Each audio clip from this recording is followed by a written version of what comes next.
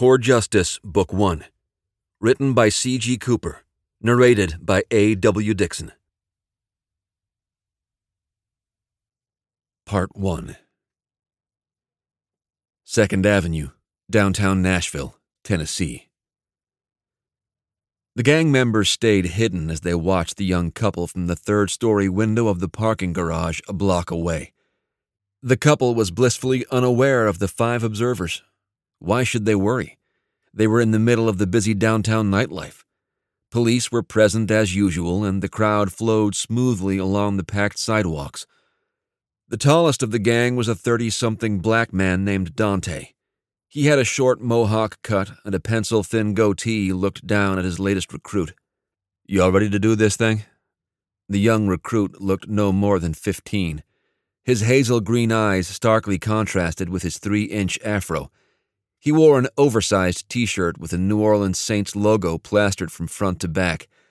His huge jeans were sagging and obviously way too big for his skinny frame. He looked like the prototype wannabe gangster. They called him Shorty. Yeah, I'm ready. He was visibly nervous but vibrating with excitement. His drug induced adrenaline kick was in full effect, and he was ready to go.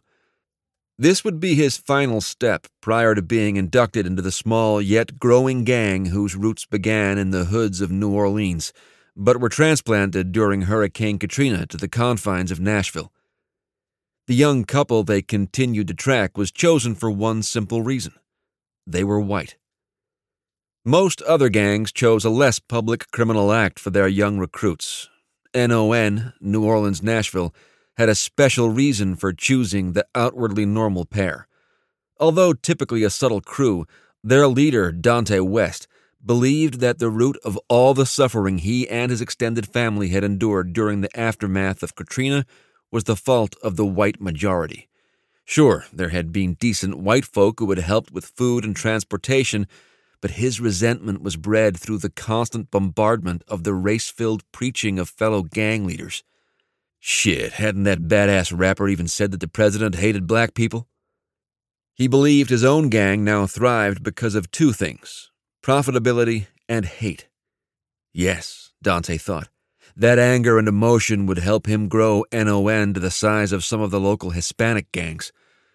Also, Dante's cunning and expertise would further his expansion of NON. The initiation ritual was the one deviation from his otherwise underground organization. Dante looked down at his group of four brothers. Now remember what I told you. Shorty takes the first hits. We only jump in if he start getting his ass kicked. The other members laughed out loud as Shorty spit out a nervous chuckle. I ain't gonna get my ass whooped, Dante. That white boy is gonna get his ass whooped. I know, I know. You just do this thing right, and tonight we'll get you some pussy and champagne. Shorty nodded and pulled out the slim tools he'd brought for the night's work an eight inch buck knife and a metal mallet he'd picked up at a local hardware store. He took an awkward swing with the mallet and a quick stab with the knife. He was ready. Shorty, remember what we told you. You're not going to kill 'em. Just hurt 'em both real good so they remember never to fuck with us. Shorty made a disgusted face like he hated being talked down to. Shit, Dante. I ain't stupid. Just let me do this thing so I can go get me some. With that, Dante nodded and waved his newest recruit toward the stairwell. They let Shorty get a decent lead and then hit street level themselves. Always within sight, he was easy to spot in his black and gold clothing. They continued to follow as Shorty closed the distance between himself and the young couple. He could now make out their features. The young man wore a pair of faded but stylish jeans and one of those cowboy plaid looking shirts that were popular. The man looked to be in his twenties, just shy of six feet and walked with a casual air. He had a medium build, nothing special. His light brown hair was short and slightly spiked in the front. He looked like a ton of other white boys Shorty saw every day at school. The young man smiled as he talked to the girl whose hand he was holding. The girl also had light brown hair that she wore straight and that hung just past her shoulders. She was attractive and looked athletic. She wore jeans and form fitting pink t shirt. Again, nothing over the top amazing, just normal. Shorty gauged the distance between himself, the couple, and the alley Dante had appointed as the jump spot. He was 20 feet from the couple. The man and woman were 50 feet from the alley. The time was almost right. As the couple nearly reached the small alley, Shorty quickly closed the distance to the couple. The plan was to quickly grab the girl and pull her into the alley. The boyfriend would, of course, follow and try to get her back. Meanwhile, the rest of Dante's crew would close in and seal off the end of the alley and shield the scene from potential onlookers. It would sound and look like a normal post bar brawl that were common on any night in downtown Nashville. He could see his soon to be gang brothers swiftly approaching. It was time to act. Shorty closed the remaining distance from the couple, wrapped his right arm around the wrist of the young woman, and pulled her into the small alley. She screamed to her fiance, Cal! Shorty kept a wary eye on the boyfriend and was surprised to see the young man already following. Not a problem. His boys would take care of him. Shorty pulled the now struggling girl farther into the alley and threw her down roughly while simultaneously turning, extracting his weapons, and preparing for the approaching boyfriend. The young man was five feet away and had a look on his face that Shorty wasn't expecting. Shorty thought the young man would be scared shitless. Instead, his pursuer looked stone cold determined, without the smallest trace of fear. What the fuck? Shorty thought. As the final foot between them closed, Shorty swung at the man with an overhand chop. The young man ignored the mallet and rushed full steam into Shorty. Both men fell to the ground with the new recruit exposed on the bottom. Shorty quickly felt the man's hands gripping his head, and the man's thumbs found his eyes. This motherfucker is going to take out my eyes, thought a now frantic Shorty. What Shorty couldn't know was that the young man had realized the trap, although too late when he glimpsed the remaining gang members block the opening to the alley. His one chance was a full on frontal assault. Take out the first man and then see if he could deal with the rest. In the meantime, Hopefully, his new fiancée could get away and find help. The man continued to apply pressure as Shorty dropped both weapons and scrambled to free himself. Too late. The would be victim ripped out both eyeballs as Shorty wailed and clawed at his now empty eye sockets. The young man grabbed both weapons and hopped back up to his feet. One down, thought Cal. He had seen and done worse on the battlefields of Afghanistan. Then it was for his country and the survival of his Marines. Now it was for the well being of his new fiancée. Fuck, he thought. As he turned to the alley entrance, the remaining gang members closed within striking distance. Two moved towards Jessica, and Dante and another slowly approached the young man. You shouldn't have done that to Shorty Boy. Now you're going to get something from me, Dante withdrew a shiny silver handgun from his coat pocket and pointed it at Jessica. Cal stiffened. You point that thing at me, motherfucker. You want to fuck with someone, fuck with me. Okay, boy. Dante swiveled the weapon back to the young man. I'll fuck with you now. Dante leveled the gun back to his fiancée and fired four shots into her body. No! Cal screamed in defiance and, with knife leading, ran the five feet and jumped on the gangbanger closest to his now immobile fiancee.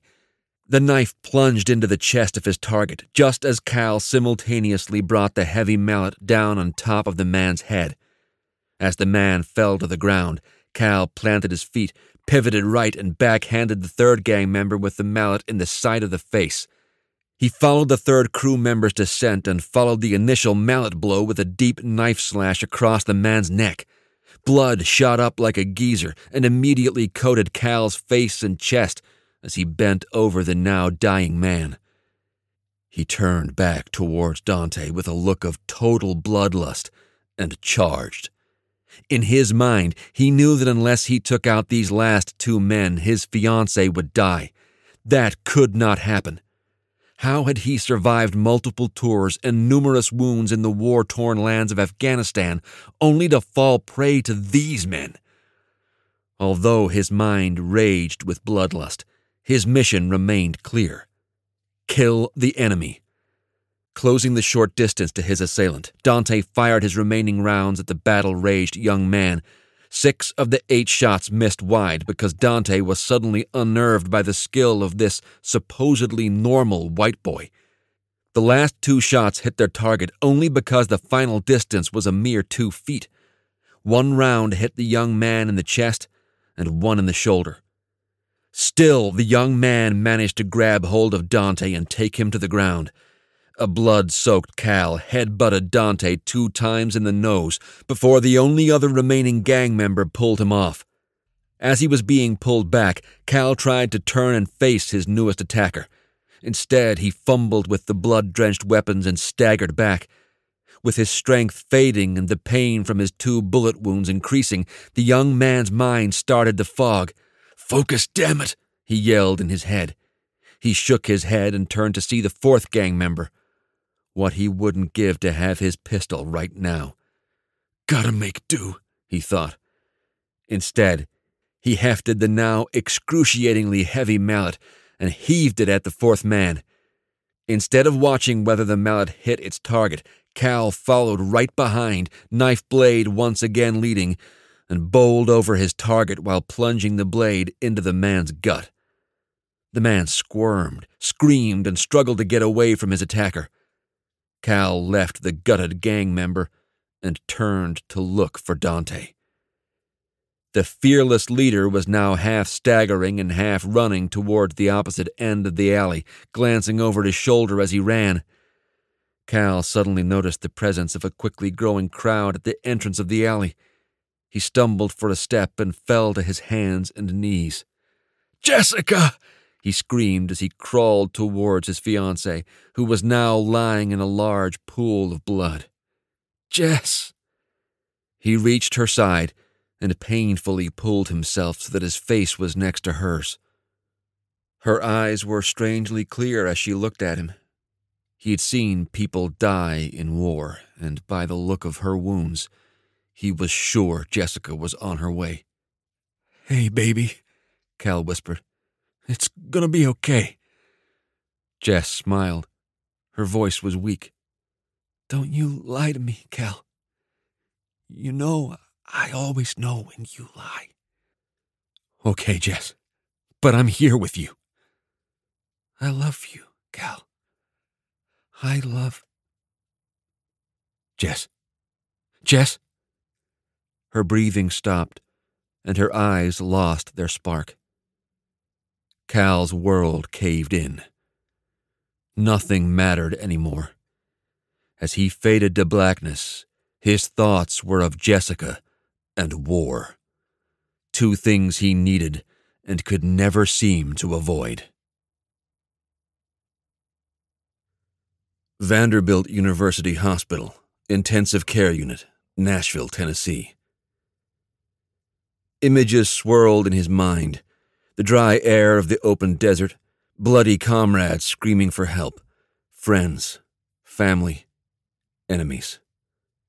Jessica in a blue gown at the Marine Corps ball, Jessica walking down the lawn at the University of Virginia, Jessica crying as he slipped the sparkling engagement ring on her finger, Jessica breathing her last breath. Jessica. Jessica. Jess. Cal Stokes slowly opened his swollen eyes. His body felt completely immobilized. What the hell? he wondered. Slowly, and with no small difficulty, he tried to focus on his surroundings. He was obviously in a hospital. The writing on the door still looked like a grayish blob, so he decided he'd figure out the particulars later. He remembered the attack in the alley. He remembered Jess dying. The pain in his heart returned. When he thought about that last moment with his dead fiancée, he tried to focus on her beautiful face and her tranquil eyes. He'd always felt that her eyes were what really did him in that first night they'd met six years before. Those beautiful eyes would always haunt him. As he pondered his misery, the door swung open and a young Hispanic looking hospital staff member walked in. I see you're awake, he said. How you feeling, Staff Sergeant? Ignoring the question and the comment about his prior military rank, Cal answered with a croak. Where am I? They brought you over here to Vandy after the attack. You were pretty damn beat up. I haven't seen anything like that since I was in Iraq. As he talked, the nurse busied himself by taking notes from the machines Cal was hooked up to. How long have I been here? Cal asked. About a week. You were full of holes and in critical condition. You got lucky, though. The bullets missed anything vital. No permanent damage, mostly blood loss. By the looks of your other scars, this isn't the first time you've spent in a hospital. The docs wanted to keep you sedated for a bit so your body could heal. When can I leave? The man chuckled. Just like a Marine. Staff Sergeant, you're not going anywhere for a few days. Why don't you kick back and let us pamper you a bit? As the nurse continued around the room in what looked like a practiced habit of checks and rechecks, Cal wondered how he'd found out about his military service. I guess you can find pretty much anything on the internet these days. I've got to get out of here and talk to Jess's parents. The man circled around again. Can I get you anything, Staff Sergeant? Call me Cal. I left that Marine stuff behind. What do I call you? My name is Brian Ramirez, or you can call me Nurseman. You said you were in Iraq. Who were you with? I was with the Jarheads. I was a corpsman with 1-2. You were with 3-8, right? Yeah. Cal groaned as he readjusted. How about I just call you Doc? No problem. Takes me back to the days with my platoon. You dumb grunts can never remember anyone's real name. You need anything? I'm good. Thanks, Doc. Brian nodded and left the room. Cal was surprised to have a corpsman taking care of him. Maybe he'd been paired with Brian once they found out he'd been in the Marine Corps. Whatever. He just wanted to get out of the hospital. Outskirts of Nashville, Tennessee. Dante was screaming into his cell phone. What do you mean that motherfucker's still alive? I pumped that boy full of lead. He listened intently as the speaker on the other end of the conversation relayed more information. Will you tell that bitch she better keep her eye on things and tell me as soon as that fucker gets released? Dante stared down at his phone, seething with rage. How the hell had everything gone so wrong? A week ago, he'd had a crew of promising members and a highly profitable business. Now he was left with a crew full of worthless bitches. To make matters worse, the media and the police had picked up on the bloody attack, and now Dante was on the run. Never in the same place two nights in a row. He'd done it before down in Louisiana, but this was different. He felt like the whole world was looking for him. Maybe it was time to head back to New Orleans. No, he had to stay in Nashville and finish what he'd started. Besides, if he went back south, he'd be laughed at as he ran back into town, hiding from the authorities. He'd worked too hard to let everything go bad. He had too much raw talent. No, he had to finish things with this damn Marine. Damn Marine! How the hell could they have known that Shorty was about to attack a Marine hero? It was plastered all over the news about how the returning Navy Cross winner and his fiancée had been brutally attacked in the middle of busy downtown Nashville. Local authorities and veterans groups were in an uproar. Roving bands of retired military and their supporters walked the downtown streets just waiting for provocation. The Marine veteran had turned into a folk legend in a matter of days. Stories varied as to the exact chain of events from that night, the police were being unusually tight lipped. But what no one could deny was that somehow this one former staff sergeant, in self defense, had killed three men, blinded a fourth, and wounded the only one to escape Dante West. What seemed like a simple initiation at one point had now turned into a complete nightmare for Dante and his crew. Just over a week prior, his hookers could peddle their wares, his pushers could sell their drugs, and his boys could walk the streets sporting their colors. Now the police had identified the once silent gang. Shorty had helped their efforts by squealing like a pig and unloading anything and everything he knew about Dante and NON. Other than Dante, the blinded Shorty was the only other gang member to survive Cal Stokes' wrath. Shorty had been taken to the hospital where he'd been pronounced healthy save the loss of two eyes and remained under the supervision of the police and hospital staff. Under very basic interrogation, a scared and defenseless Shorty had divulged the entire plan for the night's attack, including why the couple was picked and who NON and its members were. Shorty had outed Dante and his entire crew. It was a complete and total disaster for Dante, who'd spent the time since his move to Nashville carefully choosing new recruits and keeping his base of operations under the radar of the local police and other rival gangs. Now, NON was national news, and he'd already felt the pressure from his rivals. Hell, the media had even taken to making fun of the gang's name. Enough was enough. It was time for Dante to take back control. He hadn't worked so hard to let it fall so fast. He would push the envelope and show that damn Marine how bad things could really get. Vanderbilt University Hospital, Nashville, Tennessee. It had been two days since Cal had regained consciousness. His mind's sharpness returned, he focused on exceeding his doctor's expectations of recovery so he could get out of the hospital sooner. His only companion and now friend was the nurse, Brian Ramirez. Over the preceding two days, Brian filled Cal in on what was being televised about the investigation into the attack that killed Jessica. So you're telling me they know who led the attack and they still don't have him in jail? Cal asked. Yep, this guy Dante West is supposedly the leader of this little transplanted gang. They say he's a pretty mean son of a bitch. Brian took a minute to write something down on his clipboard, then continued. Came up here from New Orleans after Katrina. They interviewed some of his extended family down south, and they were all pretty tight lipped. I think they're afraid of him coming after them. Cops say he was apparently into drugs and running with local gangs by the time he was 12 has a long record, including attempted murder and battery. If they know who he is, why can't they find him? The cops I've seen on TV say he's hit the streets. They've got a huge manhunt out for him. Word is the military vets on the police force can't wait to find him and hope he'll go down fighting. Nobody likes the way things went down with your girl. Yeah. Cal's voice sounded absent. Part of him hoped and prayed he would be the one to find that piece of shit. To put a couple rounds into his gut and watch him die might make his despair a little more palatable. So, what do you want to do today? Brian asked. What are you, my nanny now? Let's just say the hospital staff has decided no one else has the patience to deal with the grumpy grunt.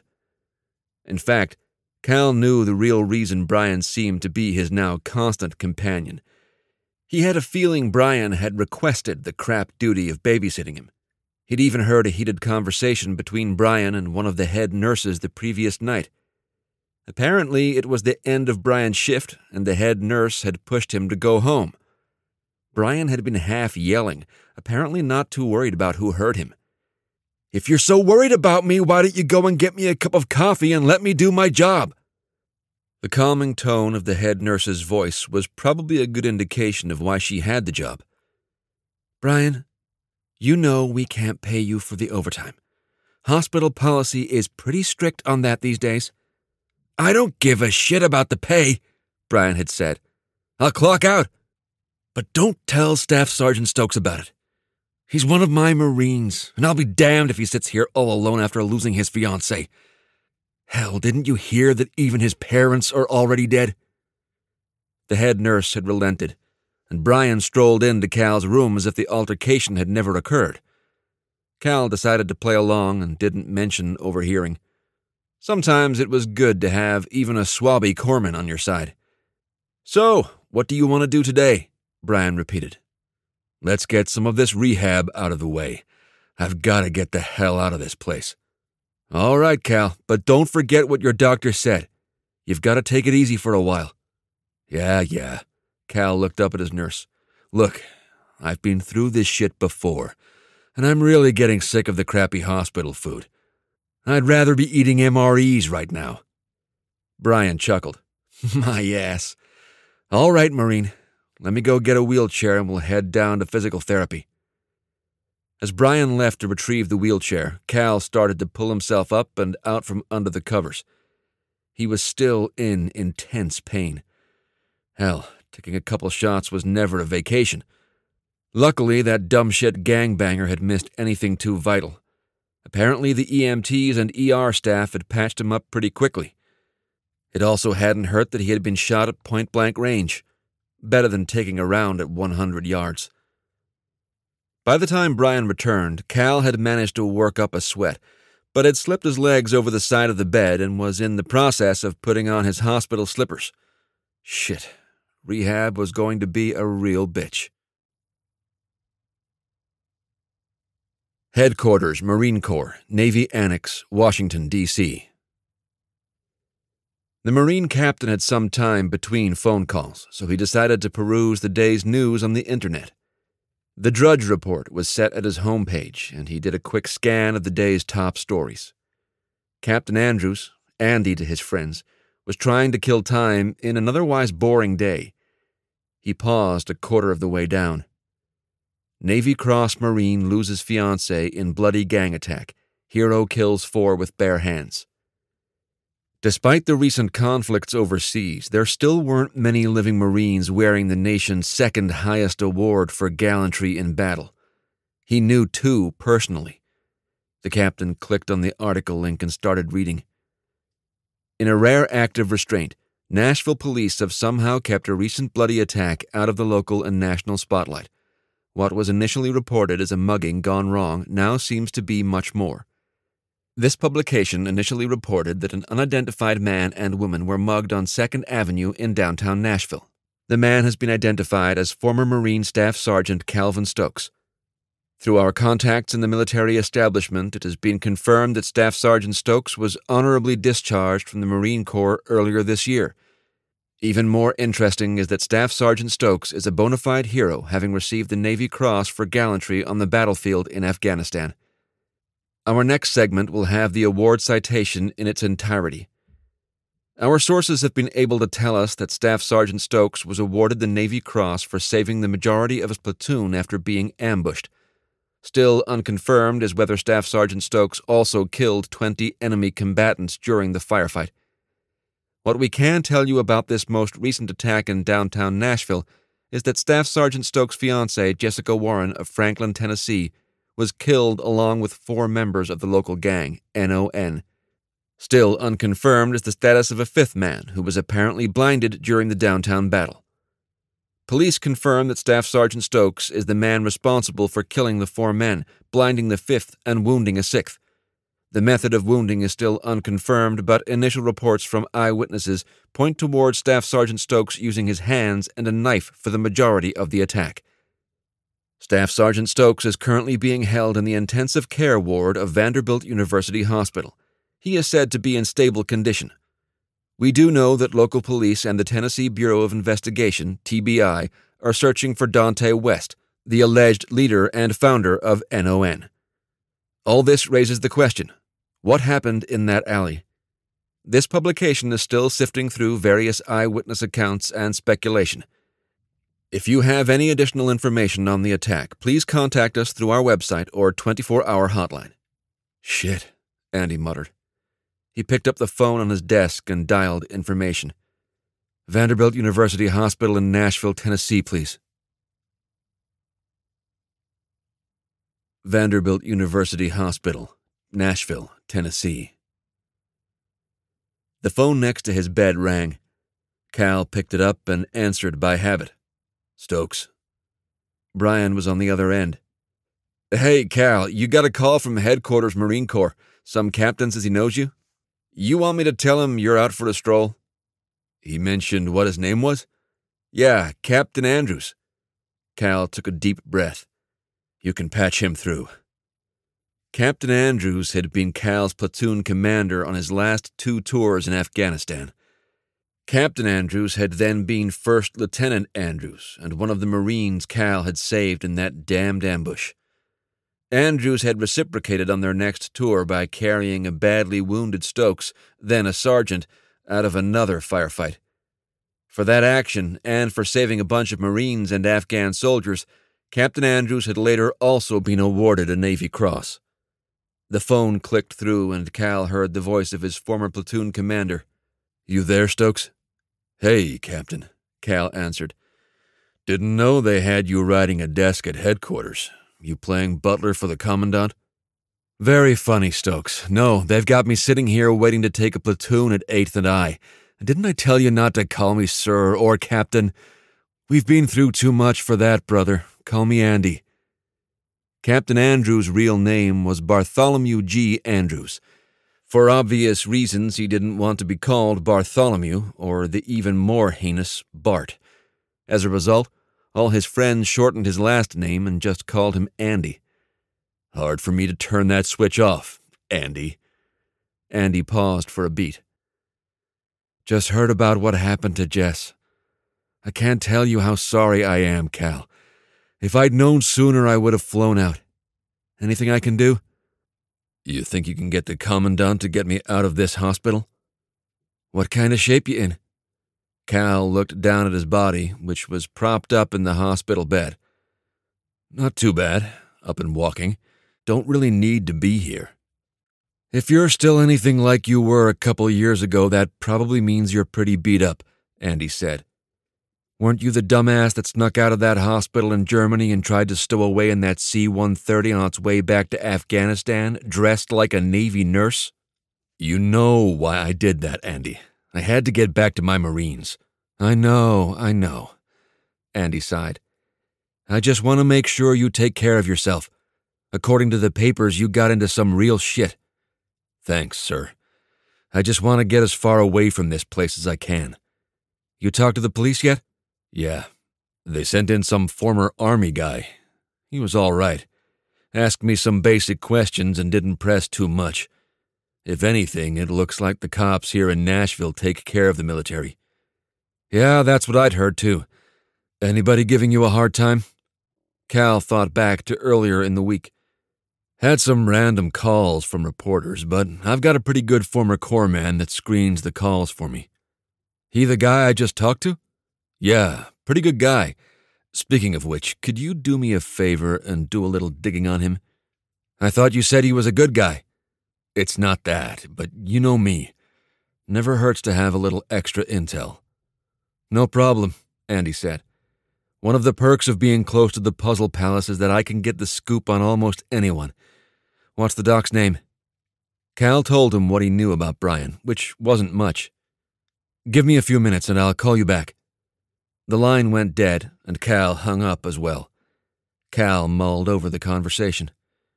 So, Captain Andrews was at headquarters, Marine Corps. Large probability that they got him to make that move kicking and screaming. The good captain might not look like much, around five feet nine inches, but he was a hell of a shot and knew how to take care of his Marines. Most people thought he was a candy ass when they first met him because he looked barely 21, but the man was a natural leader. Under the surface lurked a coldly calculating mind, not unlike Cal's. Maybe that's why they'd gotten along. His mind ticked back the seconds, then the minutes, then hours and days and years, back to when he first met then Second Lieutenant Andrews. Andy. Corporal Stokes sat at the duty desk counting down the minutes to midnight. This was the much loved 24 hour duty on a prime Friday night in July. He had a list of junior officers that were supposed to report in to the battalion from the infantry officers course by 2359. All of the four reported in at various times during the day, except one a second lieutenant Bartholomew Andrews. Bartholomew, huh? Probably some Naval Academy weenie. The gunnery sergeant assigned as the duty officer was a real prick and wanted to be woken up as soon as each officer reported in. It didn't have to be that way, but this particular gunny, a gunnery sergeant Reamer, got a kick out of giving young officers grief when they reported in. Cal knew why, too. The prick had been dumped by two company commanders for doing a shitty job as company gunny. Now he was assigned to the S3 shop as some assistant to the assistant's assistant. Basically, the battalion staff was biding its time until they could dump the waste of space onto another battalion or get him kicked out of the Corps altogether. Reamer loved to abuse any power granted to him by the Marine Corps, even the limited power of the officer of the day. Guys like that tend to relish OOD duty as their time to shine. He had seen the guy earlier that week pacing before two unfortunate new arrivals like a rooster with a hard on. He shoved his pecking beak into one poor officer's face. Lieutenant, where are your written orders? He liked to say lieutenant like it was some obscenity he'd been whipped for in Catholic school. In my car. The poor guy was shaking. In your car? screamed the gunny. Is your car pulling duty now, Lieutenant? No, Gunnery Sergeant. The young officer was bubbling with unease now. You are to carry your written orders at all times like they're nailed to your chest. You understand, Lieutenant? Yes, Gunnery Sergeant. There was a slight whine in the officer's tone now, like a banshee who'd lost its voice. Yes! So you agree with me? Yes, Gunnery Sergeant. Then why don't you have them with you? The officer's jaw jittered for a moment. I. I what? You gonna start giving me a bunch of excuses, Lieutenant? No, Gunnery Sergeant. Here's what I need. What the Marine Corps needs. I need you to sprint back to your car right now. You understand, Lieutenant? Yes, Gunnery Sergeant. And I want you to run like the devil himself is about to rape your mama and bring me back those written orders, Lieutenant. Yes, Gunnery Sergeant. You think you're special, Lieutenant? Because the Corps doesn't have room for special cases. No, Gunnery Sergeant. You think you don't need written orders? No, Gunnery Sergeant. I want you back here in under two minutes, or I will call the battalion commander and let him deal with you. It was said conversationally, like Reamer didn't care, but the threat was as plain as the grass is green. After this lovely exchange, the officer turned and ran. Cal saw the smirk appear on the Reamer's smug, self satisfied face. Then the prick actually laughed out loud. Cal wasn't looking forward to the last guy, Andrews, getting there. The second lieutenant had ten more minutes. It was also obvious that the gunny was saving the best for last. Bartholomew, the gunny sneered to Cal. Anyone with a name like that is just begging to be messed with. No, Bartholomew wasn't Cal's first choice to name a kid, but at least he had the decency to keep that fact to himself and not make it the justification for some petty abuse to make himself feel like he had a pair. At five minutes before midnight, Second Lieutenant Andrews walked into the duty shack with his orders ready. He looked squared away and fairly at ease. Most new Marines Cal had seen checking into their first unit tended to be more than a little nervous. This young officer didn't seem to have that problem. Checking in, Corporal. Cal looked up at him. Roger that, sir. If I can just get your orders, I've got to go get the duty officer to get you logged in. No problem. Corporal Stokes got up and walked smartly into the next room, which was used for the duty officer and his clerks as a sleeping area. Hey, Gunny, the last lieutenant just walked in. Reamer opened his eyes with what looked like a mixture of disdain and excitement. Yep, he was going to give the new guy some kind of shit, all right. Cal waited as the gunny took his time putting his utility blouse back on and donning his web belt and pistol. Corporal Stokes was surprised the guy could even fit into any issued gear. The gunny's belly gave his buttons a workout. Finally ready, Cal followed Reamer back into the duty shack. Not two steps through the door, the gunny started in. You, Lieutenant Andrews? That's me, Gunny, Andy said. Just checking in. I'd appreciate it if you called me Gunnery Sergeant, sir. That was one of Reamer's favorite lines. Get the young officers off balance from the get go. Sorry, Gunnery Sergeant. Didn't mean any disrespect, Lieutenant Andrews responded, without the obligatory flush of embarrassment. Cal couldn't yet put his finger on it, but he didn't think this baby faced butter bar was even close to being a candy ass. Says here you were supposed to report in by 2359, Lieutenant. It's now 002. Andy nodded toward Cal. As I'm sure Corporal Stokes will tell you, I stepped in and reported at 2355. The gunny smirked. Well, sir, that's not really my concern. The point is, when I put you in the logbook, you'll be reporting in late. Hell of a way to start your tour with this fine battalion. Just then, Cal caught the look of cold anger flash across the eyes of the young officer. Then, just like that, it was gone. This guy was no candy ass. From the look on the Reamer's face, it was obvious he'd missed the warning sign. Cal decided to step in. Hey, Gunny, the lieutenant's right. He checked in right at 2355. I wrote it right here in my own logbook. You shut your mouth, Corporal, Reamer snapped. Looks like you'll have to come back tomorrow morning to meet with the battalion XO, sir. He likes to come in Saturday morning and check in with the OOD to see who fucked up the night before. Surprisingly, Lieutenant Andrews still stood in front of the duty desk with a look of complete calm. Okay, Gunnery Sergeant, why don't you just pick up that phone and call the XO right now? If I'm going to get my ass chewed, I'd rather not wait until tomorrow. Visibly confused, Reamer paused to think about that most unexpected request. Calling the executive officer would put his ass in a crack, and he was all about keeping his ass out of cracks no matter whom he had to blame to take the fall for him. Reamer's voice became condescendingly soothing. Well, Lieutenant, I don't think it's appropriate to call the XO at this hour. Why don't you just come back in the morning, and I'm sure everything will be fine. I think I'll take my chances, Gunnery Sergeant. Why don't you give me his number and I'll call him right now on my handy dandy cell phone? The corner of Reamer's mouth twitched, barely imperceptibly. He was starting to lose his patience. Now, sir, that's really not how things are done around here. Andy's voice was suddenly commanding. Well, then, how are they done around here, Gunnery Sergeant? It's obvious you get your rocks off shitting on us new guys. Get the damn XO on the phone and we'll get this done. Now! The placid demeanor had evaporated, and a look of calm fury now radiated from the young officer's face. And by the look on Reamer's face, the shitbird gunny was finally getting the point. He'd messed with the wrong guy. He could either back down or push forward. Cal hoped he'd pick the first option. The gunny sneered in Andy's direction. Now look here, Lieutenant. I don't appreciate. Get on your feet, Marine! Andy bellowed. You stand at attention when you talk to me, gunnery sergeant.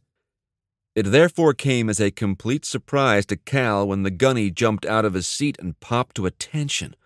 Holy shit! What was going on? Now, as I see it, said Andy, you have two choices. Number one, you log me as reporting in at 2355. Number two, you get the battalion XO on the phone right now and he can resolve the issue. What's it gonna be, Gunnery Sergeant? Reamer stammered as he answered the other man. I'm just trying to do things by the book, but I think we can trust your word that you reported in at that time. Sir. Excuse me? I said you call me sir, Andy said. I'm only asking for the same respect you so kindly asked of me. Yes, sir, the gunny said. All right. Let's get this done so Corporal Stokes can get some rack time. He's looking a little sickly.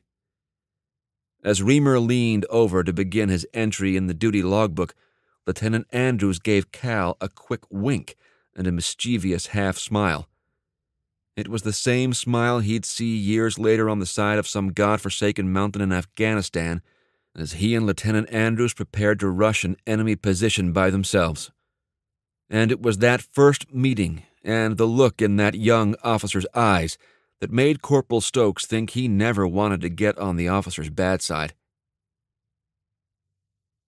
Vanderbilt University Hospital, Nashville, Tennessee. The bedside phone rang again a couple minutes later. Cal picked it up on the first ring. Stokes. It was Brian. Cal, I've got Captain Andrews on the phone again. Put him through. You there, Stokes? Andy asked. Yes, sir. I got some info on your corpsman. Cal shifted into a more comfortable position. What'd you find? Says here that he served with 1 2 during the initial invasion of Iraq. He got to be part of that big mess in Nasiriyah. Hold on a minute. Cal heard mouse clicks on the other end. Well, well, said Andy. Looks like you've got yourself a brother there, Marine. What do you mean? This record says that Hospital Corpsman First Class Brian Ramirez is a multiple award winner. Won a Bronze Star in Iraq, then a Silver Star in Afghanistan. Hmm. The first was for dragging some of his Marines out of a burning AAV. Says he got some pretty bad burns himself. The Silver Star citation says that this kid not only saved 10 of his Marines' lives, but that he also took up a couple M16s and killed a few bad guys. No shit. No shit. Impressive. Well, at least I know now. Need anything else? Andy asked. Unless you can get me out of here, I'm good. Wish I could, buddy. I'll be in touch. The line went dead. Cal replaced the receiver and laid back in his bed. So, Brian was a warrior. Interesting. A few minutes later, Doc Ramirez came in to check on Cal. What do you want for dinner tonight? Brian asked. You didn't tell me about your bronze and silver stars. Brian quirked an eyebrow. You didn't tell me about your Navy Cross. Fair enough.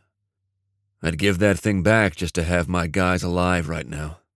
Me too. Now, what do you want for dinner? Chicken or mystery meat? Cal snorted. I'll take the chicken. As Brian nodded and left the room, Cal thought about the quick conversation. It was rare to find a medal recipient who bragged about their reward. Most just wanted to be left alone. He had seen guys give their medals away as soon as they'd been received, rather than once again relive the memory of their dying comrades.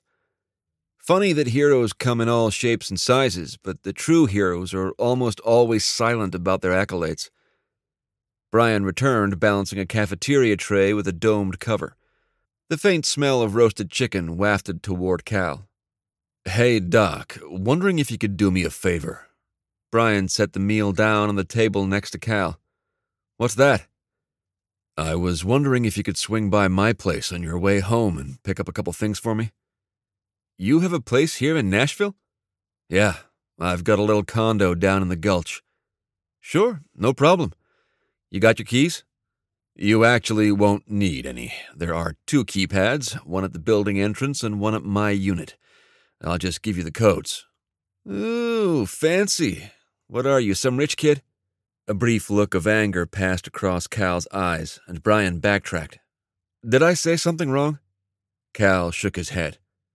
Don't worry about it. Can you run by there tonight? No problem. I get off at 7. I'll run by after that. What do you need me to pick up? Call me when you get there and I'll walk you through it. Won't be easy to find without me telling you. Brian's eyebrow rose. What was this Marine having him deliver? He'd find out soon enough. He was pretty sure he could trust Cal Stokes. Gulch District, Nashville, Tennessee. Compared to Brian's tiny apartment, Cal's building was the Taj Mahal. He pulled up to the side of the high rise condo. What the hell does this guy do for a living now that he's out of the Corps? He got out of his car and walked to the building's entrance. A collection of mixed citizenry walked the sidewalks on either side of the street. Brian could see at least two high end restaurants within a block of Cal's building looked like the area was really taking off. He'd heard that there'd been a lot of redevelopment in the Gulch in recent years. Not a bad place to live. The passcode Cal gave him got him in the glassed front door. A few steps inside, he could see what appeared to be a receptionist glancing over at him. As he got closer, she perked up. Can I help you, sir? I'm good, just picking up some things for my buddy in the hospital. She looked startled and came out of her seat. Is that Cal you're talking about? It is? Oh my god, is he okay? We heard all about it on the news. He's such a nice guy. When is he coming home? I can't say for sure, but he's doing a lot better. I'll tell him you asked about him. Irene.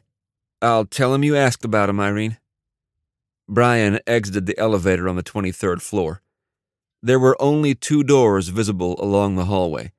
Cal's was almost directly across from the elevator. He quickly punched in Cal's code and entered the condo. Despite its opening smoothly, he could feel the weight of the door. Standard issue or an upgrade Cal had installed. Curious. The thing reminded him of some of the armored vehicles in the Corps. By habit, he turned around swiftly to lock the door and deadbolt it.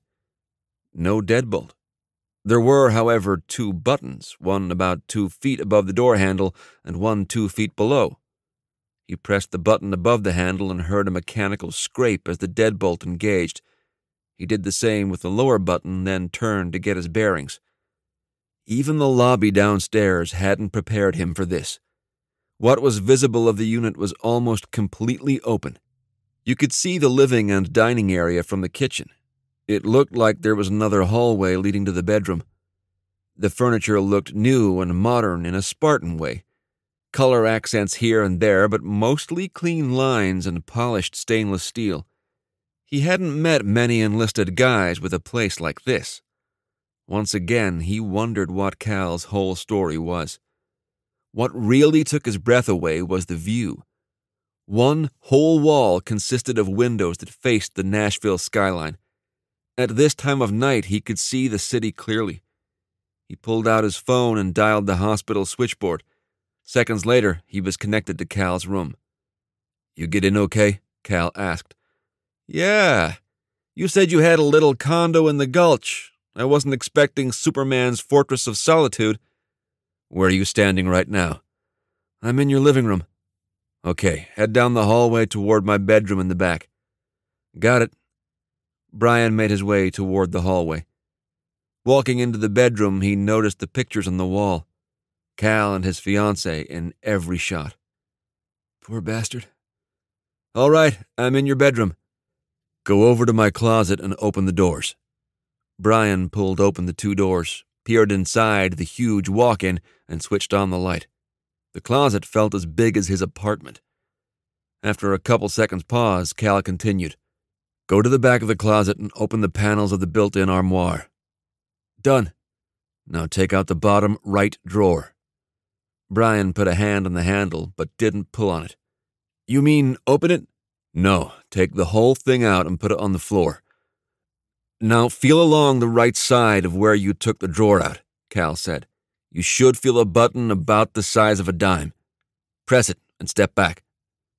He suddenly had the nagging sense that he wasn't going to like what was coming next. This was obviously a compartment for some kind of secret stash, drugs, or something worse. With some trepidation, he pressed the button and heard a mechanical click. He could now see that the interior of the wardrobe had moved forward a bit. There appeared to be a seam in the middle. All right, now open the panels. Once you get that open, there's a separate light switch inside. Brian pulled the two heavy panels apart and stepped back. Well, it was definitely a secret stash, just not the kind Brian had imagined. Neatly held in racks and now lit by the interior light was a bottom row of an assorted number of rifles. The top row was half pistols of varying calibers and half full of other gear like knives, GPS, compass, and survival gear. What the hell? thought Brian. This Marine is ready for war. Grab the first pistol on the top left, Cal said. Should be my Beretta 9 mil. Grab the one next to that too, the 45 caliber Springfield XD. Brian shook his head but didn't move. Hey, man, I can't bring these things back to the hospital. Administration tends to frown on personal arsenals. Look, Doc, I know I'm asking a lot on this one, but I need your help. You should know me well enough by now to understand that I don't like asking for help. Brian laughed. I saw a small glimpse of that the other day when you refused my help getting up to take a piss and landed flat in your face. Cal sighed, like the memory was a sharp pain in his side. Yeah, I know. But look, I just have this funny feeling and I want to be prepared. You ever get that feeling in your gut while in the field that something bad was going to happen? Of course, but Cal, this is different. You're not in the field and you're surrounded by trained hospital security staff. Not to mention the local cops are always stopping by to see how you're doing. You're right, Cal said slowly. But I thought the same thing about taking Jess out to dinner at a seemingly safe downtown restaurant. Cal let that sink in for a couple seconds and continued. You know, I wouldn't let you take the heat for this. If anyone finds it on me, I'll blame it on myself. Thing is, the minute I walk out of that hospital, I'll need to have some protection of my own. Brian's stomach was uneasy. He trusted Cal, but the thought of bringing loaded weapons into the hospital still did not sit well with him.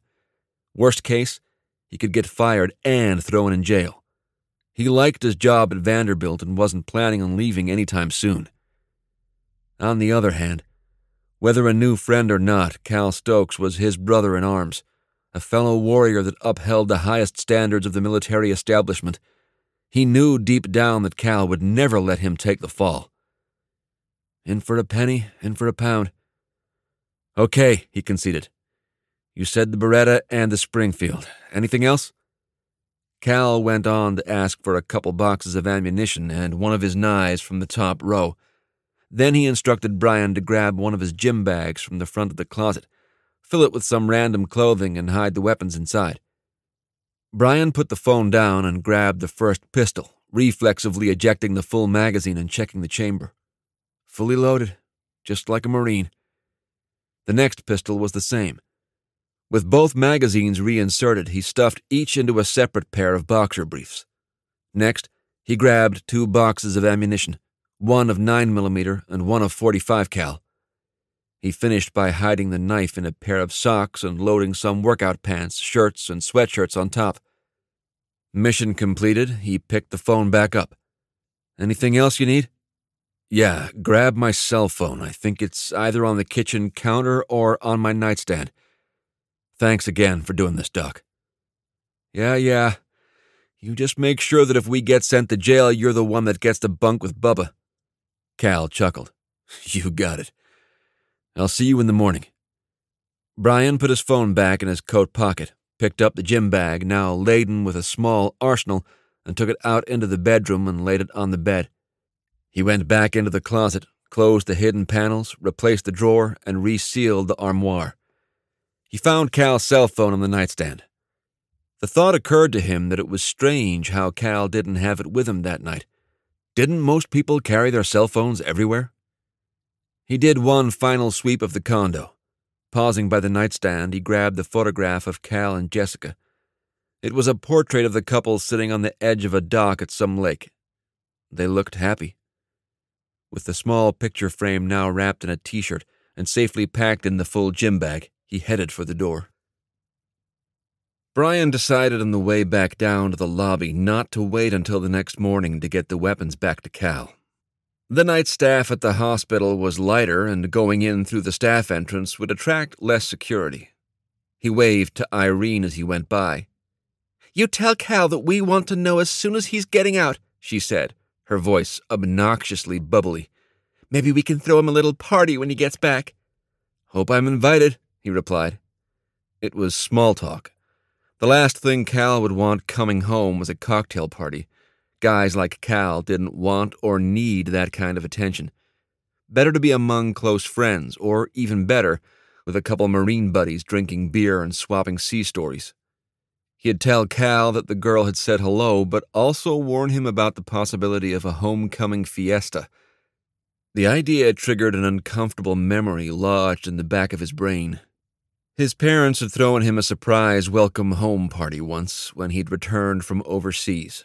By then, unbeknownst to him, the Navy had already informed the Ramirez family of Brian's valor in battle.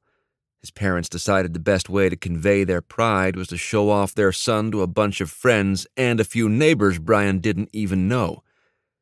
He still remembered the look of devastation on his mother's face as he'd screamed at her for throwing the party. She'd left the room crying. Somehow his father diplomatically ushered the guests out of the house. Looking back now, his soul ached at the memory of his behavior. It wasn't their fault. His parents were not raised in a military family. They had no idea what it was like to serve in the armed forces.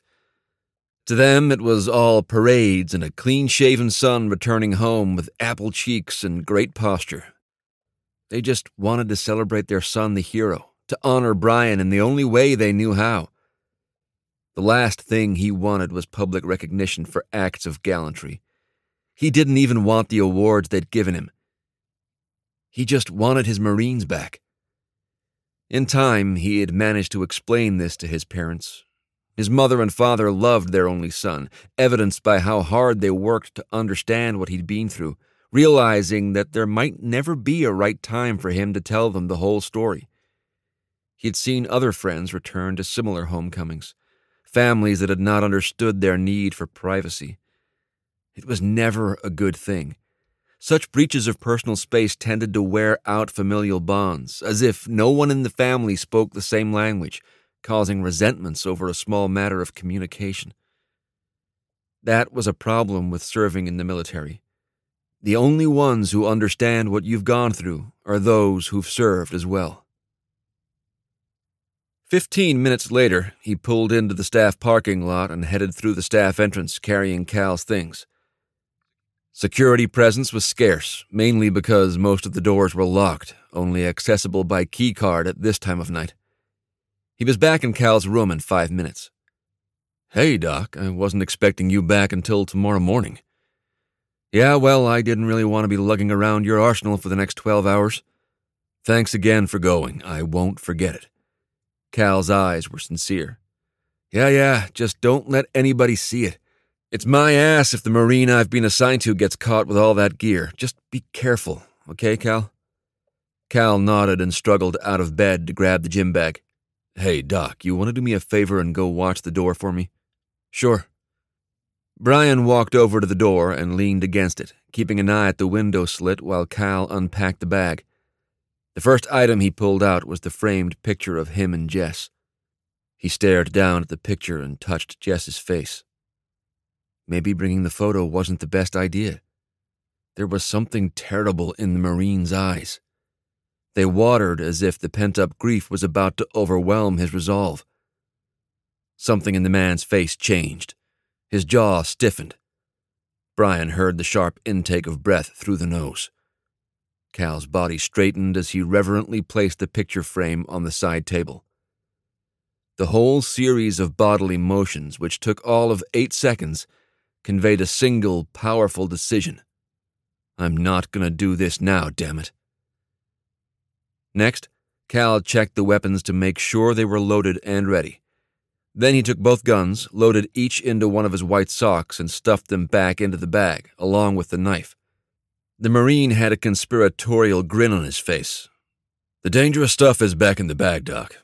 Have a seat if you want to stick around. Brian narrowed his eyes at him. Stick around for what? You'll see. I've just got a feeling. Cal grabbed his cell phone, sat on the edge of the bed, and started scrolling through the phone's touchscreen. He shook his head and mumbled, a shit ton of voicemails. Brian moved up next to Cal and looked down at the phone. Cal clicked the small camera icon on the home screen and entered a nine digit passcode. Video footage appeared in a series of scrollable files. He couldn't believe it. Cal was scrolling through videos taken at his condo. Hey, is that me? Yep. I'm starting with the most recent and moving back. I've got these things rigged so that they're motion sensitive. Got 'em hidden pretty well in each room. Bet you didn't see them, did you? Brian shook his head. Why do you have all that surveillance gear up? Speaking of which, what's with the armor plated door and access code add on? I thought you might pick up on that. You're not as dumb as you look, Swabby. Brian rolled his eyes as Cal continued. The video surveillance gear is actually through a local security company. Nothing too fancy. I had it installed just as a precaution. I found you could never be too safe. I usually turn it off while I'm there so I don't waste space filming myself in underwear. He turned the phone so Brian could get a better picture. See? Here's you getting to my front door. The next camera picks you up coming into the foyer, etc. Pretty cool. Yeah, my dad was in the security business. I guess I picked up on some of his habits. Brian added that tidbit about Cal's dad to the back of his brain for inquiry at a later date. A family security business would definitely explain the vault and arsenal at Cal's place. So, what are you looking for? Brian asked. Just want to make sure I wasn't rifling through your panty drawer? Just want to see if anyone else made a visit. Cal sounded distracted. As Brian watched, Cal fast forwarded through the footage. He saw the front door's exterior camera pick up residents walking by Cal's unit. After a couple minutes of forwarding, Cal stopped. Hmm, looks like Irene stopped by. Hey, isn't that the girl from the front desk? Yeah, her name's Irene. Nice enough girl, but kind of nosy. She said to say hello, by the way. Cal ignored the comment and kept his eyes on the small screen. At first, Irene looked like she was knocking on the door. Then she pulled out her cell phone and made a phone call while standing right in front of Cal's door. She looked nervous. The video didn't have sound, but Brian got the impression that Irene didn't like what she was hearing from the other end. Finally, she hung up the phone and put it back in her pocket. She approached the door again, and it looked like she was entering a passcode to get in. The next frame showed Irene stepping into Cal's foyer, just as they'd seen a few minutes before with Brian's visit to the condo. Cal sat up. What the hell is she doing? Maybe checking to make sure you hadn't left the stove on or something. Doubt it. The building staff isn't supposed to enter the private residences unless there's an emergency. Plus, she doesn't know I have cameras installed. As they both watched, Irene made her way through the living area and kitchen. She seemed to be looking for something. She paused to open random drawers and peer inside. Nothing she saw seemed to be of much interest. What the hell is she looking for? Cal said. Irene moved from the living area to Cal's bedroom. She opened the drawers in the bedside table and picked up Cal's cell phone out of the charging cradle. It looked like she had pressed the unlock button on the phone, but without the unlock code, she quickly grew frustrated and put the phone back down in its charger. She moved to the other side of the bed and picked up a small package that appeared to have already been opened. Cal clenched his teeth. Tell me that package was there when you went by, Doc. Yeah, it was there, I think. What is it? Just a little engagement gift from Jess's parents. Peering back down at the phone, they watched as Irene set the package down and advanced her search. The woman did a quick scan of the bedroom closet and headed back towards the main living area. She looked around one more time, then left through the front door. Irene's gonna have a little explaining to do. Brian crossed his arms. You want to tell me what's going on? The less you know, the better, Doc. I already exposed you by having you go by my place. Don't worry about it. I'll take care of it. Brian scoffed. Look, brother, I don't know what the hell's going on, but I do know that you're in no condition to be doing much of anything, so if you need help, I'm here. Cal stared at Brian for a moment and nodded. If this goes to shit in a couple days, don't say I didn't warn you. Sounds like what my platoon sergeant said to me after I volunteered for that ambushed patrol. Didn't you learn never to volunteer for anything in the military, Doc? Yeah, Brian smiled. I guess I'm just a slow learner. Okay, Here's what I think. Cal looked back down at the video. That guy that attacked me, Dante West, isn't done with me yet. I'll bet he's not happy about what I did to his crew. He's also pissed that I messed up his face. You think he's coming after you? Yeah. Why not your family? All my family's dead. I'm all that's left. Brian's eyebrows knit together. What about all those phone calls you've been getting? The ones you don't want to take? They're guys with my dad's company. I'll deal with them later. Hey, man, I know this whole situation sucks, but you've got to talk to someone. You can't just hole up here and pretend the outside world doesn't exist. I'll bet those guys are worried about you. Cal stared at Brian for a minute, then nodded. I'll call them in a minute. Can you do me another favor? What now? You want me to go break someone out of jail? No, smartass. Can you go get me some coffee? I think this is going to be a long night. Brian agreed and left the room. As he made his way to the cafeteria, he thought about what Cal had said about his family.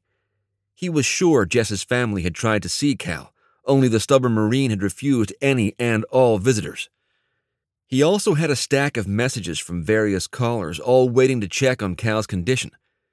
Brian had kept tight lipped until now, but he knew that would have to change. In order for Cal to make a full physical and, more importantly, mental recovery after losing Jess, he'd have to let his friends help. As a nurse and corpsman, Brian had seen a lot of troops clam up and refuse treatment. Some never made it back to reality. Others drowned their demons in booze and drugs.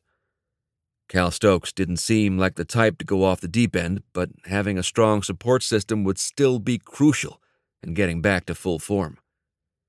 If Cal didn't make the calls himself, Brian would make some for him. There's no other decision to make when your brother falls. You pick him up. That's that. Vanderbilt University Hospital, Nashville, Tennessee. Cal Stokes stared at the ceiling. He had the urge to chuck pencils at it. A moment later, Brian entered, clutching a stack of papers in one hand and a cheap styrofoam cup in the other. At least it was hot. Forgot I stashed this back at the nurse's station. Phone messages. Cal grabbed the coffee and the inch thick stack of messages. This many people called for me? Yeah, you must be famous or something, Brian chuckled. I put what sounded like friends and family on the top and left the reporters and weirdos in the bottom. Brian left the room and Cal looked down at the top message. It was from Jess's dad, Frank, earlier that morning. He thumbed through the rest and saw that Frank had called at least three times a day.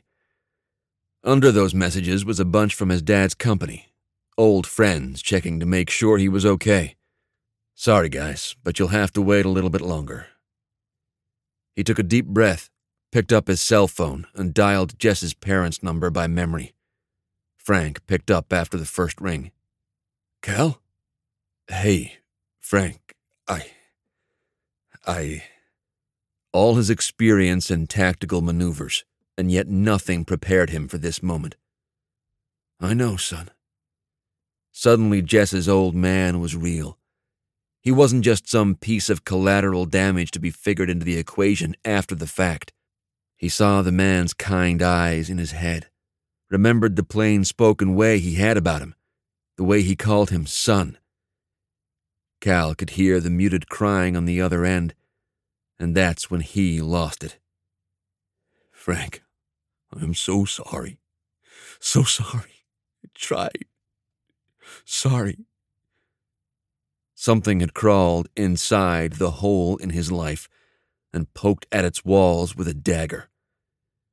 It began with a soft sob and a feeble attempt to suppress it. All decorum went out the window, and he broke, dropping the phone into his lap. The tears and the sobs continued for a few minutes. This was grief. This was every loss magnified, replayed.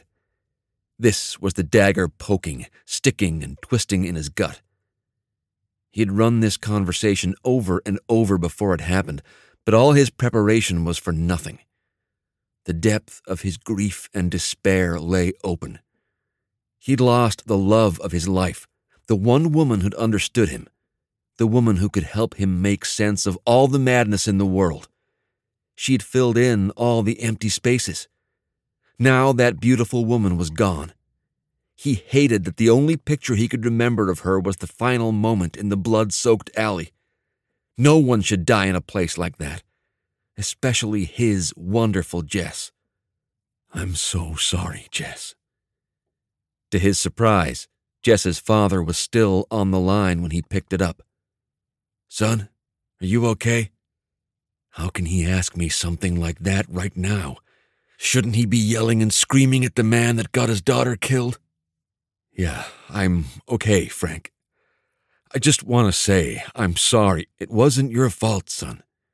You did your best. Jess wouldn't want you to blame yourself. Cal could barely keep his voice above a whisper. I know. When can we come see you? I'd really rather come to you guys, Cal said. When's Jess's funeral? We were waiting to hear from you. When are they releasing you? I'm not sure. I've got a couple other phone calls to make. Can I call you back when I know more? Sure. Frank paused for a beat. And Cal? Yeah? I love you, son. Unable to respond, the tear soaked Marine hung up the call.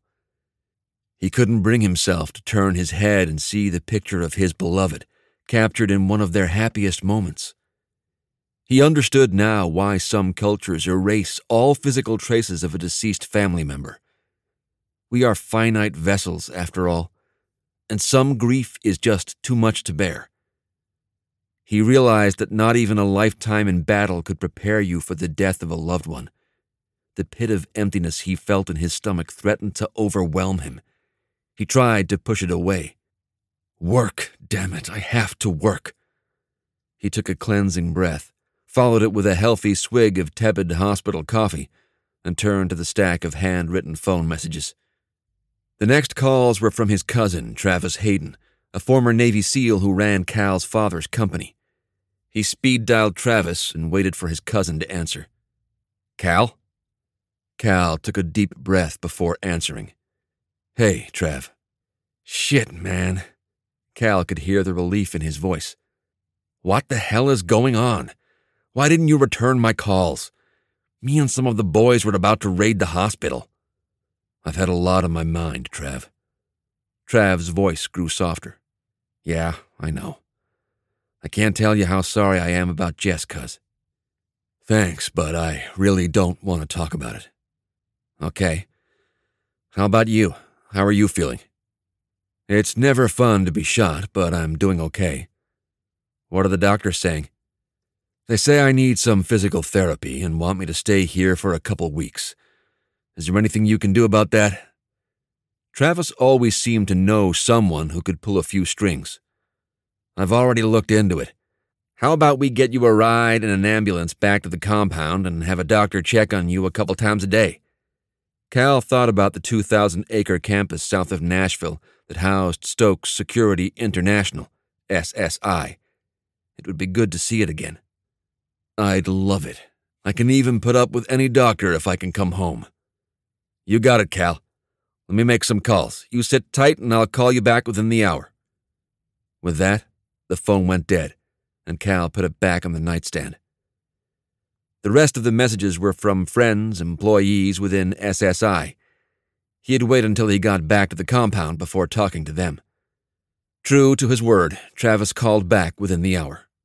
So I talked to the hospital staff, and they weren't too happy about the situation, but I explained that we'd have a doc to escort you back to the compound and that he'd be on call 24 7.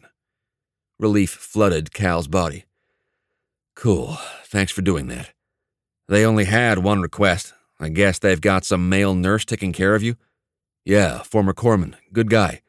Perfect. Can you get him on the phone? Yeah, hang on while I press the call button. Thirty seconds later, Brian walked into the room. What's up, Marine? I need you to do me a favor. My cousin's on the phone and he's helping me get out of here. He needs to talk to you about some request the hospital's made. Brian tilted his head in confusion, but nodded and grabbed the phone. This is Brian Ramirez? Cal watched as Brian nodded his head and grunted yes a couple times. Then he said, Yeah, I can take some time off. Cal couldn't hear the conversation, but he had a feeling about what was coming. Okay, Brian said. I'll see you soon. Brian handed the phone back to Cal. You want to tell me what's going on, Trev? Cal asked. Brian will fill you in on the details. We're working to get the ball rolling and get you out of there today. Awesome. Thanks again. No worries. I'll see you soon. Cal replaced the phone on the nightstand and looked at Brian. What was all that about? Your cousin just hired me for a couple weeks. He what? I guess the hospital would only let you out of here if one of their staff went along with you, Brian explained. Since I've been your wet nurse, they figured I was a perfect fit. That way, the hospital minimizes its legal exposure and you get good care. I've got some time off I can take anyway, and your cousin said he'd put me up in that compound place and pay me double what I make here. Any chicks in the compound? Cal laughed. Only one, and you don't want to mess with her. Okay, then let me get some things together and I'll pack up your stuff. Anything you need? Any way I can avoid you being my babysitter? Not if you want to get out of this hospital. Just suck it up, Marine, and let me get paid. Cal reclined again and turned his eyes back up to the ceiling. It wouldn't be so bad having Brian around. Walking was still a chore. Having someone he knew pushing him around in a wheelchair might be okay. Plus, the compound was a big place, and he'd have way more to do there than he would sitting around the hospital. Hell, SSI was technically his company after all. The future brimmed with possibilities. Chucking pencils at the ceiling wasn't one of them. Camp Spartan, Arrington, Tennessee. Okay, Cal, we're pulling into the compound. How are you feeling? The voice belonged to Dr. Rich Hadley, the physician Travis had hired. I'm good, Cal said, coming to after a quick doze in the ambulance. Here already? I was just getting used to your stories. Dr. Hadley chuckled. He did not have what you would call a normal medical practice. After successfully completing his double residency and fellowship in internal medicine and general surgery, Dr. Hadley had decided to take a left turn, becoming a concierge doctor for the country music stars in the Nashville area. It was Music City, after all. It was a great conversation starter, which had paved the way for a sort of interview session Cal conducted to pass the time on the car ride. Dr. Hadley had struggled for the first couple years after school, until he'd met Cal's cousin, Travis. Travis, being the social butterfly that he was, quickly became friends with the outgoing and adventurous Dr. Hadley. Both were in their late 30s and had the luck of being endowed with rugged good looks. Both shared a love of two things outdoors, and women. Between the pair, they'd cut a wide swath within the ranks of the Southern Belles in Nashville. Over time, Travis had introduced Dr. Hadley to his country music friends. In the past five years, his private concierge practice had grown to include most of the respected country singer songwriters in the area. Why go to a crowded clinic when you can call your own doctor? Dr. Hadley had also been more than happy to help Travis and SSI on occasion. This was one of those times. Once we stop, I'll have some of the guys lower your stretcher down and roll you into the VIP quarters. Travis is putting me in VIP? Cal asked. You'd rather he put you in one of the Quonset huts? Not really. Good. Now make sure you don't move around while they cart you in. Travis would be pissed if I delivered his favorite cousin in a bloody mess. Whatever you say, Doc. The ambulance pulled to a stop, and Cal could hear the driver getting out of the cab and closing the door. The back doors were opened, and Cal saw a couple of the roving security guards moving in to help lift the gurney out of the ambulance. Cal looked around and felt the pull of home. He had spent plenty of time in the compound that his father had christened Camp Spartan due to his fascination with the ancient warriors of Sparta, but also due to the fact that it was a fairly accurate description of the Spartan facilities. Most of the compound was modeled after Marine Corps bases. You had headquarters and then separate buildings for each division. Battalions were located on the lower levels of their respective division. Cal's father had put a lot of time into hiring former military. He understood that these warriors craved the familiar look and feel of military surroundings. That's not to say that the grounds weren't state of the art. Cal Sr. had insisted on having a top notch facility while at the same time maintaining a Marine Corps look and feel. The compound was actually more of a campus. The mess hall was located behind the headquarters building, and the living quarters just behind that. One of the things the company found was that many of the families of employees also enjoyed living in close proximity, just as they had on military bases around the world. As a result, a portion of the campus was devoted to single family homes for the families of SSI employees. There was even a condominium compound for non married employees. It was easy for spouses to come home for lunch or meet their families to eat in the mess hall. Needless to say, morale was high, as was retention within SSI. The exception of the Spartan decor was the VIP quarters. Housed on the highest point of the property, the structure looked like a huge hunting lodge, resplendent with a carved log exterior and large paneled windows. There were even rocking chairs on the huge front deck for visitors to enjoy. The entire structure stood at right around 30,000 square feet, with 10 large guest suites. It was therefore no wonder that the employees had taken to calling it the Lodge. Soon after SSI experienced its enormous growth, Cal Sr. realized the benefit of having the ability to house VIPs on site. It allowed visitors to see firsthand the inner workings of Stokes Security International. If potential clients weren't sold after the initial presentation, they certainly were after being wined and dined by the staff at the lodge. Dr. Hadley directed the paramedics to take Cal up through the ramped entrance. Cal noticed Brian standing next to his car parked in front. The former corpsman walked over and followed the crew into the building.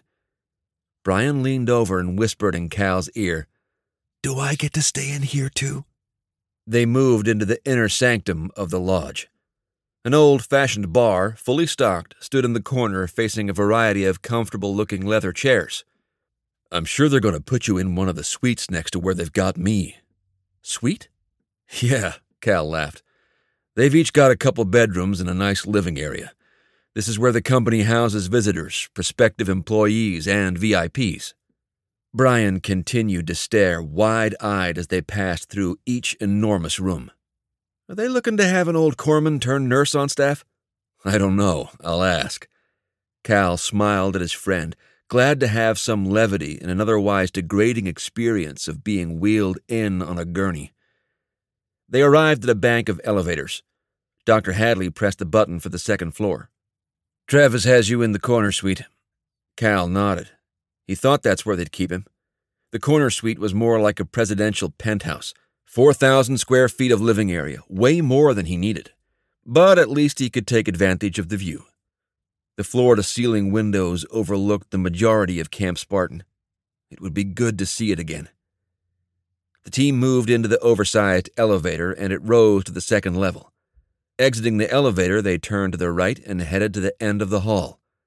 One of the staff members withdrew a card key, inserted it in the lock, and held the door open for the stretcher. Brian, who'd been following behind, let out a small, impressed gasp. The place was huge, furnished with the same decor as the rest of the lodge. What do you think? Cal called back to him. I think the corner suite is bigger than any house I've ever lived in. Dr. Hadley was all business as he instructed the crew to move Cal to the oversized sofa that faced the glassed wall. With some effort, Cal scooted to the edge of the gurney, maneuvered over to the sofa, and sat back. I'll call Travis and let him know you're settled, said Dr. Hadley. I'm sure he already knows you're here, but he wanted me to give him a heads up once you were safely in your room. Great. Now I'm going to have to check in with Trav before I take a piss. Dr. Hadley pursed his lips. You know he's only looking out for you, Cal. I know, Doc. Here's my card. If you need anything, call me. For the rest, Brian will take care of you. I'll stop by a couple times a day to check in. I'm right down the hall. You staying here too? Dr. Hadley grinned. Are you kidding? Have you had the bread pudding here? If your cousin is going to employ me, I'll be happy to take full advantage. Besides, my place is 30 minutes away, and Travis's instructions were for me to be immediately available. Thanks for doing that, Doc. Don't thank me. Thank Travis for paying my enormous bill. The good looking doctor smiled and left the room. Cal turned to Brian. I'll bet he's not even charging us. The good doctor tries to play the part of the money hungry surgeon, but it's obvious he enjoys this cloak and dagger stuff. Yeah, I get the same vibe. Seems like a pretty good guy, you know, for a doctor. Yeah, all right, so now you're going to tell me what the hell this place is? What does your dad's company do? They must be making millions. Cal laughed. you want the long or the short version? Where do I have to go? I'm your babysitter, remember? Don't remind me. Okay. I'll start at the beginning. Calvin Stokes, Sr. Cal's father was a rising star in the Marine Corps during the first Gulf War in the early 90s. He'd been commissioned in 1971 just as the Vietnam War was in full swing. After attending the basic school, he'd been shipped first to Okinawa, Japan, and then to Vietnam. He had commanded a platoon and earned a Purple Heart and a Silver Star during his two tours. Cal remembered how his father had described those times patrolling the paddies and jungles of Vietnam. It was also where he learned the importance of two things completing the mission and taking care of your Marines. It was a lesson he carried on in all aspects of his life up until the day he died. Throughout the 70s and 80s, Cal Sr. moved up through the ranks while at the same time moving his small family all over the world. There were stints in Camp Pendleton, Monterey, Okinawa, Camp Lejeune, Nashville for recruiting duty, and more. Along the way, he and Cal's mother, Denise, bore a healthy and rambunctious little boy. Cal had enjoyed his early days on Marine Corps bases. Living on a military base had its perks a high level of security for family, a large number of young children to play with, good prices for food, and a solid school system. It was a life you could get used to. Needless to say, over the years, Cal Sr. did more deploying than fathering. That wasn't to say that he was a bad father. Actually, the opposite was the case.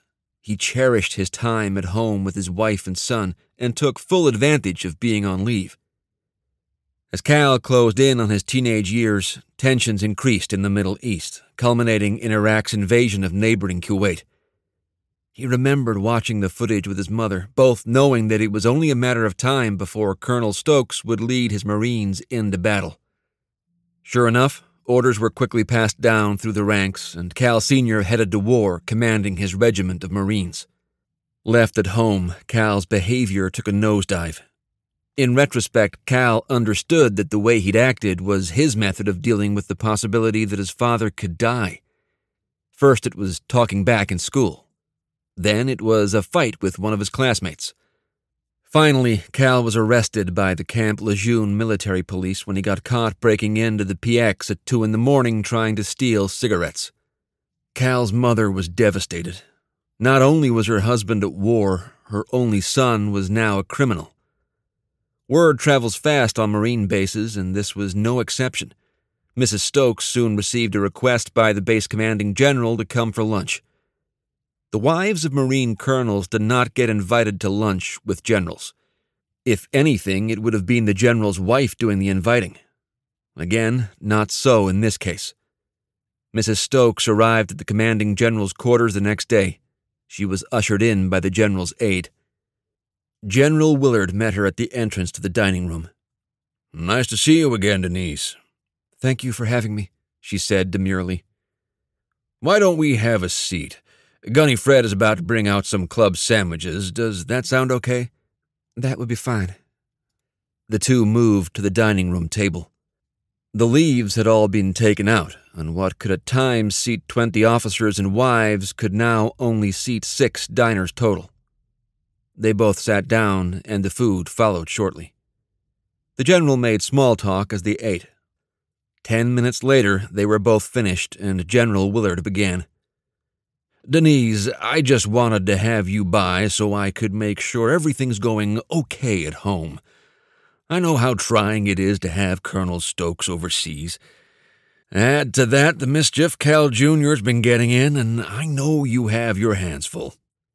More than anything at that minute, Denise Stokes, a proud Southern woman and wife of a Marine colonel, was embarrassed and frightened.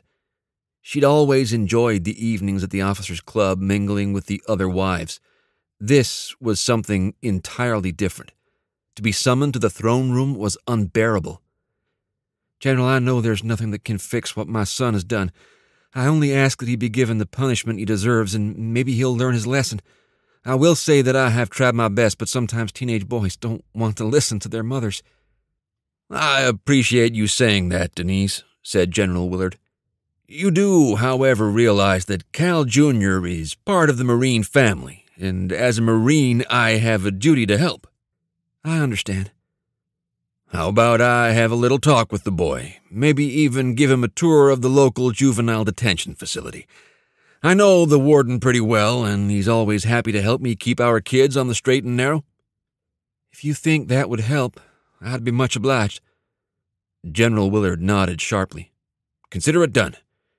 He turned to the door and yelled for his aide. Captain Nelson! Captain Nelson walked into the room. Yes, General? Please schedule to have my driver pick up young Calvin from the Stokes residence tomorrow morning at 0600. Bring him to the PT field, and then I'll ride back with him to the office. Yes, sir. General Willard turned back to Mrs. Stokes. Well, then, Denise, please don't hesitate to call if you need anything. Anything at all. Thank you, sir. She sincerely hoped she would never have to call the general. She picked up her pocketbook and made her way to the door. The next morning, right at 0600, Calvin Stokes Jr. was waiting with his mother on the front step of their two story home. He wore his best Sunday khaki slacks with a white button down shirt. His hair was buzz cut as he'd worn it during the past year, and the look of anger and dejection was evident on his face. The night before, when his mother had arrived at home, she had delivered the news. A screaming match ensued, ending with Cal slamming his bedroom door in her face. Temper tantrum or not, he was ready for the general's driver at 0530. He knew the alternative. Without an appetite, he waited quietly, glaring at his mother as she'd casually eaten her own breakfast. A government vehicle pulled up at 0600, and what looked to be a six foot five Marine sergeant stepped out of the driver's seat. He was dressed in firmly creased utilities and marched smartly to the door. The sergeant had a baritone voice. Mrs. Stokes? Yes, Sergeant. I'm Mrs. Stokes. Is the young Mr. Stokes ready to go? He sure is, Sergeant. I appreciate you coming out here to get him. Not at all, ma'am. You ready to go, son? Cal sounded nervous when he answered. Yes, sir. Don't call me sir, son. You can call me Sergeant Kraus. Yes, Sergeant Kraus. Well, let's get going. The general's waiting. He walked back to the car and held the back door open for Cal. Cal slid into the back seat and fastened his seatbelt. Sergeant Kraus waved goodbye to Cal's mother and walked around the car into the driver's seat. Kraus started the car and they began their trek. Cal looked back to see his mother still standing on the front step. Too mad and embarrassed to move, he didn't even wave back. The next eight hours were torture for Cal. Sergeant Kraus picked up the general at the PT field and then took the pair back to the headquarters building. The whole way, not a word was spoken to Cal, who sat sullen in the back. All his bluster from the night before had evaporated. After a stern talking to while standing at attention in front of the general's huge desk, he was taken by the ever present Sergeant Kraus to the juvenile detention facility just off base in Jacksonville, North Carolina. There, the warden, stone faced but cordial, instructed his staff to get Cal dressed in a prison jumpsuit.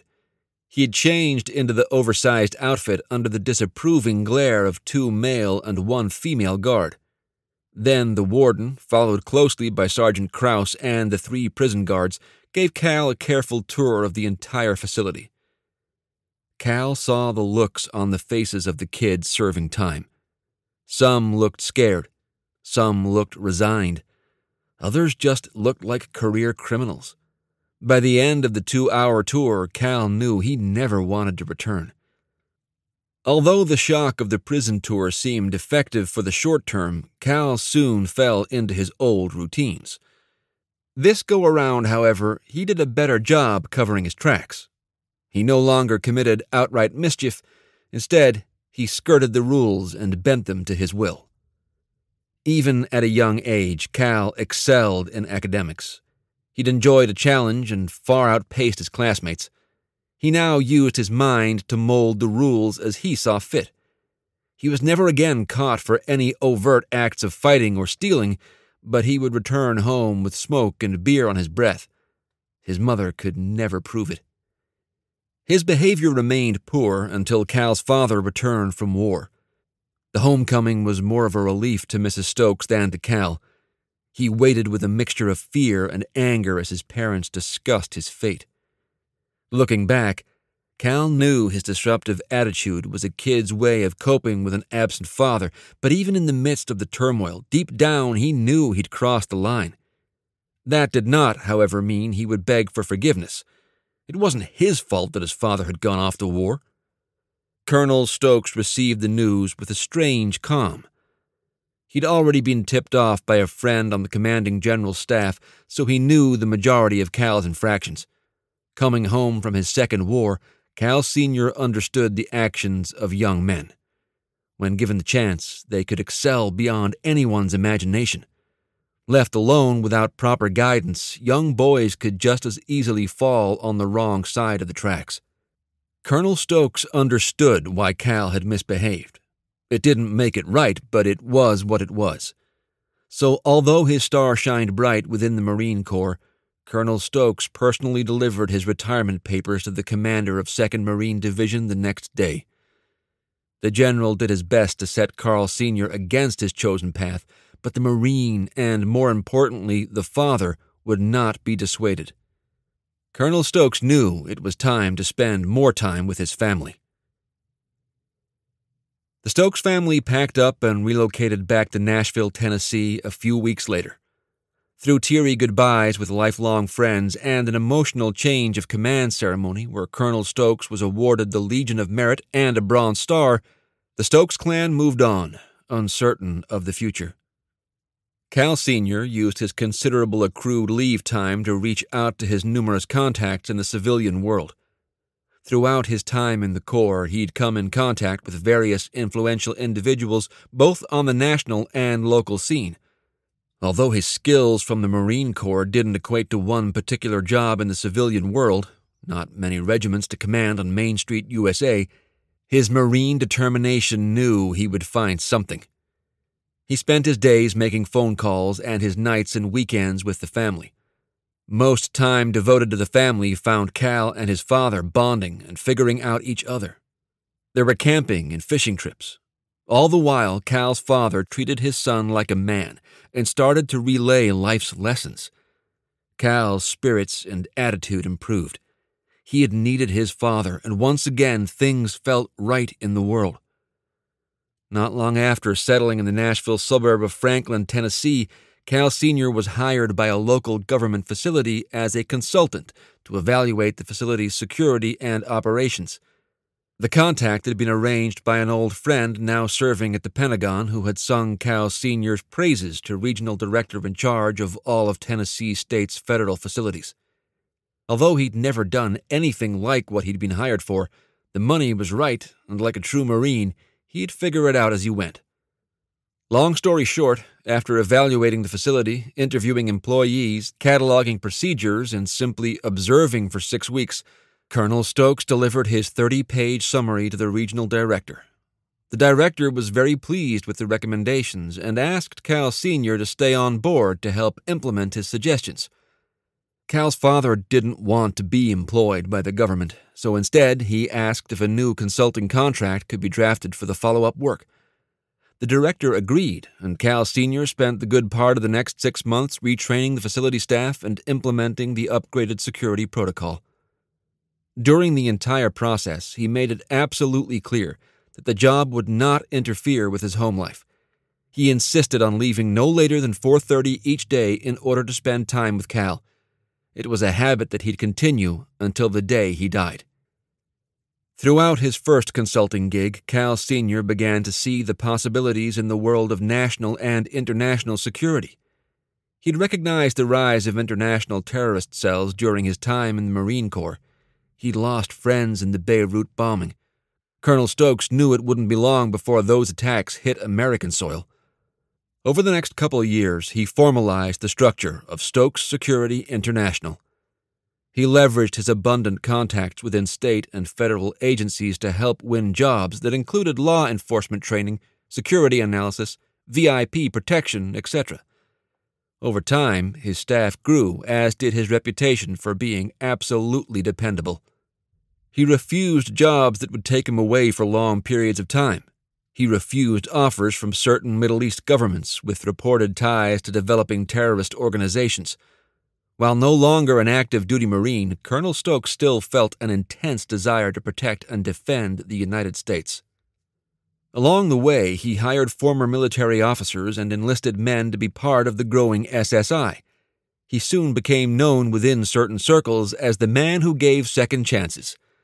Colonel Stokes knew from experience that everyone has at least one bad day, and sometimes good troops fall by the wayside. His first second chance hire, strangely enough, was Cal's cousin, Travis. At the time, Travis was a Navy lieutenant serving as a platoon commander with the SEALs. A highly intelligent young man, Rhodes Scholar in college, and an impressive athlete who'd started at defensive back on Ole Miss football team for four years. Travis seemed to be on the fast track to Navy stardom. That all changed when he found out that one of his SEALs was beating his wife. A deeply honorable man, Travis confronted the enlisted man.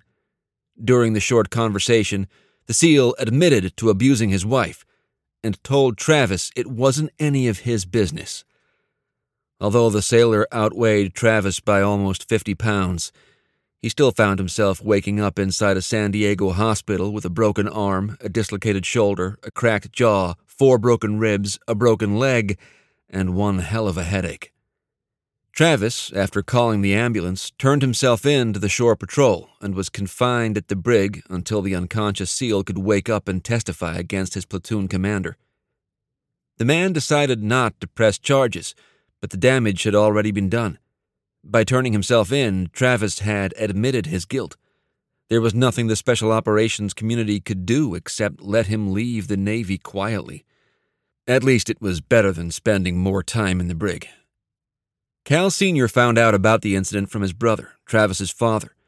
He invited Travis to fly out to Nashville to spend a little time with family. During the two week stay, Cal's father introduced Travis to the inner workings of SSI he never made it seem like he was courting a new employee. Instead, he quizzed Travis on how SSI could improve its operations. By the end of the visit, without prompting, Travis made up his mind. He asked his uncle if he could join the company. He explained that he would rather sweep floors for his uncle's company than to beg for work elsewhere. Needless to say, Cal Sr. took him up on his offer. Instead of starting Travis as he had requested on the bottom of the totem pole, the CEO of SSI took Travis under his wing. For the first year, he rarely left Cal Sr.'s side. Some people called Travis the bodyguard, but he served as more of an aide and apprentice. Travis would later admit that the time spent with his uncle and his family probably saved him from a depressive fate. Never a word was said by the rest of the company staff, other than to give the new man a friendly ribbing. Many within SSI came from similar backgrounds and circumstances. It was the former Marine turned CEO who had helped many of his staff over the years. They respected their leader's decisions and believed in his vision. The second, and probably more important reason, was that the entire company harbored a deep and open respect for the Stokes family. Colonel Stokes was a tough man, but a fair man. He always made time for his family and was known for walking the halls and kicking his employees out so they could spend time with their own loved ones.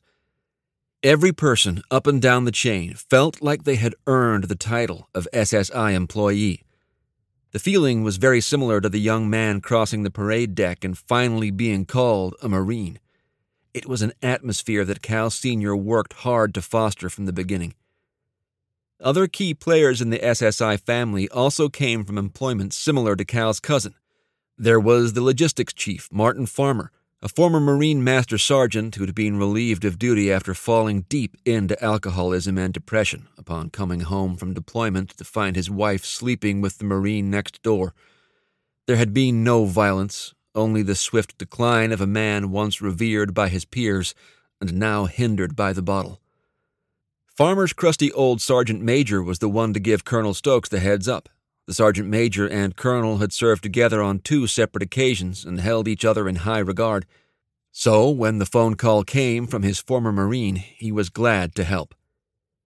He had reviewed the Master Sergeant's record that, minus the present problem, was exemplary, including two meritorious promotions. Next, he hopped a flight to Camp Lejeune and was formally introduced by the Sergeant Major. Colonel Stokes recognized the pain in the man's eyes and made a deal with him. He would pay for the man's rehabilitation and counseling. At the end of the program, if Farmer came out clean, he would be hired at SSI. Like most Marines, Master Sergeant Farmer was a proud man and fully appreciated the helping hand he'd received. He flew through recovery and reported in to work 90 days later, right after a brief stop in North Carolina to finalize his divorce. Master Sergeant Farmer became one of Cal Sr.'s brightest stars and totally revamped SSI's logistics division. It seemed early on that Colonel Stokes had an eye for talent. All along the way, Cal Jr. became a welcome aide to the SSI CEO.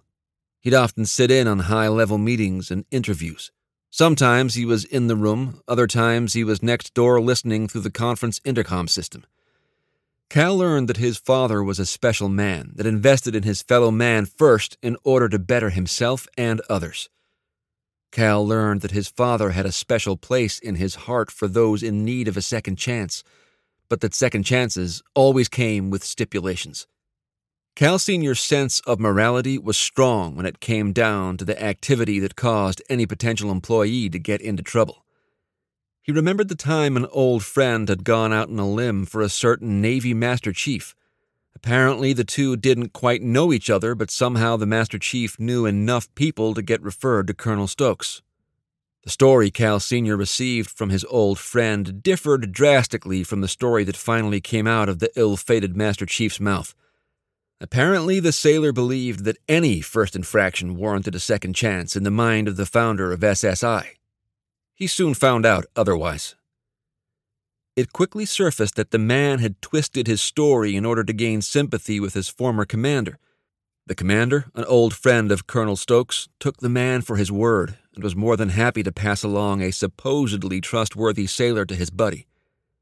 It turned out that the man had severely beaten two young sailors who'd just reported into his unit.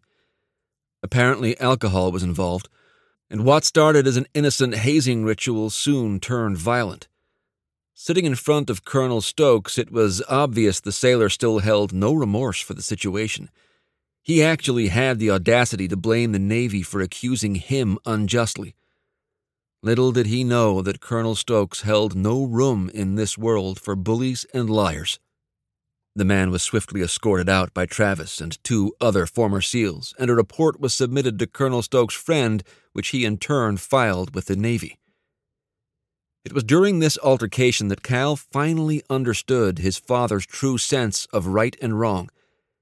He believed that any abuse or offense against a lesser human being was morally wrong, at the same time, Cal Sr. did believe that there are times when a man must take the law into his own hands, as long as it was the right thing to do.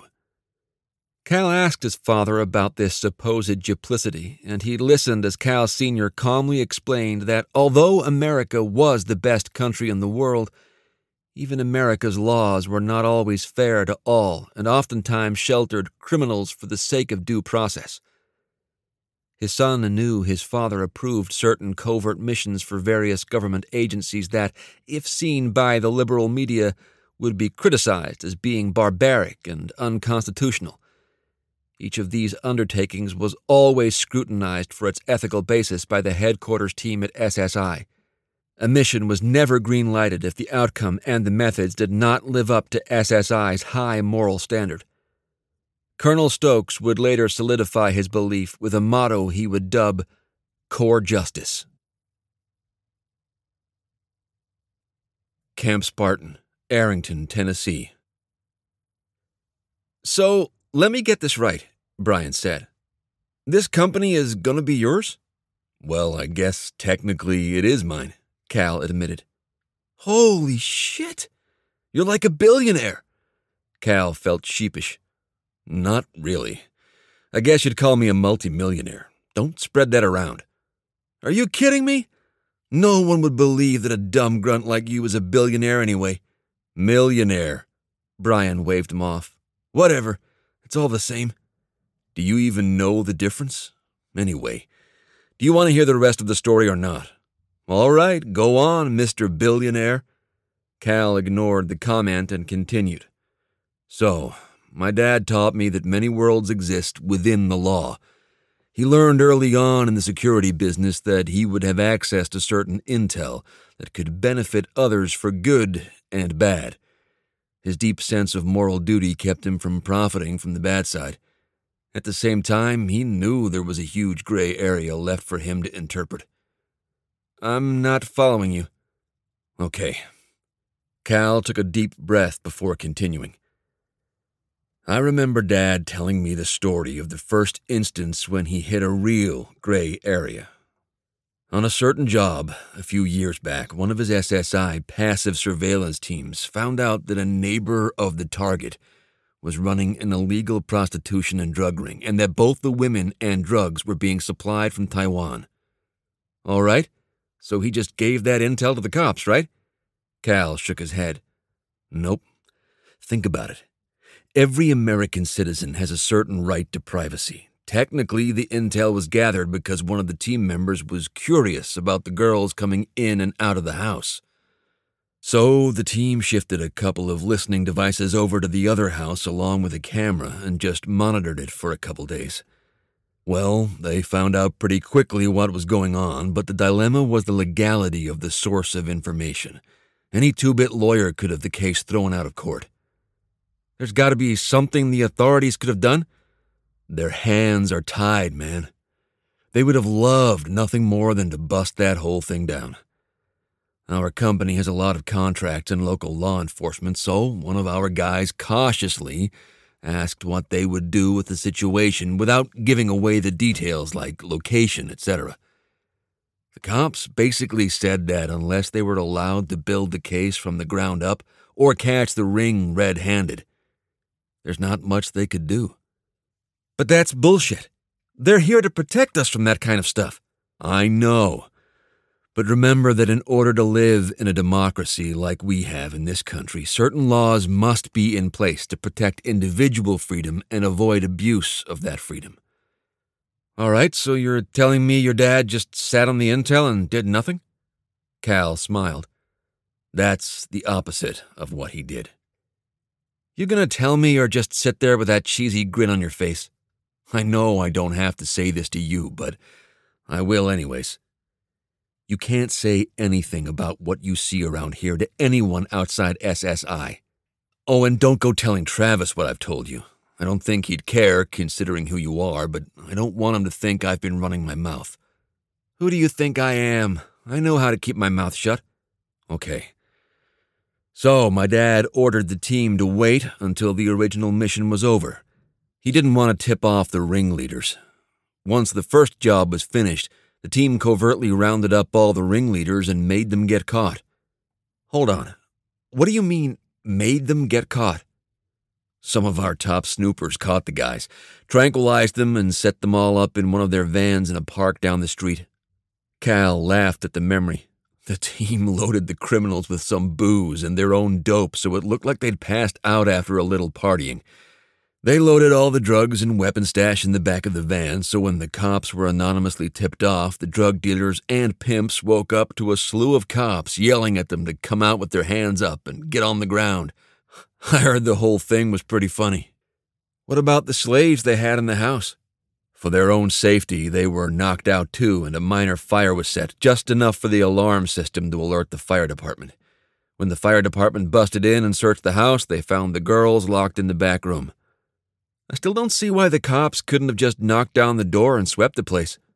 That sounds easy, but think about those raids you did with your Marines over in Iraq. Did you ever like going into a situation not knowing what you were going to get? Who knew what those guys would have done to the local cops busting down the door? The way our team did it, no one was hurt and the criminals were dealt with. Brian still didn't look totally convinced. Are you really so naive to think that the police can do anything they want? Come on, Doc, you've seen the shitty things people do in this world. I know. Brian sounded resigned. I guess I never really thought about it that much until now. It's like the cops are handcuffed from doing their duty. Reminds me of those times in Iraq when the rules of engagement kept my Marines from killing bad guys. Cal nodded. Exactly. If they don't do things by the book, these cops that don't get paid squat could lose their jobs. The laws made it to where police hesitate because they're worried about getting in trouble. Yeah, last week I saw some cop was getting sued by a guy who got shot while robbing a bank. The cop shot him after the guy shot one of the tellers and refused to give up. It's bullshit. Yep. That's where Corps Justice comes in. Explain that, Brian said. Well, like I told you before, my dad lived and breathed the Marine Corps way. It was my fault he got out of that Corps, but you could never take the Corps out of him. That, mixed with his moral sense of right and wrong, made him adopt his motto about Corps Justice. So, is this Corps Justice like a company credo or something? Kind of. It's more of an overarching guidance for SSI employees for when they encounter gray areas. Hang on a sec. Cal grabbed his wallet and pulled out what looked like a business card on tattered paper. He handed it to Brian. I got that from my dad when I went off to college. Brian looked down at the card. Camp Spartan, Arrington, Tennessee. Corps Justice 1. We will protect and defend the Constitution of the United States. 2. We will protect the weak and punish the wicked. 3. When the laws of this nation hinder the completion of these duties, our moral compass will guide us to see the mission through. Brian looked up at Cal. This looks like you can do whatever you want, as long as you think it's right. I know that's how it seems. But you have to remember that my dad's moral compass wouldn't allow us to conduct acts of undue aggression. Besides, only the top management within SSI can greenlight those kinds of jobs. Dad hand-picked that leadership. Does this come up a lot? Cal shrugged. I don't think so. Keep in mind that most of the work SSI does is consulting and training. Yes, we do have security teams and quick reaction forces, but most of the missions they undertake are cut and dry. There's typically a clear bad guy, and that's who we're sent to take care of. It sounds like the gigs you take on are government sanctioned. Keep in mind that I don't know everything. I don't work here, but you're right. The federal government is our biggest customer. But we have a lot of divisions that trump even that big account. Brian scratched his chin. Like what? We do a lot of R&D work and either sell the final product or retain the rights. There's a lot of money in that kind of stuff. I'll bet. Are you going to run the company? Nope. Trav is better at it than I would be. I'll probably be involved somehow, but he's a much better schmoozer than I am. Plus, I've still got some things to take care of. Cal gazed out the expansive windows, trying to stop the intrusion of memory. So, said Brian, Tell me how the hell you went into the Marine Corps instead of working here. Cal maintained his gaze for a moment, then turned to Brian. I started my first year of college at the University of Virginia in 1998. My parents were excited about the high caliber of the university, but they still wanted me close. By that time, the company was doing a lot more work with the feds. Dad had anticipated the rise of terrorism and built the company to combat those threats with the ability to augment the American military. He was even doing some work for our allies like the UK and Germany. He paused and shifted his weight, trying to find the right words. Like I said, my parents were really happy about me going to UVA, but still wanted to see me. I wanted the same thing. We'd been through a lot together. The great thing about money is that there's not much you can't do when you have it. At that point, SSI was probably a tenth of what it is now, but Mom and Dad had more money than they could ever spend. Well, on one of their trips to Charlottesville to watch a UVA football game and visit me, Dad went house shopping. I thought he was just looking for a condo or something they could stay in for weekend trips in, Dad didn't come from much money, but always loved the idea of owning land. He always told me that land was one thing you could never reproduce or take away from a man. In Albemarle County, Virginia, there's a lot of land. You know Monticello, right? Yeah, that was Thomas Jefferson, right? Yep, founded UVA too. Anyways, there are a lot of estates like that out there, so Dad goes out and finds a spread a lot like this one here, around 2,000 acres. He called it his little getaway. What he ended up doing was turning that into our second headquarters. He called it Camp Cavalier because I was at UVA. It turned out great because he built an almost identical campus there that we have here in Nashville. That gave the SSI the ability to be really close to Washington, D.C. I'll bet your parents spent more time there, too. Yeah, it was great to have them close by, and they understood that I needed my space, too They'd come over for football games and sometimes take me out to dinner. That was a great three years. Cal paused and returned his gaze to the window and continued. In the fall of 2001, I was starting my last year in school. My parents had just been by to visit, then headed up to D.C. to visit new clients and old friends. They were going to jump on a plane out to Los Angeles for a quick vacation, then head down to Camp Pendleton to see some more friends and fit a little work in, too. My parents boarded American Airlines Flight 77 the morning of September 11th. They tried to call me from the flight when it became clear to my dad that the flight was hijacked. I was in class and didn't get the call. Both calmly told me that they loved me in hushed voices and my dad told me they'd always be with me. Tears were now streaming down Cal's face, but he continued. I could hear my mom try to choke back her gasps. My dad was all business, but he still sounded scared. More than anything, I think he was worried for my mom and for me. That's the way he always was. He finished the message by telling me how proud he was and that I'd been his greatest accomplishment on earth. Cal stopped again, his breath now coming in gasps. I never got to say goodbye. Those fucking terrorist thugs took the most important people out of my life. I sat there playing that message over and over again as I sat with my classmates watching the attacks on TV. I was just numb. Before I knew it, a couple guys from our Charlottesville headquarters barged into the room and found me. Apparently, Travis had sent them to come get me and secure me somewhere. He reached down and grabbed the bottom of his shirt and wiped his eyes. Then anger iced his veins. They tried to take me out of there, but I shook them off. One of the guys tried to get me on the phone, but I wouldn't do it. I ran out of there and went straight to the ROTC building at Maury Hall. I wasn't part of ROTC, but I knew some of the guys. The MOI was a Mustang and had served with Dad. I found him and asked him how I could get into the Corps. He was sympathetic, but said it wasn't that easy. There were a lot more hurdles going the officer route. Before he could finish, I bolted. I knew where the Marine recruiter's office was and ran all the way there. There were a bunch of other kids there apparently doing the same thing as me. I pushed my way to the front. No one wanted to mess with the sweat soaked kid with the tears running down his face. The gunny sitting at the desk glanced up, annoyed that I'd broken his routine. I asked him how I could get to go overseas the fastest. I told him I wanted to kill the people that had killed my parents. His face changed and he softened up. He stood up and took me to the back of the room where we could talk in private.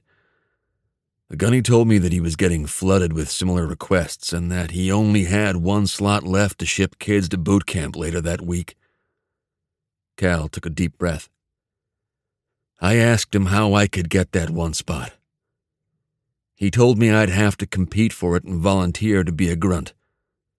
Well, being a pretty smart college kid, I aced the enlistment screening exam and maxed out the physical fitness test that day. I got the slot and left for boot camp two days later. Cal looked back at Brian and continued. I know you're thinking that by the time I got on that bus, I regretted my decision. Nope. It was the opposite. Every moment I grieved for my parents, I also felt like I was doing something. Hell, even if I wound up cleaning latrines, at least I would have been serving. Enlisting in the Marines was the best thing I could have done. The rest is history. Brian let the words sink in for a minute. Holy shit, Cal, he said, his voice softened. I'm really sorry about your parents. I had no idea.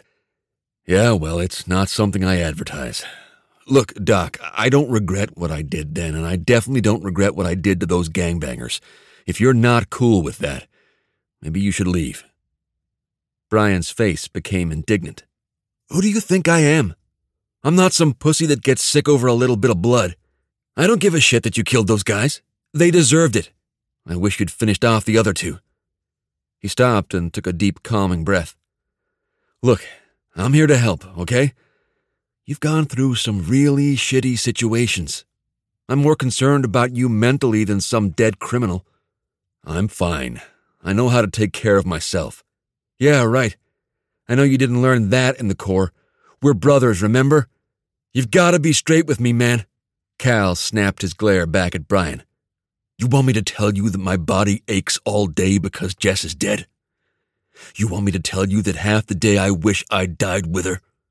You want me to tell you that I want to kill those motherfuckers over and over again? Yes, as a matter of cold fact. You can't keep that shit inside, man. You gotta let it out or it'll eat you alive. You've seen some of those boys that come back from the desert and just clam up. Most turn into drunks or druggies. I don't want that to happen to you. Cal stared at Brian. The guy was panting from the exertion. Then it happened. It was like a door had been opened. He sure as hell didn't open it himself. In walked Jess. She looked as she had always looked to him, beautiful with her thousand year old soul staring out through her eyes. And she did all the little things, like stick her tongue out at him when they met eyes across some crowded room, or purse her lips when she was in deep thought, not realizing he was watching. A wordless gesture here and there, her small yet firm hand stirring milk into tea, the clinking of the spoon in the cup, the rolling of her eyes when he made a dumb joke, her laugh, her tears, her smile her smile. He laid back and threw his hands to his face and sobbed uncontrollably. The bottled up pain surfaced in full force. He felt Brian's comforting hand on his shoulder. Maybe it was like this for five, ten minutes. Maybe it was half the night. He fell away into deep, dreamless sleep. Brian expertly checked his friend, making sure Cal was okay. It was time for the Marine to get some well deserved rest. He stood up and walked across the room, sat down in a leather recliner, and began his vigil. Part 2 NON Safe House, Nashville, Tennessee. What do you mean, he left? Dante listened to his cell phone as anger raged on his face. You told me they had to tell you if they were going to release him. Fuck. Did you at least find out where they took him? The answer he got was not what he wanted. Well then, I guess you about to have a bad night. And don't even think about not showing up. You got some explaining to do. He shut off the call and sat back on the dirty couch. Dante was sick and tired of being on the run. The only good news was that he'd somehow managed to recruit a couple more boys to join his crew. He only got that done by offering way more of cut than he usually did. It really was his only choice. Everyone knew Dante couldn't show his face in the streets. Once this thing blows over, I'll take my money back anyway. Dante's plan of taking out the hero Marine as he was leaving the hospital was now scrapped. He'd have to find another way to get to the guy. The gang leader was still confused about how the dude had managed to be released without having to go through normal hospital protocol. Maybe there was more to this guy than he knew. He'd have to do some digging. As he sat thinking in the dingy hideout, a plan began to formulate. If he couldn't get to the Marine himself, he'd somehow have to get him out in the open. Think, Dante, think. Camp Spartan, Arrington, Tennessee. Cal awoke to the thin stream of light coming from the curtain covered bay windows. His eyes focused on Brian, asleep in the leather chair across the room. I'll bet he's been sitting there all night. He tested his balance as he slowly rose into a sitting position. His wounds still throbbed, but they'd be muted a bit after a couple painkillers. Cal quietly shuffled to the bathroom to relieve himself. After he was done, he brushed his teeth, washed his face, and threw down two pain pills. Time for breakfast. As he walked back into the main room, Brian got up from his chair and did a quick stretch while yawning. Uh, how you feeling, Cal? All right. Listen, about my ballin' last night. I. Don't worry about it. I'm glad you got it out. Now we can work on getting you better. Cal nodded, allowing himself this tiny bit of humility. So, what's on the schedule for today's torture? Brian chuckled. Travis stopped by while you were passed out, and he said you guys have a nice gym on campus. That we do.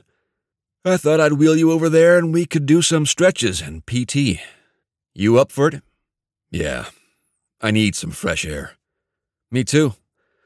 Let me go take a leak and then I'll help you get changed. You want to eat before or after? Let's do after. I don't want to puke up everything at the gym. My gut's still not right. Cool. Give me a minute and we'll head out. Fifteen minutes later, the pair emerged from the suite. Cal rested comfortably in an off road looking wheelchair. Probably some super upgrade Trav hooked up for me. At least they could take it on some of the trails if they wanted. After leaving the lodge, Cal directed Brian to take a left and head down three blocks. As they traveled, Cal described some of the surrounding buildings.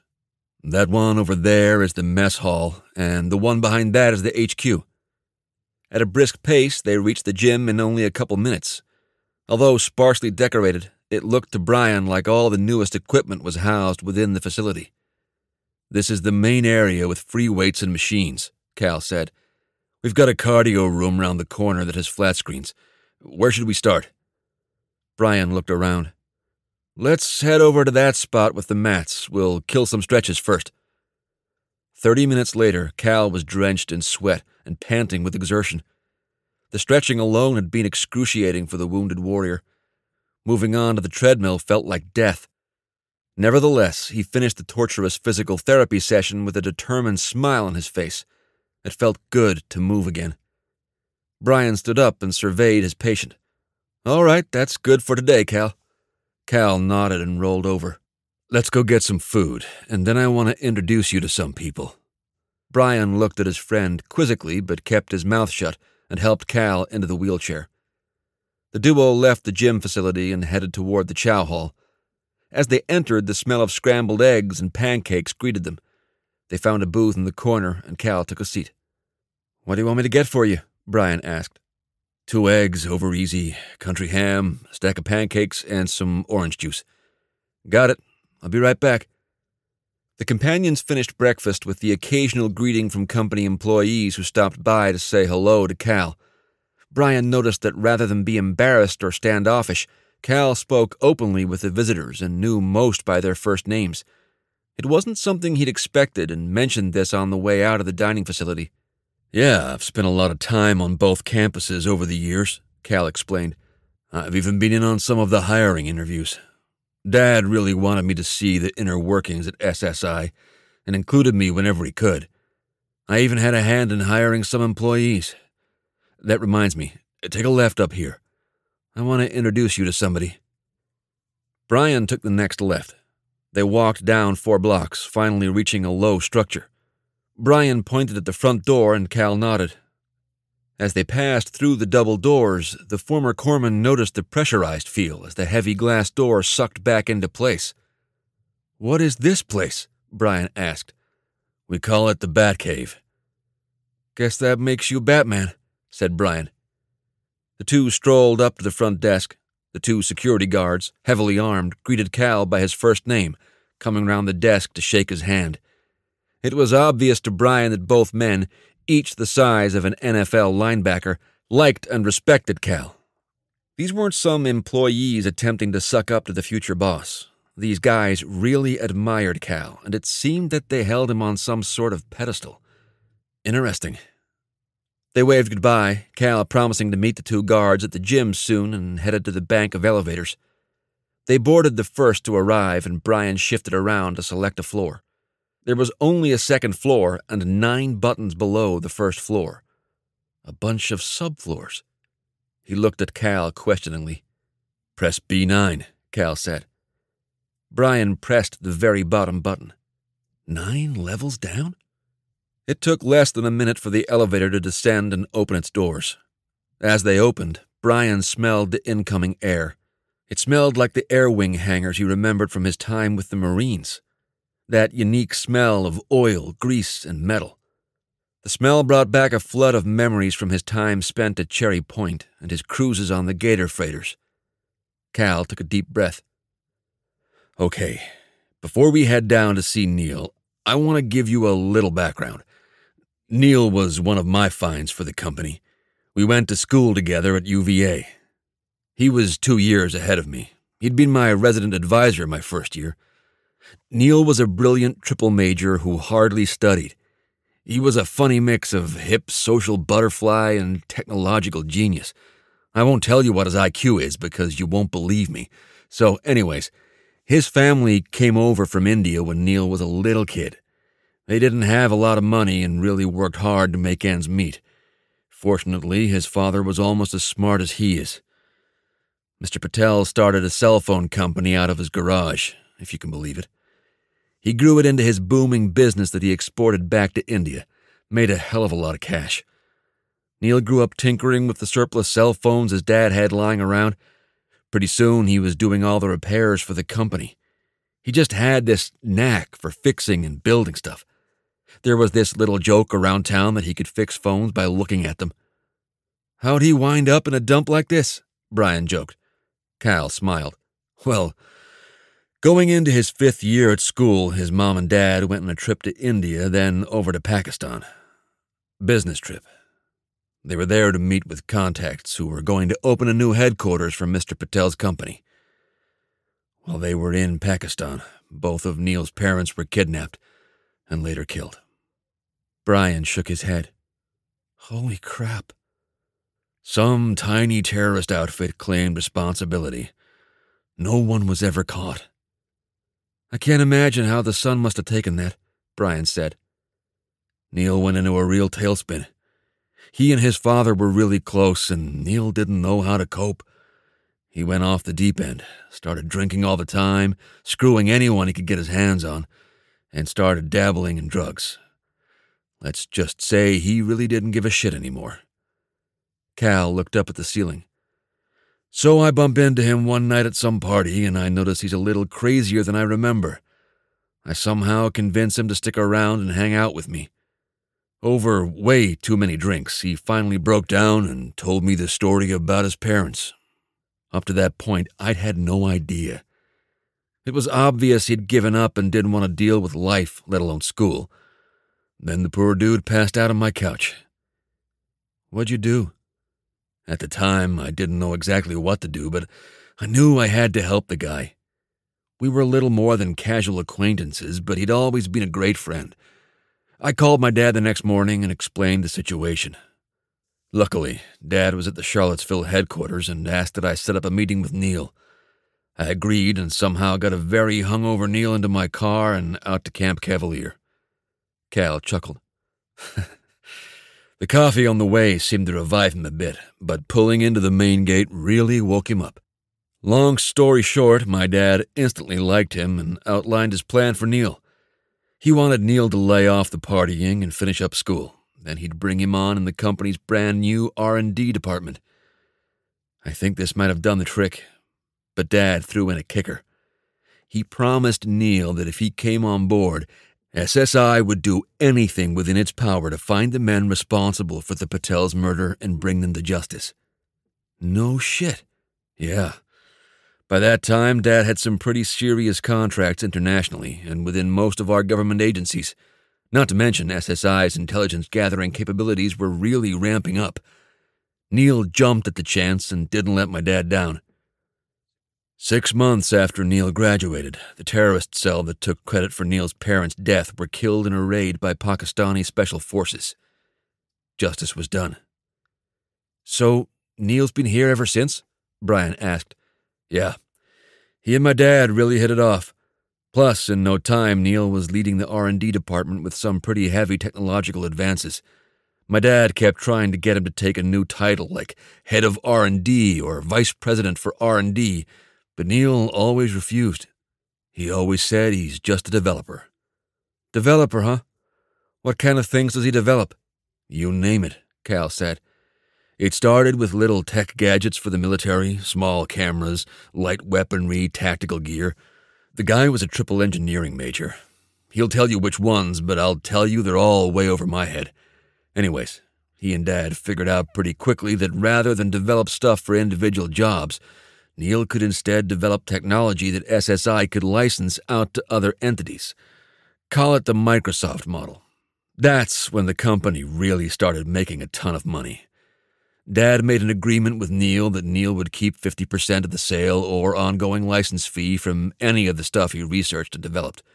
Neil didn't want the deal, but Dad felt it was only fair.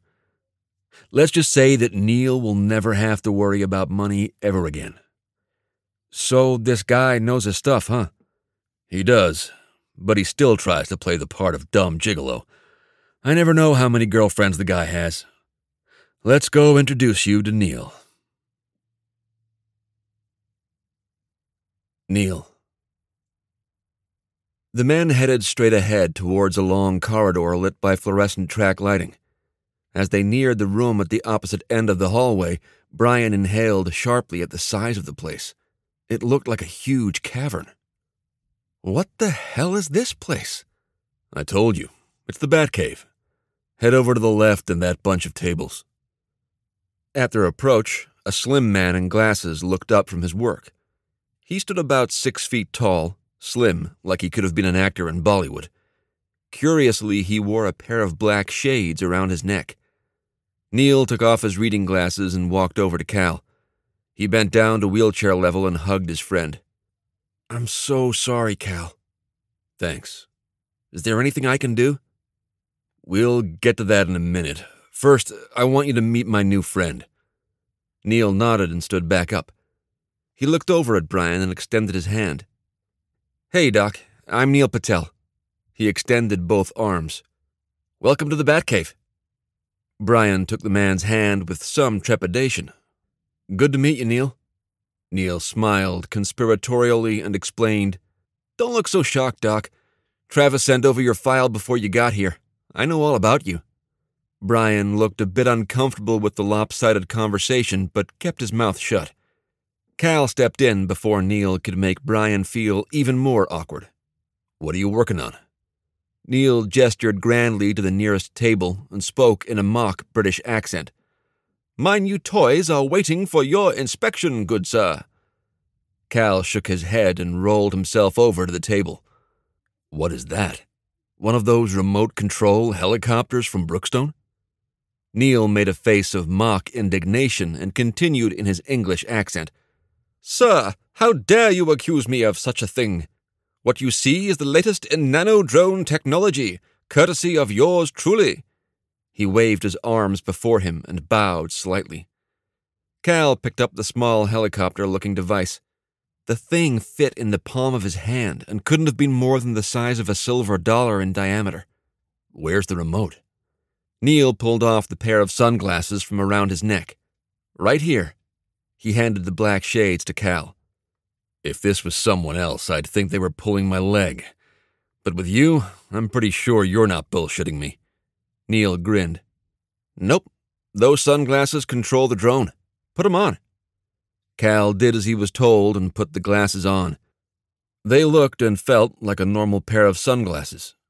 You gonna tell me how this thing works? Push the emblem on the right side of the frame. Cal did so, and immediately the left hand lens lit up. It looked like a freaking video game. He jumped back as the tiny blades on the drone kicked on and set it into a hover. You could have warned me about that. But then I wouldn't have seen the silly look on your face. Okay, so what do I do now? You see the screen on the left? Neil asked. Yeah. Use your eye and tell the drone where to go. Dude, I have no idea what you're talking about. Neil sounded exasperated, but excited. Just turn your head and look at something you want the drone to go to. Cal turned his head and could feel the drone lifting higher. That's when he noticed that the view in the left lens had changed. He was now seeing from the point of view of the drone. Holy shit. Neil beamed. I know, right? Cal directed the drone to a nearby set of cabinets. He realized that as he focused on an object, the drone would move closer. How do I keep this thing from running into stuff? You don't. It does. It has a proximity detector, With stationary objects, it's flawless. I'm still working out the kinks on non stationary objects within the drone's environment. You know, like people running around on the battlefield, cars, animals, anything that moves. You can do that? said Brian, sounding incredulous. Pretty easy, actually.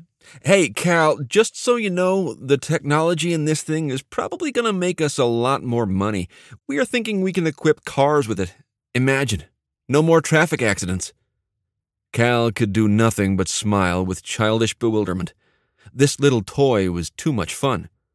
How do I get it to fly back? Just click that button on the side again, and it'll go back to its charging dock over there on the desk. Cal pressed the button on the sunglasses again.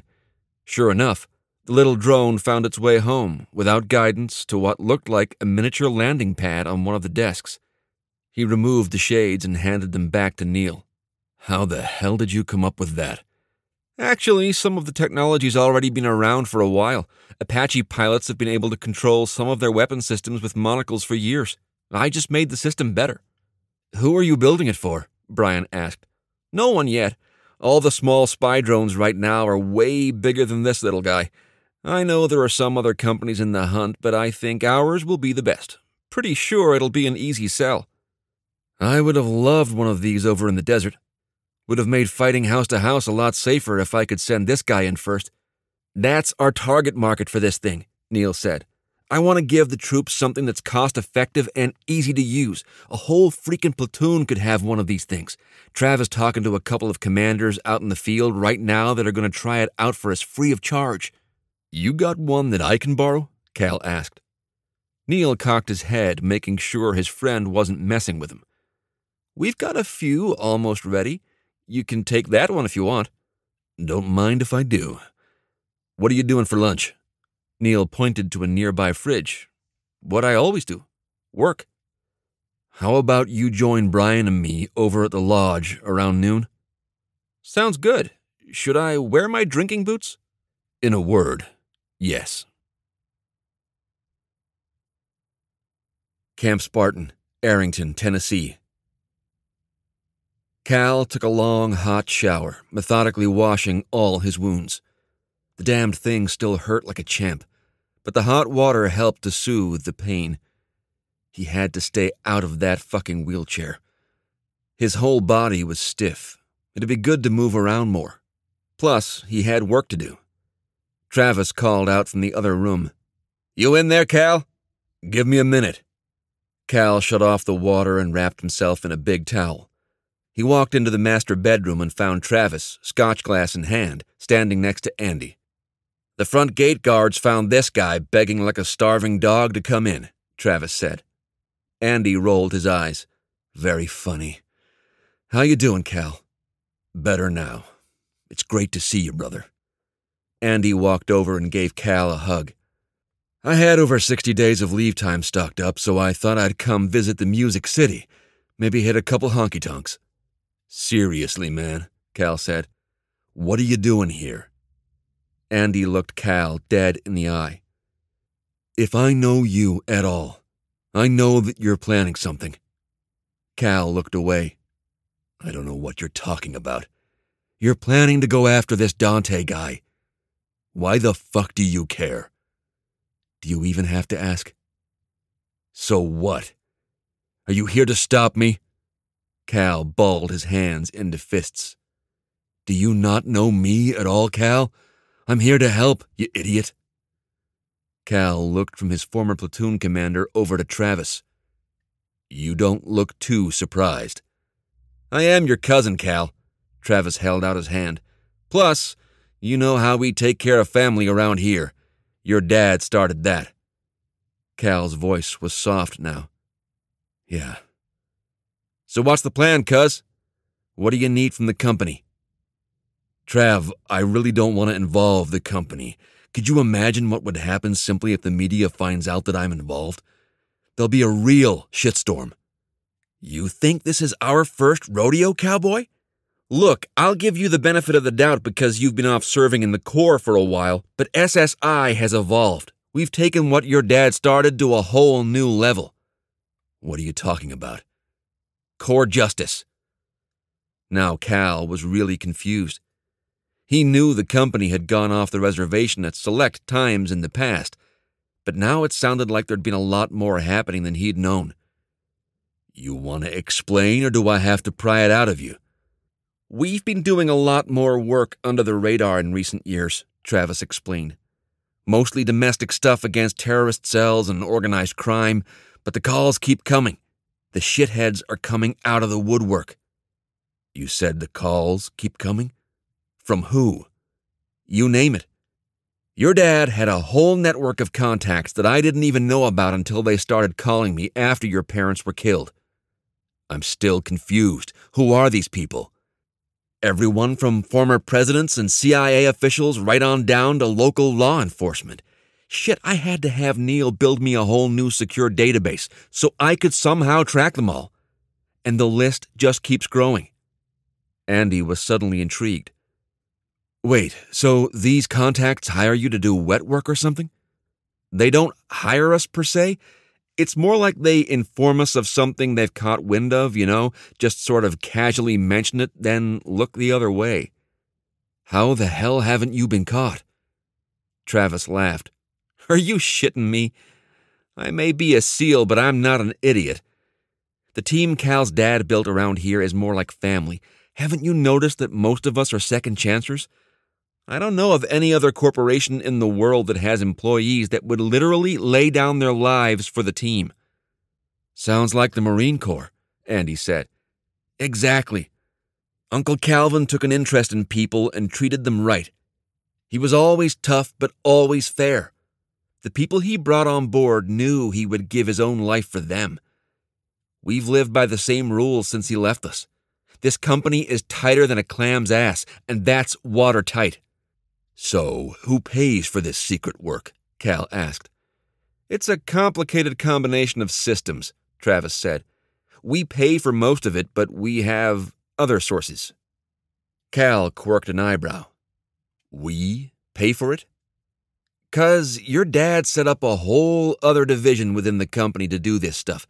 With money coming in from our patents and fees, there's more than enough. So the company is still financially sound? Listen to you. You sound like you're thinking about taking over. I'm just curious, is all. Now that I'm officially out of the Corps, I'm gonna need something to do. Travis thought about it for a minute. What did you have in mind? Well, I sure as hell don't want your job. You can keep that. I was thinking more along the lines of R&D, but this other stuff sounds like I could make a difference. Funny you should mention research and development, Travis said. I was talking with Neil the other day, and we thought that's what you might like. In fact, it works out perfectly. Our new division actually does a lot of the initial trial work for R&D's creations.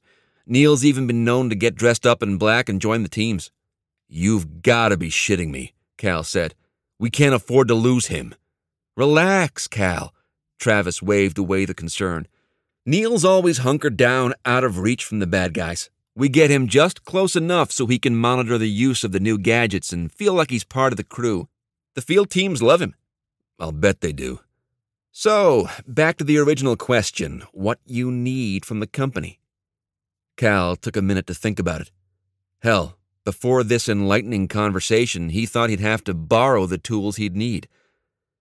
I'd like access to some of Neil's toys, mainly surveillance stuff to start. This Dante guy is probably hunkered down somewhere, and I've gotta dig him out. I think we can help with that, Travis said. Neil has some hacking software we've used in the past. One program can infiltrate a cell phone and track all calls. The fool even figured out a way to listen to the calls remotely. The damned thing is almost flawless. Is it something you have to load onto the cell phone? Not like you'd think. He actually accesses it with some kind of laser. You can sit on a rooftop a mile away with this thing, paint the targeted cell phone, and it's yours. It doesn't sound like you're kidding, Cal said. I'm not. Don't ask me how the damn thing works. I just know it does. Okay. I'll take one of those, please. All right. What else do you need? Dante's calls to New Orleans had finally paid off. Earlier in the day, a car arrived with four mean looking bangers from down south. It was the first shipment of what would eventually be nine new men. These were some of his cousin's top enforcers. He'd owe his cousin some serious cash after all was said and done, but it would be worth it to take care of Sergeant Cal Stokes. Camp Spartan, Arrington, Tennessee. Cal and the boys were holding rocks glasses with two fingers of scotch in each when Brian entered and made his way over to Cal. How you feeling? A little sore, but better after that shower. Why didn't you tell me I smelled that bad? I didn't want to make you cry. Hey, Doc, said Cal. You know Travis and Neil, but let me introduce you to the rest of this motley crew. This is Captain Bartholomew Andrews. We served together in the fleet, and I consider him one of my closest friends. Andy leaned over and shook Brian's hand. How are you, Doc? I'm good, sir. We talked over the phone at the hospital, right? That was me. And you can cut the sir crap. Just call me Andy. Got it. Now, said Cal, this other fine fellow here is the amazing former Marine Master Sergeant Willie Trent. Brian looked up at the huge black man. Didn't we see you at the chow hall? Cal laughed. See, Trav? I told you he was sharp for a squid. Willie runs the mess hall when he's not kicking the crap out of the troops in the gym. Not only is he a professionally trained chef from Johnson and Wales, he's also one of our martial arts and urban raid instructors. Trent bent his hulking frame over and shook Brian's hand. Good to meet you, Doc. You too, Top. We were just discussing our upcoming mission, Cal said. Brian looked between Cal and the others in the room. I'm sorry, what? Let's just say I'm about to start playing out of bounds, and you need to tell me right now whether you want out. You can still stick around, but we'll politely ask you to leave whenever we're talking operationally. What you're talking about? Cal fixed a stare at the nurse. It has to do with finishing the job I started in that downtown alley. You're talking about going after that West guy. Cal smiled. Well, I'm not talking about sending him a nasty letter. In that case, I'm thinking you're about to go way out of bounds. Listen, Doc, if you're not up to this, just say so and we'll come get you in an hour or so. Brian stared at Cal like he was trying to make up his mind. Can I ask a couple questions? Shoot. He pointed at Cal's glass. First, can I have one of whatever you guys are drinking? The famous grouse, Cal said. Never heard of it. My dad's favorite scotch, and pretty much all I drink around here. We've got pallets of it. Sounds good. Travis walked to the bar to get the drink for Brian. Next question? Cal asked. Why not find the guy, then alert the cops? Brian asked. I'll answer that one. Travis said from the bar. We've already been monitoring the situation through discreet channels. Believe it or not, even with the eyewitnesses, they don't have enough evidence to pin it all on West. Really? Travis raised his glass. Welcome to our world, brother. How are you planning on getting away with this? Cal glanced at the other members of the party. Each held a loyal and conspiratorial look. Well, apparently there's a lot that this company can do that I had no idea about until about an hour ago. Before we got here, I thought I was going to borrow some of Neil's toys and go do some snooping and pooping by myself. Thanks to these guys, it looks like I won't have to do that alone anymore. Brian's face changed to a look of disbelief. Cal, you can't go waging some kind of private war on the streets of Nashville. Cal scrutinized his new friend. How well did he know this guy anyway? Look, Doc, I can't promise things won't get dirty, but the initial plan is that we find this little shit and dump him in the laps of the local cops. I've got to say, part of me hopes he'll fight back. Can I ask another question? Sorry, Doc. Unless it's about the scotch, that's it. Either you trust me and you're in, or you can go take a break in your room. I've made my decision, and so have these guys. You're either part of the family, or you're not. Brian's eyes flashed with reserved anger as he continued. I'll give you the benefit of the doubt that you weren't trying to be a total prick with that last statement and that maybe the booze is talking a bit. I was going to ask you how I would fit into this little operation. Cal flashed a conspiratorial smile and nodded to the team. I told you he wouldn't puss out, guys. He belongs here. Tell me you didn't just put me through some kind of test, Cal. What can I say, Doc? Once a Marine, always a Marine. Didn't your company gunny give you shit until he knew you weren't just another swabby? Brian chuckled. Yeah. That guy rode my ass for months. Good guy, though. He's one of the guys I saved. Master Sergeant Trent stepped forward. Look, Doc, you might as well get it through your head that this place is a lot like the Marine Corps, including Cal's smart ass comments we all give each other a hard time, but in the end, we take care of one another. You've probably already heard some of the stories of some of us second chancers. Brian's eyes went wide as he stared at the six foot seven mass of muscles. You're a second chancer, too? Master Sergeant Trent's chuckle sounded more like the rumble of a mountain landslide. a former screw up just like the rest of these boys. I had the misfortune of getting on the wrong side of a prick major. I was working in the chow hall with 5th Marines at the time. Long story short, turned out this guy was not only looking at kitty porn on our government computers, he also made some inappropriate passes at my young female Marines. The guy had the balls to do it right in front of me. He was a terminal major with close to 20 years in so I guess he thought he could do whatever he wanted. Well, as soon as one of my Marines told me what was going on, I confronted him. He denied it in one breath and in the next told me that even if he was doing anything, it wasn't any of my business. I told him next time I heard about him messing with any of my Marines, he'd end up in the hospital. Master Sergeant Trent continued. I hoped that would be the end of it. He wasn't that smart or lucky. A week later, I went into the walk in freezer to get some supplies.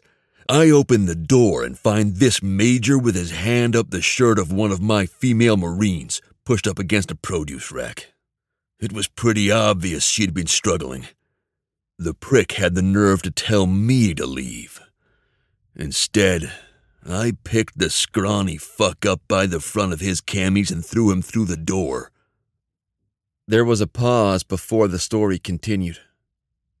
I'm not proud of what I did next, but he'd had his chance. Let's just say he won't ever have the option of getting a woman pregnant. The MP showed up five minutes later, and I told him the whole story. While the regimental commander was sympathetic, he couldn't ignore the fact that I'd assaulted a Marine officer and robbed him of his chance to make little future Marines. Master Sergeant Trent gestured over to Cal's cousin. Next thing I know, I'm getting a visit from Travis over there. He tells me who he is without getting into details, then offers me a tryout here at SSI. Needless to say, I jumped at the chance. And the rest, as they say, is history, Travis said grandly. Trent nodded thoughtfully and continued. Listen, Doc, nobody's forcing you. But if you walk away with anything today, I want it to be this. This company and these guys will become your family. They're fair and will fight to the death for you once you're here. Besides that, the pay's pretty damn good, too. He smiled as he finished and took a long pull from his glass. Travis, now visibly in the cups, picked up where Trent left off. I guess what we're saying, Doc, is that this'll be the last job you'll ever have. Brian seemed close to reddening with embarrassment as the small group of men smiled knowingly. Wait, are you offering me a job? You're technically not a second chancer, but I think your record and Cal vouching for you pretty much makes you a shoe in, Travis said. Plus, Neil told me he'd love to have some input from a medical combat vet on some of the life saving gear he's developing. The young nurse was completely floored. No shit? Well, you'll have to split the royalties from any new patents with Neil and the company, but I don't think that'll be a problem. That would be on top of your salary. Brian looked between Travis and Cal. But you guys don't even know me. Travis chuckled. Look, Doc, we've been doing this for a while. We've obviously got an eye for talent. Cal aside, everybody else around here is in the top 1% of their peer group. Screw you, Trav, Cal said, smiling. What my cousin's trying to say is that we've done our homework on you. We know about your awards, we know about your perfect PFT and shooting scores. We know you're like us. I know this is a big decision, but we're all in agreement. What would I do about my other job? Up to you, said Cal. Would you rather be working there? That's not what I'm saying, Brian said slowly. They've been good to me, and the pay's not bad. Come on, Doc. Nursing is a good service for humanity, but your talents are being wasted there. Besides, you really want to go back to changing bedpans after what you've seen around here? Cal grinned. Plus, I'll twist Trav's arm to take care of you on the salary side. It does look like you guys have a pretty good thing going around here, Brian said. I guess I'm in. Travis walked up to Brian and put his non drinking arm around his new employee. Then welcome to the family, my boy. I just have one more question for you. You're obviously a smart guy, super fit, a warrior. How come you didn't go to BUD/S and become a SEAL? Without pause, Brian innocently answered, Because it only took me one time to pass the ASVAB. The whole room exploded in laughter as Travis shook his head. Looks like you'll fit right in around here, Doc. Dante cut the connection on his cell phone and looked around at his newly assembled forces. I just got the address. Be ready to go tomorrow night after I do a drive-by. The hired guns all nodded and continued preparing their gear for the impending mission. Dante looked around the room, appraising his beefed-up crew. Bulletproof vests and automatic weapons weren't cheap, but they were effective. Things were about to change. A war was coming. That Marine's about to feel some pain. Camp Spartan, Arrington, Tennessee. The newly formed team spent the following days going over borrowed police reports, courtesy of Neil. Someday you're gonna have to show me how the hell you find this stuff, Neil, Travis said. It's called plausible deniability, Mr. CEO. If I don't tell you, you can't honestly tell your interrogators that you had no idea how I got my hands on this stuff. Besides, I can't show you all my secrets. Fair enough. How about you give us a quick rundown of what we're looking at? My eyes are starting to hurt. Okay, here's the gist. Neil waved a hand at the reports. The local authorities haven't come up with much. I will give them credit, though. They've put a lot of resources into this investigation. Based on what Cal has told us, it looks like their rendition of what happened in the alley is pretty spot on. On the other hand, their search for West is lacking. They just don't have the resources. They've beaten the bushes and interrogated this shorty guy, but haven't come up with much. This kid was a new recruit and didn't have much knowledge of West's hideouts and operations. What they have gotten from him, they've exploited pretty efficiently. So, what you're saying is that we don't have much to go on, Cal said. Right, Neil said. I've gone over everything they have, and it really doesn't give us much help on finding West. Cal turned to Master Sergeant Trent, who was carefully studying a map of the Nashville area. What do you think, Top? Without turning away from the map, Trent answered, I think we need to start beating some bushes too. I'll volunteer to start on the north side of town. No offense, Top, but you're not the most inconspicuous of detectives, Cal said. Don't worry about me, Cal. What my size lacks in subtlety, it more than makes up for in intimidation. I figure West is probably not only in deep shit with the cops, but also with some of his customers and rivals. The way these guys work, they're all thinly connected by financial obligations and past favors. I'll just pretend I'm looking for Mr. West to pay back the money he owes me. I can be pretty convincing when I want to be. Cal relented. Okay, can't say I have anything better. Neil, what do you think? I'm with Top. We need to get some boots on the ground. He'll blend in best in that area anyway. I can give him some help with some gadgets if he wants. Just let me know what you need, Top. Cal turned to his cousin. Trav, I know you're busy, but can you spare some time to talk with some of your contacts within the Metro Nashville Police Department? No problem. I'll see if I can swing a lunch with a couple of my buddies. We've made some good friends on the force around here. They've even spent some time in our simulators and on our live fire ranges. Good. Let's see what you can find out about ongoing operations to find West, and make sure they don't think we're jumping into this thing. Cal turned to Brian next. That leaves me, Doc, and Andy. Okay, said Brian. What are we doing? Now that I'm getting around on my own power, I want to go and have a little talk with Irene, the girl at your condo? Cal nodded. I have a bad feeling that her walk through my condo wasn't just casual curiosity. Anybody have any other questions, comments, or concerns? Travis raised his hand. Yeah, we might have one small issue. Just got a text from our legal department. Seems as though we've gotten a couple of inquiries from some local reporter. He was trying to find you and was looking for a comment on the investigation. Just tell them to blow him off, Cal said. I did, but I've heard about this guy, Travis said. He's a tenacious fucker young and ambitious, gave the local police hell earlier this year over some alleged abuse scandal. Turned out to be nothing, but it really gave the police a black eye. This guy smells a story. What's his name? Cal asked. Henry Bellinger. Why do I know that name? Travis shrugged.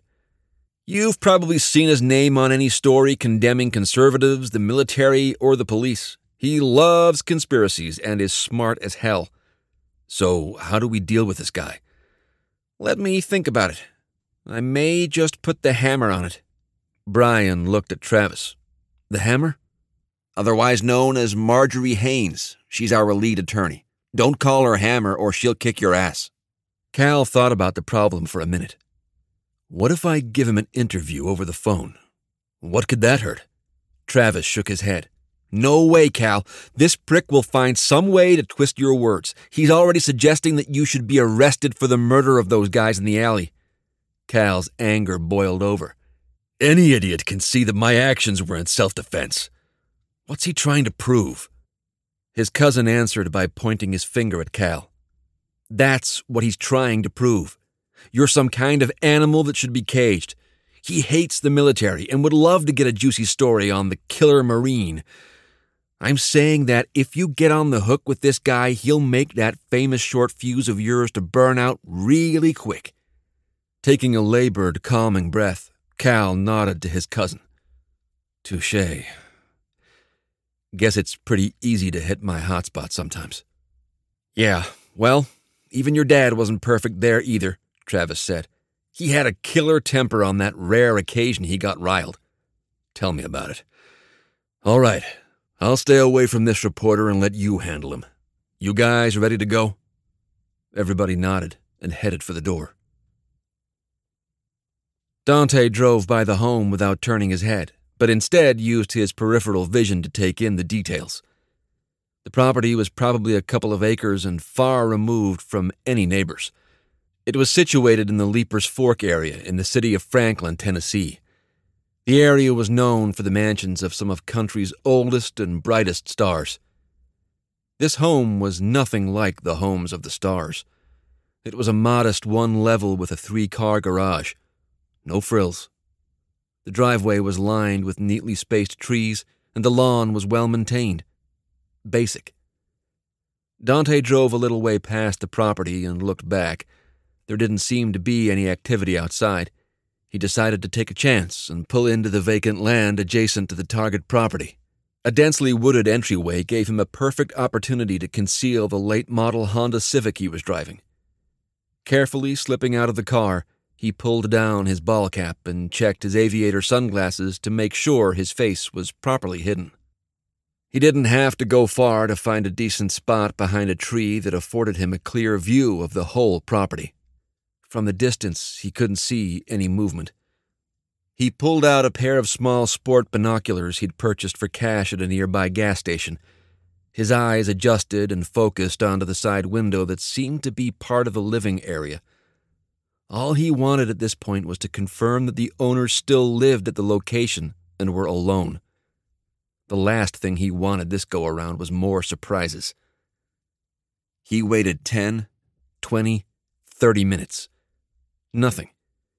Just about the time he decided to leave and come back, Dante caught a flicker of activity in the back of the house. Please don't have a big fucking dog, Dante thought. A middle aged man walked out the back door onto a wooden deck, trailed by a tiny chihuahua. Dante watched as the man waited for the dog to relieve itself. Finished, the small dog ran happily back into the house, and the man followed. One here. Now I've got to make sure Mama's home, too. He shifted his gaze, and minutes later saw what he'd waited for.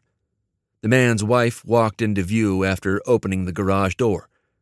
Dante focused on the two modest vehicles and didn't find the telltale signs of a family trip or impending visitors.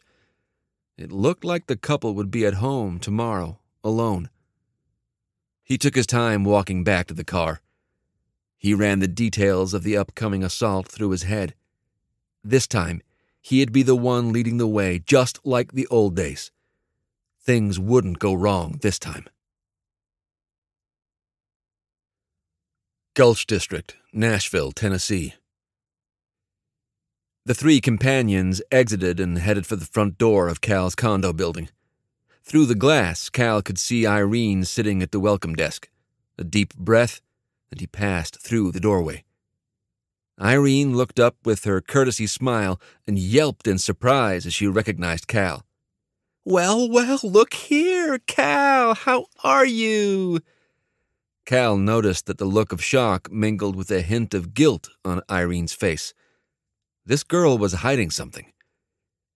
Years of learning when junior Marines were lying to his face had honed his bullshit detector. He put on the nicest smile he could muster and pushed forward. Hey, Irene, how are things around here? You know, occasionally busy, boring the rest of the time. You look great. How are you feeling? A lot better, thanks. Just wanted to stop by and get some of my stuff. Oh, my fault. You've met my buddy Brian here, and this is my friend Andy. Andy's a buddy of mine from the Marine Corps. They do all the heavy lifting while I just point to things. Irene laughed dutifully, as did the others. The strain on the woman's face intensified as she processed the trio. Are you moving out or something? Nope. Just gonna stay with some friends for a few days. Anybody been in my place since the last time I was here? Irene shook her head. No, just your friend Brian the other day. I've got a bunch of mail for you. I can go get it for you and you can pick it up on your way out. Cal looked over his shoulder. Andy, can you go with Irene and get my mail? We'll be back down in five minutes. No problem, Andy said. As Irene turned to head to the mailroom, Cal touched his right temple and glanced at Irene's desk. Andy followed his gaze, saw the cell phone, and nodded back to Cal.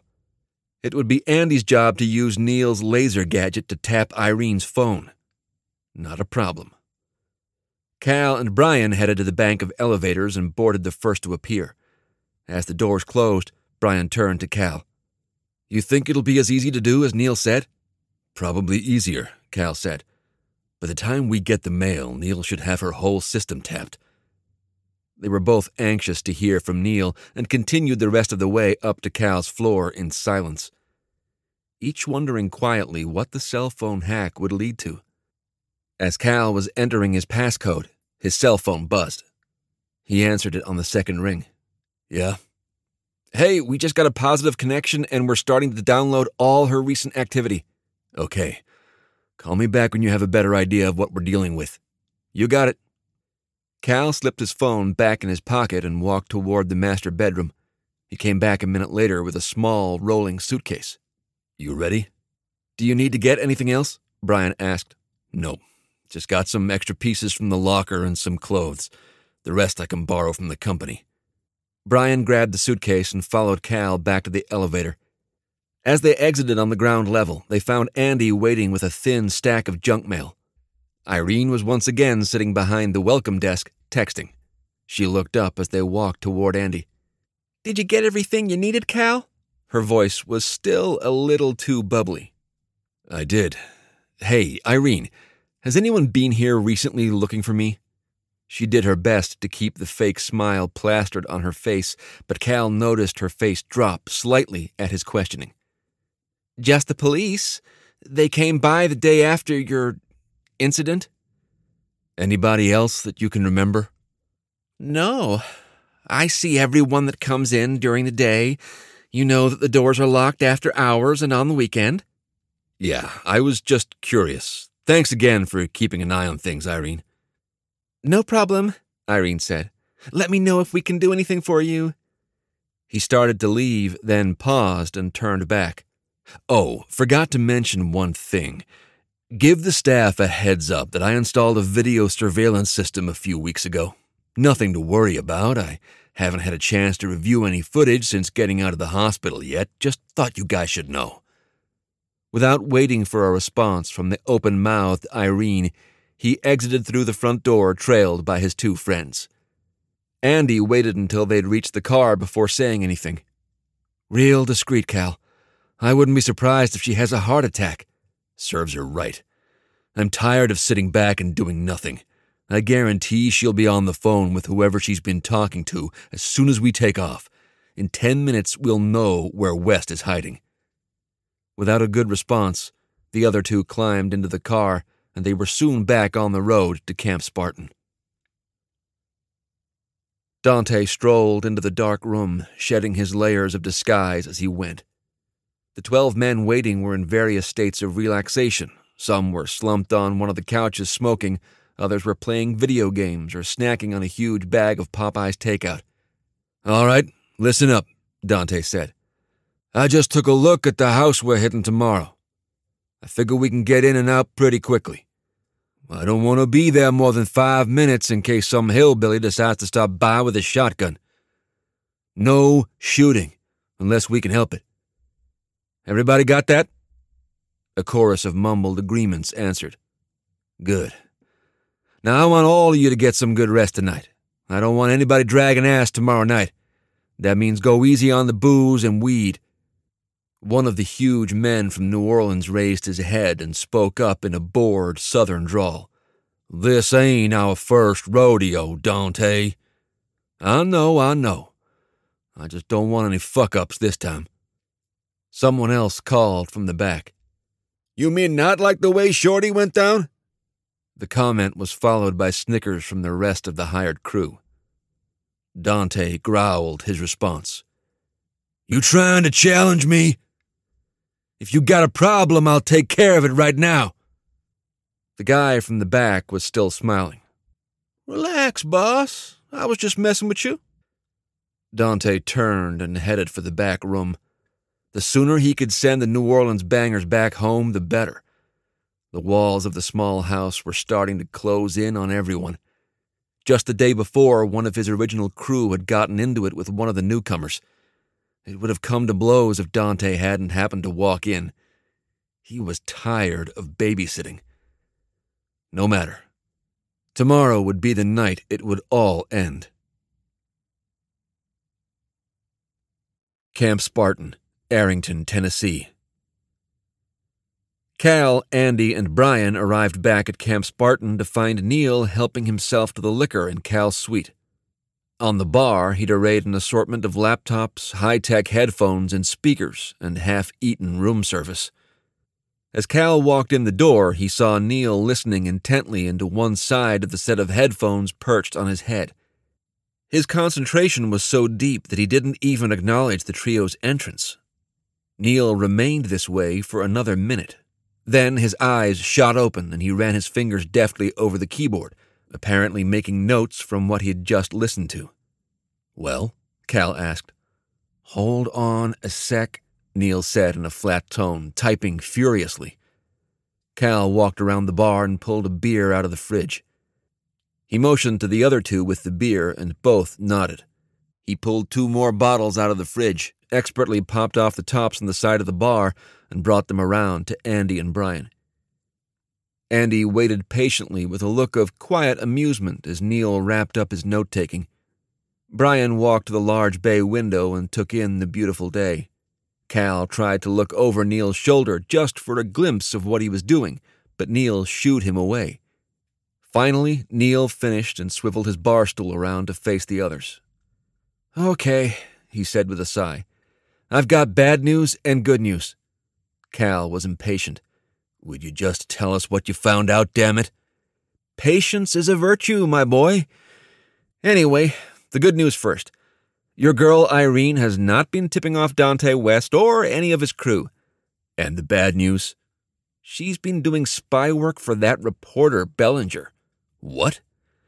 Looks like little innocent Irene is a little short on cash, and this guy Bellinger loves good contacts within the ranks of hotel and condo concierge, Neil said. They've usually got the most access, so he targets them pretty heavily. What was she rooting around my place for? Any little tidbits he could use to write a story. Your Navy Cross citation to start. He wanted her to see if you were maybe a druggie, closet gay, or something like that. Anything to make his story juicier. Cal growled. I'd love to pay that guy a little visit. Andy shook his head.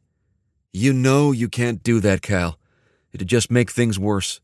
Besides, you said that from the surveillance video you watched, she couldn't find anything. It still pisses me off.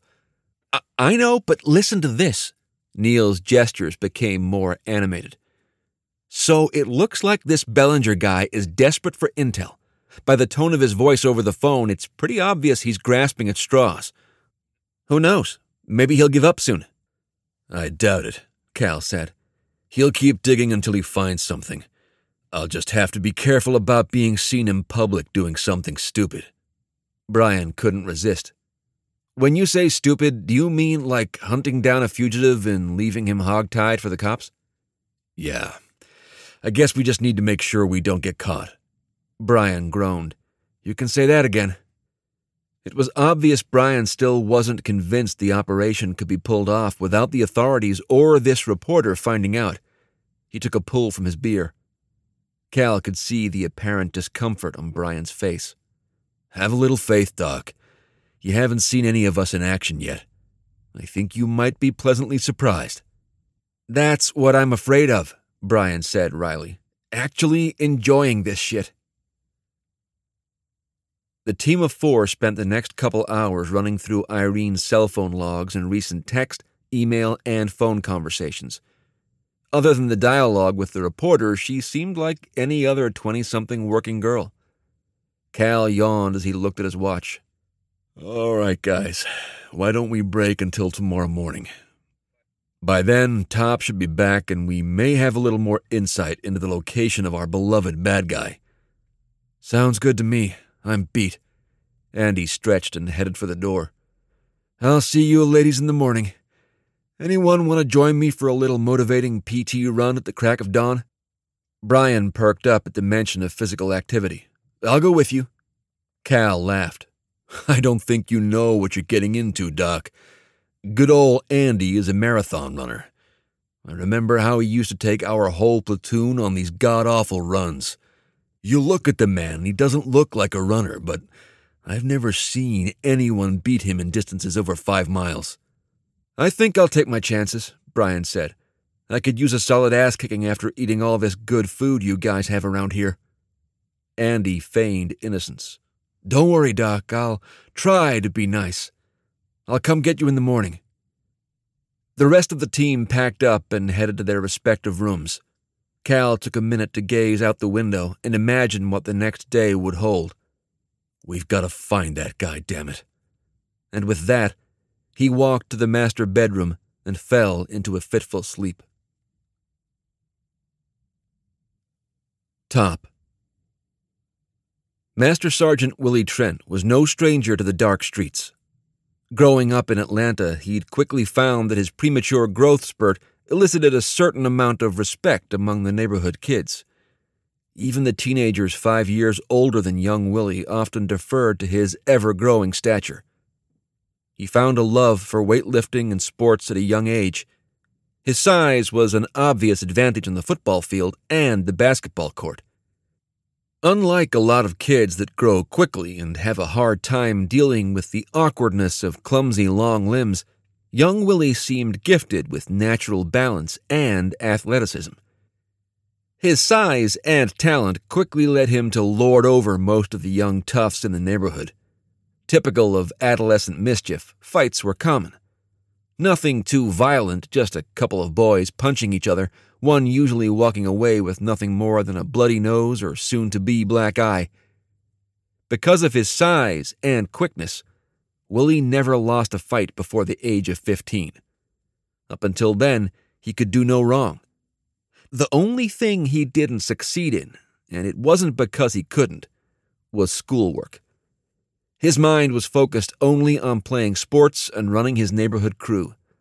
Later in life, his mental ability would be tested, and Willie wasn't too surprised to find out that his IQ was in the 95th percentile. It was this ability that made him a natural leader and crafty athlete. Brains plus brawn were a mighty combination. At the time, Willie made it a habit to sneak out at night and infuriate his poor mother to no end, to hang out with his friends. They'd never do any real damage, just roam the streets, hooting and hollering like kids do. It was on one of these occasions that Willie's young crew encountered one of the local punks and his small gang of hoods. Typical of Atlanta summer nights, the air was thick with humidity, and a lot of kids would hang around the local 7 Eleven, sipping ice cold Slurpees and trying to stay cool.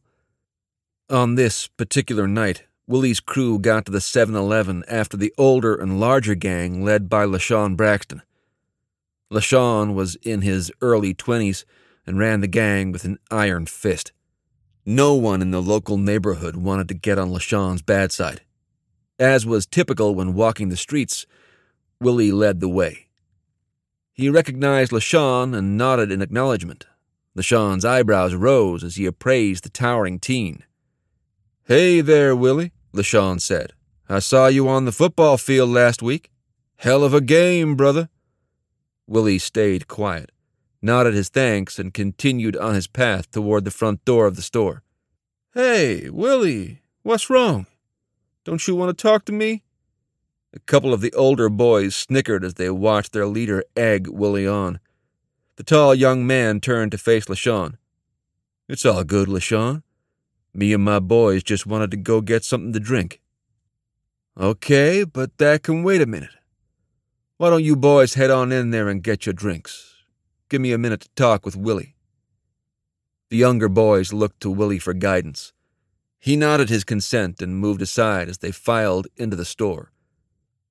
LaShawn waited until they were out of earshot to start talking again.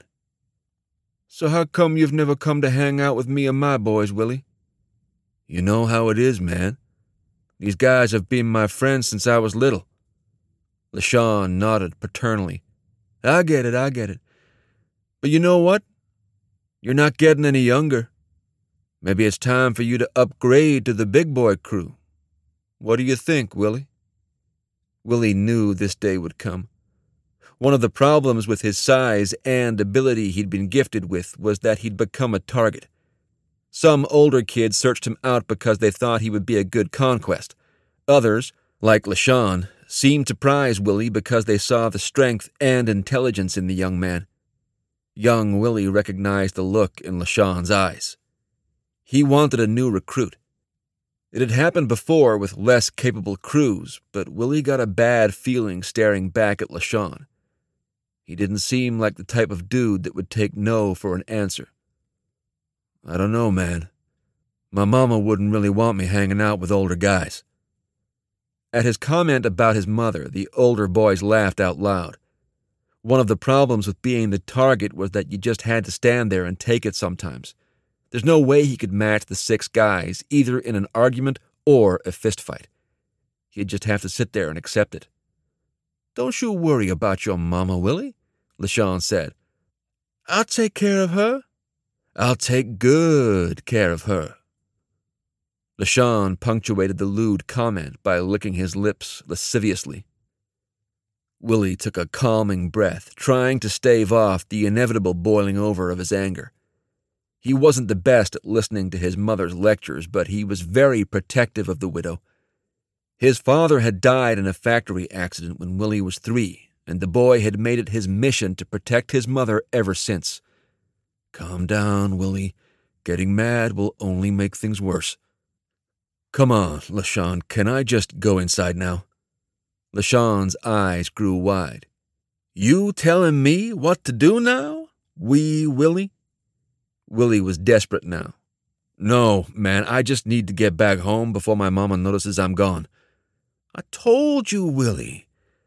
I'll take care of that fine mama of yours. He smirked as he looked around at the matching grins on his crew. LaShawn wasn't going to let him out of this. What do I need to do so I can go, LaShawn? You can start by not being a little bitch, LaShawn said. Is that what you are, wee Willie? A little bitch? Willie's head snapped up. Even his tolerance for mockery had its bounds. Later in life, friends would comment that he was like a friendly giant, kind to a fault and slow to anger, but once riled, he could not be stopped. LaShawn smiled at the incensed youth. Now I see that fire, boy. How about we see how that fire burns? What do you say you and me go a couple rounds? A stirring began in Willie's gut. LaShawn was famous for his street brawls. He'd sent a couple of kids to the hospital, and it was rumored he'd once been a semi pro boxer in his old hometown. LaShawn was definitely built like a heavyweight fighter, standing six foot three and well into the middle 200s. He was an imposing figure to most other kids. But Willie wasn't as easily deterred. Even at 15, he was already close to 6 foot 4 and just over 200 pounds. Added to his formidable size were the countless hours of honing his body to athletic perfection on the football field and in the weight room. Willie was confident in his abilities one on one, but not six on one. I don't want to fight you, LaShawn. His voice was a whisper. I didn't ask what you wanted, boy. Now get your ass around the back of this building and let's see who the big dog is around here. LaShawn's companions whooped a cry of delight and pushed the reluctant Willie toward the other side of the building. Their leader led the way as he pulled off his shirt, showing off an impressive array of tattoos. Willie glanced back to the store and noticed his friends peering out of the window, wide eyed and realizing he was in big trouble. As the small gang reached the back of the building, LaShawn turned suddenly and landed a wide right hook onto Willie's left cheek. He'd seen it at the last possible second and was able to minimize the hit by turning his head to the right. But holy hell did it hurt. The blow spun Willie to the right and down to his knees. He couldn't help it. LaShawn kept taunting him. Come on, you little bitch! Get up and show me what you got! Well, there's no way out of this now. Willie thought. He shook his head once and stood up to his full height. In that second, something in his demeanor changed. LaShawn noticed it, and so did the others. Willie's look of supreme confidence and cold anger caused a hush in the small crowd and made LaShawn think twice about charging. Willie used the pause to make his move. He bum rushed LaShawn and swung a right handed haymaker, only it was a calculated ruse, for just as he was about to connect with his attacker's blocking arm, however, he used his momentum to hug LaShawn into the path of his forehead. There was the sound of cracking shells as Willie's forehead connected with LaShawn's exposed nose. Blood splattered from the flattened nostrils as the two young men fell to the ground. Willie knew he had him. One of the things he learned in his early fights was that despite the rage he mustered to take out an opponent, his mind stayed serenely calm. It was yet another gift that would serve him well later in life. He used that talent to quickly weigh his options. If he incapacitated LaShawn now, he'd most likely have to turn and take on the other five. Not the best opportunity for getting out of the mess relatively unscathed. Just as Willie cocked back to headbutt him again, LaShawn screamed in fear. Get this motherfucker off me! The next three minutes were a complete blur as the remaining crew members jumped into the fray. Fists flew and boots stomped as the gang pounded away at the defenseless Willie. He balled up in a fetal position to protect himself. At some point between blows to the head and torso, Willie heard his mother's voice. She was screeching at the other young men. He looked up through bloody eyes to see his mother holding his father's old shotgun.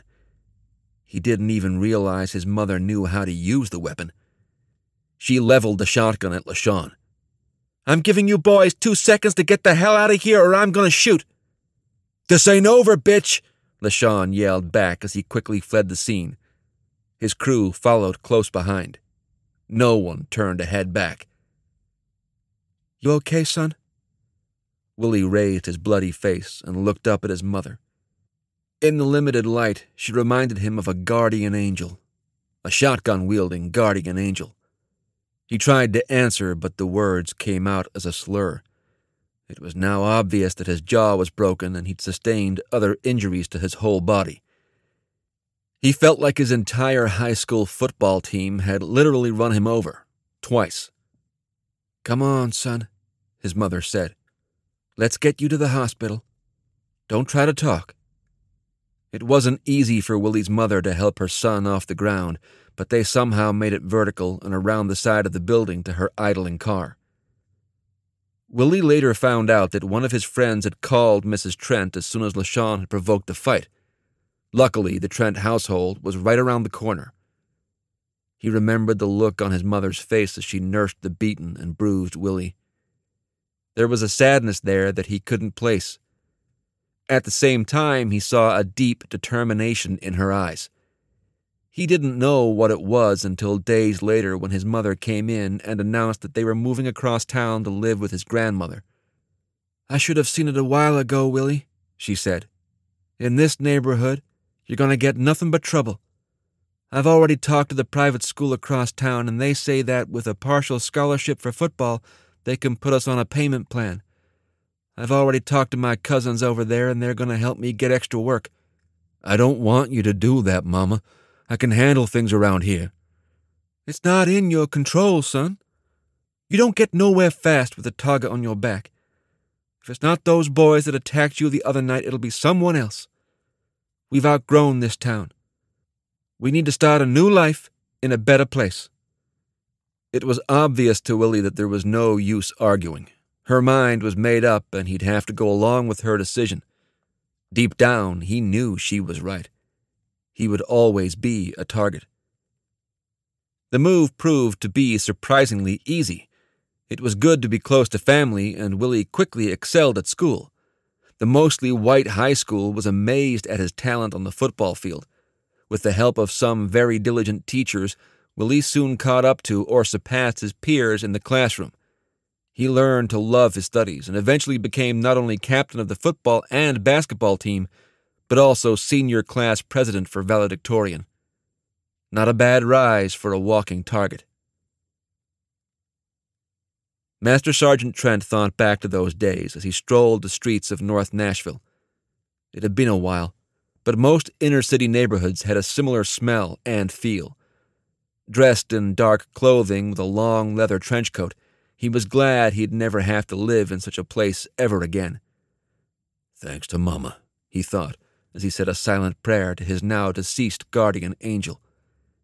His mission was clear infiltrate the area and get intel on the location of Dante West. He and Cal had agreed that it would be highly unlikely that Trent would stumble on West, they just needed some better information so they could hopefully triangulate the guy's whereabouts. So far, he'd questioned a couple of winos and hookers. They'd all said the same thing. Dante hadn't shown his face in a while. He changed tactics and started pushing the fact that West owed him some big money and he was going to get paid tonight or heads would roll.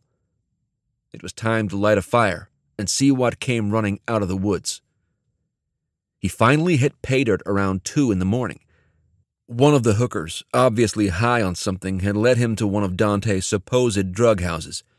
Trent snuck around the side of the dilapidated duplex, trying to get a better feel for what he was up against. He pulled his Beretta out of his coat pocket, just in case. Making his way to the back of the house, he heard a television through the open window. Obviously, the inhabitant wasn't trying too hard to keep the space secure. He glanced in through the corner of the window and saw two black men sitting on a dirty couch watching television and enjoying some weed. Bottle shaped brown paper bags sat pinned between them. Both men had pistols within arm's reach on the couch. Clearly, they weren't completely stupid. Keeping a low profile, Trent shifted his gaze around the room and saw two women sprawled naked on the floor on top of soiled blankets. Both women were passed out and probably high by the looks of their slack jaws. He didn't see any other visitors and wondered what was upstairs. He squatted down next to the house and reached into his other coat pocket. He pulled out the small box Neil had given him.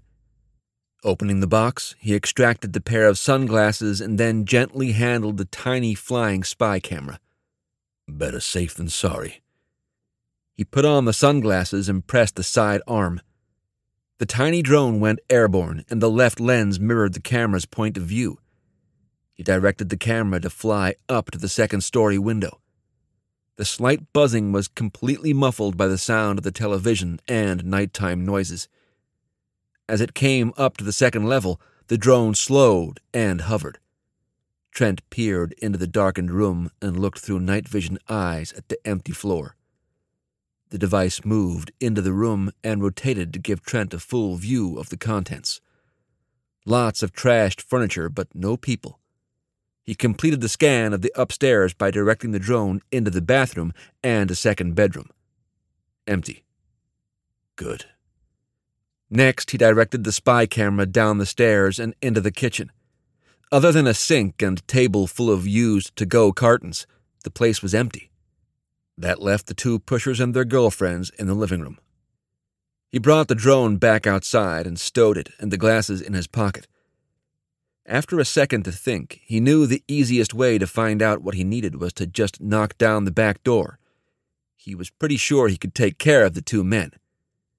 He stashed his pistol back in its holster, then withdrew two more of Neil's presents. They were specially modified tasers. They were a lot smaller than the commercial version used by the police and private citizens, but just as powerful. In Trent's hands, they each looked like matching Pez dispensers, roughly the same size as their candy counterparts. Out of habit, he checked to make sure the laser sights worked. Before leaving, Neil had suggested taking two just in case. Trent would have to remember to thank the techie for the forethought. If he was lucky, he could incapacitate both men without much noise. The last thing he wanted to do was burst into the house with guns blazing. He stayed in a crouch as he moved around to the back of the little house. The keys to what he was about to do was overwhelming force and surprise. Having the two idiots shooting at him wouldn't do any good. Master Sergeant Trent was hoping he'd catch the men with drug and alcohol slowed reflexes. He took two more settling breaths, squared himself to the back door, and pictured the two men ten feet from the rear entrance. Holding the Pez tasers loosely in each hand, he took one big step back, then exploded through the door with his size 14 boot leading the way. The door shattered the locking mechanism, and Trent followed the door into the room. He looked down at the surprised expressions of the two drug dealers and didn't hesitate to aim each taser at their chests and depress the triggers. Before the guys could reach for their guns, the taser wires reached out. The probes penetrated their thin shirts and instantly started pouring voltage into their nervous systems. Trent held down the switches for five seconds, then released. The shocked duo slumped back down on the couch. Without hesitation, the former master sergeant started the interrogation. Where's Dante? The first man cried out shakily. What? I said, Where's Dante? You don't start answering my questions, and I'm going to keep shocking. No, please, Trent switched on the electricity and watched as the men writhed in agony. Turning the juice off, he started again. Like I told you, Trent said. Answer my questions. Now, one more time. Where's Dante? The first man spoke again. I don't know, man. The next shock threw the man's head back, hitting the wooden frame of the couch with a sharp crack. Turning off the power again, Trent explained calmly. I'm going to tell you this one last time. Dante owes me some money, and I mean to get it tonight. The only thing I want you boys to tell me is how I can find the motherfucker. The second man finally spoke. Okay, okay. Despite the screams and grunts, neither of the passed out women on the floor had yet to stir. You ready to tell me where he is? Trent asked. We don't know exactly where he is, the second man said. He's been moving around a lot. You mean since he killed that girl? I don't know anything about that man. All I know is that the cops are after him and we haven't seen him for a while. So how do you know he's still around? Trent asked. He calls us a couple of times a day. Dante wants to make sure we're still making money for him. Does he call you on your cell phone? Yeah. The man motioned with his head at the end table where two new mobile phones sat in chargers. Usually calls, once in the morning and once at night. Wants to know how big our haul was.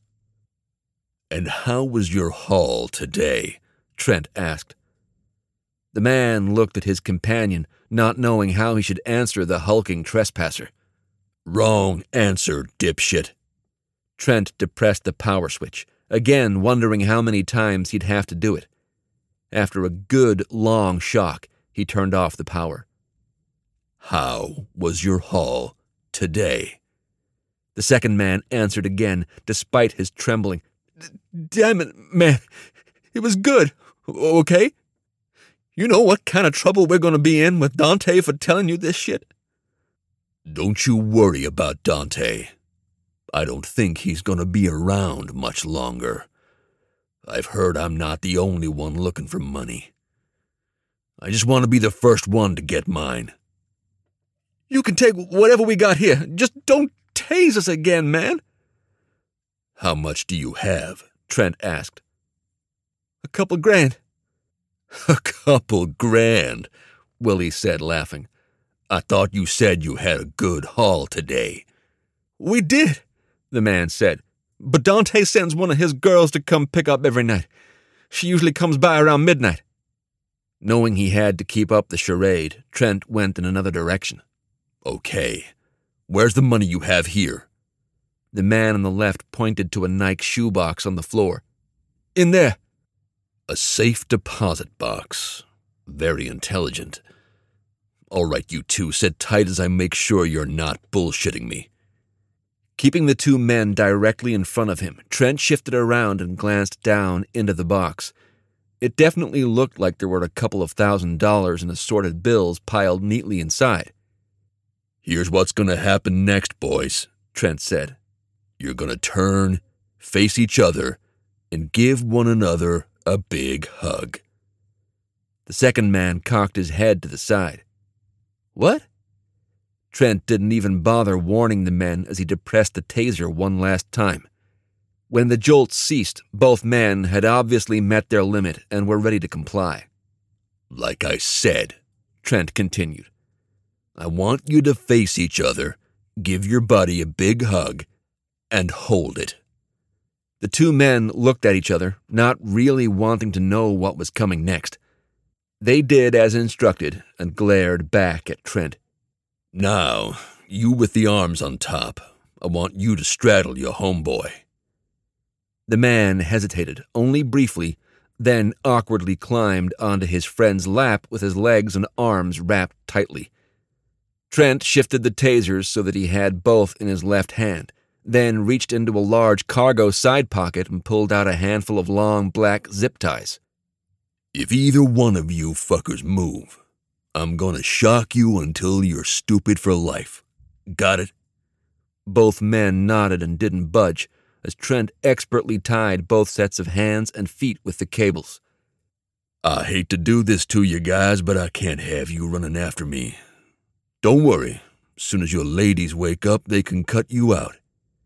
He linked two zip ties together and looped it all the way around both men's necks. He secured a neck restraint by looping another zip tie between the two and cinching it down tightly.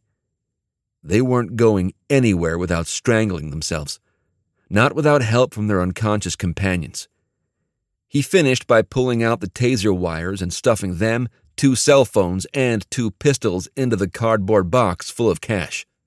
Well, boys, thanks for your cooperation. And remember, just say no to drugs. Trent exited the way he came in and slowly made his way back to his concealed pickup truck down an alley a couple of blocks away. He pulled out his cell phone and dialed Cal, who picked up on the first ring. Yeah? I think I got one of those breaks we were looking for, Trent told him. Okay, I'll put on the coffee and wake up the boys. I'll see you when you get back. Roger. Out. Trent replaced his phone, started the big diesel engine, and made his way back down to the compound. Not bad for a former misfit, he thought. Camp Spartan, Arrington, Tennessee. After relaying the story, pausing once in a while for laughter to the assembled group consisting of Cal, Brian, Andy, Travis, and Neil, Trent went on to explain what he thought they should do with the stolen cell phones. It seems to me that West is pretty tight on cash. I doubt he'd want to miss any one of his pickups. My vote would be to set a little ambush for his cash girl and convince her to take us back to Dante tomorrow night. The problem is, now he'll know we're onto him if he calls one of these cell phones. Cal turned to Neil. Do you have any way to tap into these cell phones? I thought you'd never ask. I can make these phones do things you could never imagine. When I'm done with them, they'll be singing like canaries. You want to tell us how you're going to do that, or do I have to zip tie your ass like Top's buddies? Neil looked apologetic. Didn't mean to be a smartass, Cal. So here's what I'm going to do. I'll take whatever info I can off the cell phones. I can pretty much guarantee they're disposables, so their secrets will be limited.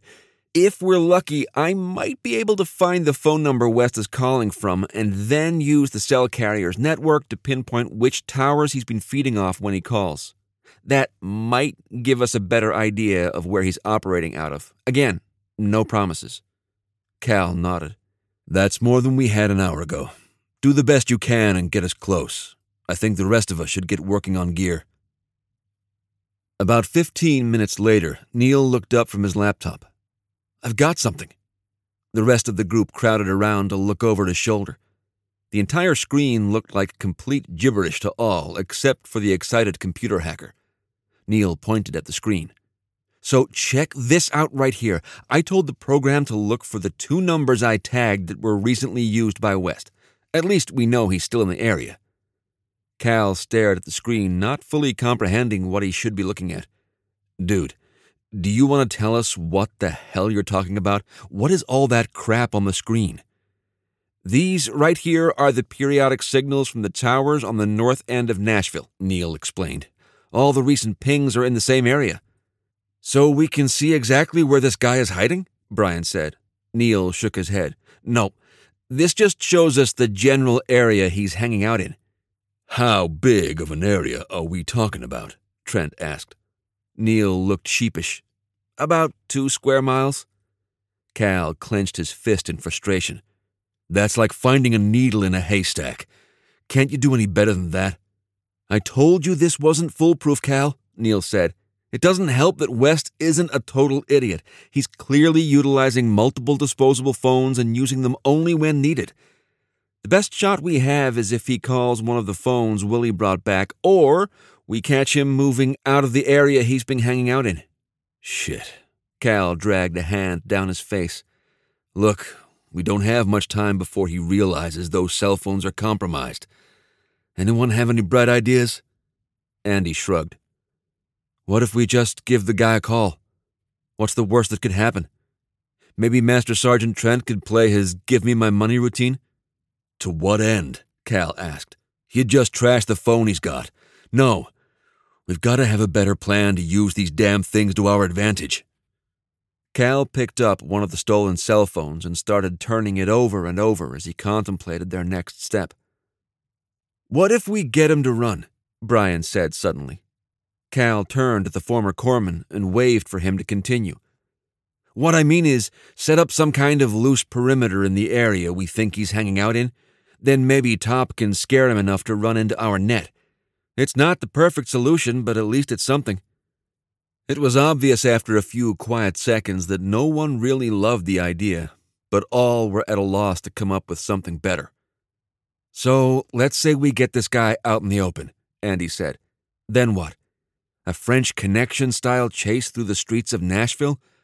I see way too many things wrong with the idea, but unless we can pinpoint his exact location and conduct a quick raid, I can't think of anything better. Cal nodded and stroked his chin. So, if we can't just catch him in the open, can we somehow lure him to another location and take him there? Trent checked his watch. Cal, it's six in the morning, and I really don't think. The silent buzzing of one of the confiscated phones cut off Trent's comment. Everyone looked down in anticipation as Neil carefully picked it up and looked at the caller ID. It's him. Without hesitation, Master Sergeant Trent grabbed the small phone and answered on speakerphone. Yeah. Yo, who's this? Dante asked. A customer. Listen, asshole, put Javon on the phone. Javon ain't here. He went to take a leak. Then put Polo on. He's upstairs getting it on with one of the girls. They could hear swearing in the background as Dante tried to figure out what the hell was going on. Go get those idiots and tell them to call me back. The line went dead. Well, that buys us two minutes, Trent said. Any ideas? Neil looked up from his computer. I think I've got something. My tracking program was able to pinpoint West's location down to one square block. Is there any way we can get there fast? Andy shook his head. Now that it's lights out, I don't see how we can pull this off without the whole world knowing. I say we call him back and tell him we know where he is and see what happens. Cal, can we get some of your company assets up there like yesterday? Cal turned to his cousin. Trav, can I get four teams of two in civvies and standard vehicles up to Nashville? I'll have them out front in ten minutes. Let's split up into two teams. Me, Top, and Neil will ride in Top's truck. Doc, can you drive your car up with Andy? I would rather keep you two a little farther back, just in case. Brian shrugged. No problem. All right. Everybody grab your gear and any weapons you can conceal on your person, Cal said. Top, do you still have some extra shotguns in the back of your truck? Yeah.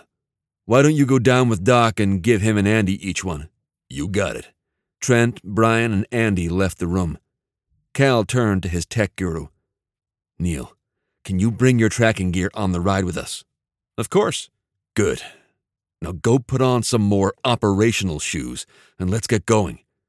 Neil looked down at his Italian loafers. I thought I had them on already. As promised, ten minutes later, the teams assembled outside the lodge. Cal gave everyone their instructions and patrol areas. Neil handed out small, watertight boxes to each team. Cal looked at him quizzically. Neil just winked back. No one hesitated as they jumped in their respective vehicles and headed north. Nashville, Tennessee. Cal looked into the back of the truck's cab to see if Neil was up and running. You getting anything yet? Nope.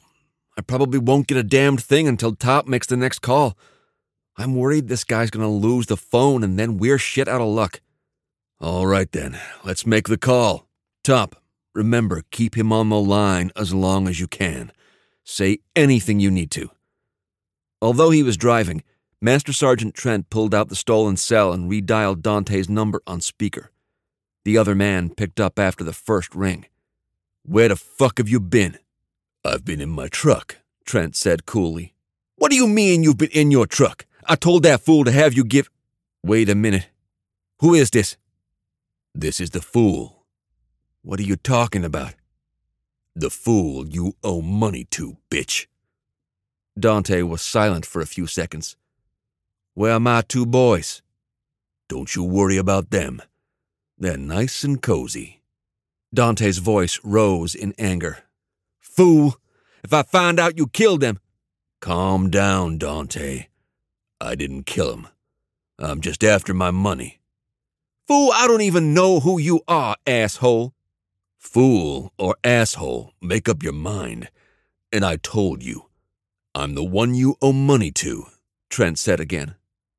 Neil poked his arm through the two front seats with a thumbs up, signaling that he'd caught the cell phone trail. He had silently told them that he'd need about a minute after latching on to the signal before he could get a better location. The convoy was still about ten minutes from their target. Now West sounded amused. If I owed you money, you'd either be dead or on a payment plan by now. I don't know you. And if I don't know you, that means I don't owe you. Trent glanced at Cal, who gave him the keep going signal. I said you owe me. I didn't say that you know me. It was actually one of your boys that I took care of over in the shitty little house in East Nashville. Motherfucker stiffed me out of ten grand last month when I came to deliver supply. I asked him to pay me, and he told me to talk to you. Something about it being your business. There was a pause on the other end as Dante weighed the new information. He wasn't an idiot. He wanted to keep all the customers he could get. Gangster or not, he was still a businessman. Look, fool, I don't know what that idiot told you, but I never stiff my customers or my competition. This town is too small for that shit. That's what surprised me. I've been doing business with your guys for a while, and this was the first time I ever felt cheated. So, what do we need to do to get me my money back? Trent looked at Cal, who shrugged his shoulders as if to say, I can't believe this guy is buying this. How about I have a little talk with my boy, and I'm sure we can get this thing worked out? How about I come over to your place and we talk about it? Sorry, man. That I can't do. Give me a couple minutes and I'll call you back. Trent looked at Cal again, who nodded. Okay. Call me back. The line went quiet as the call ended. Cal smacked Trent on the shoulder. Nice job, Top. I guess he took the bait. Yeah, but I wouldn't count him out yet. He's like a cornered rat. A smart cornered rat. I could almost see the wheels in his head turning. Did you see how fast he calmed himself down? This is one cool customer. Cal looked thoughtful. Yeah. So, have you figured out what we're gonna do with this guy when we get him? I figured we'd just have to see how it plays out.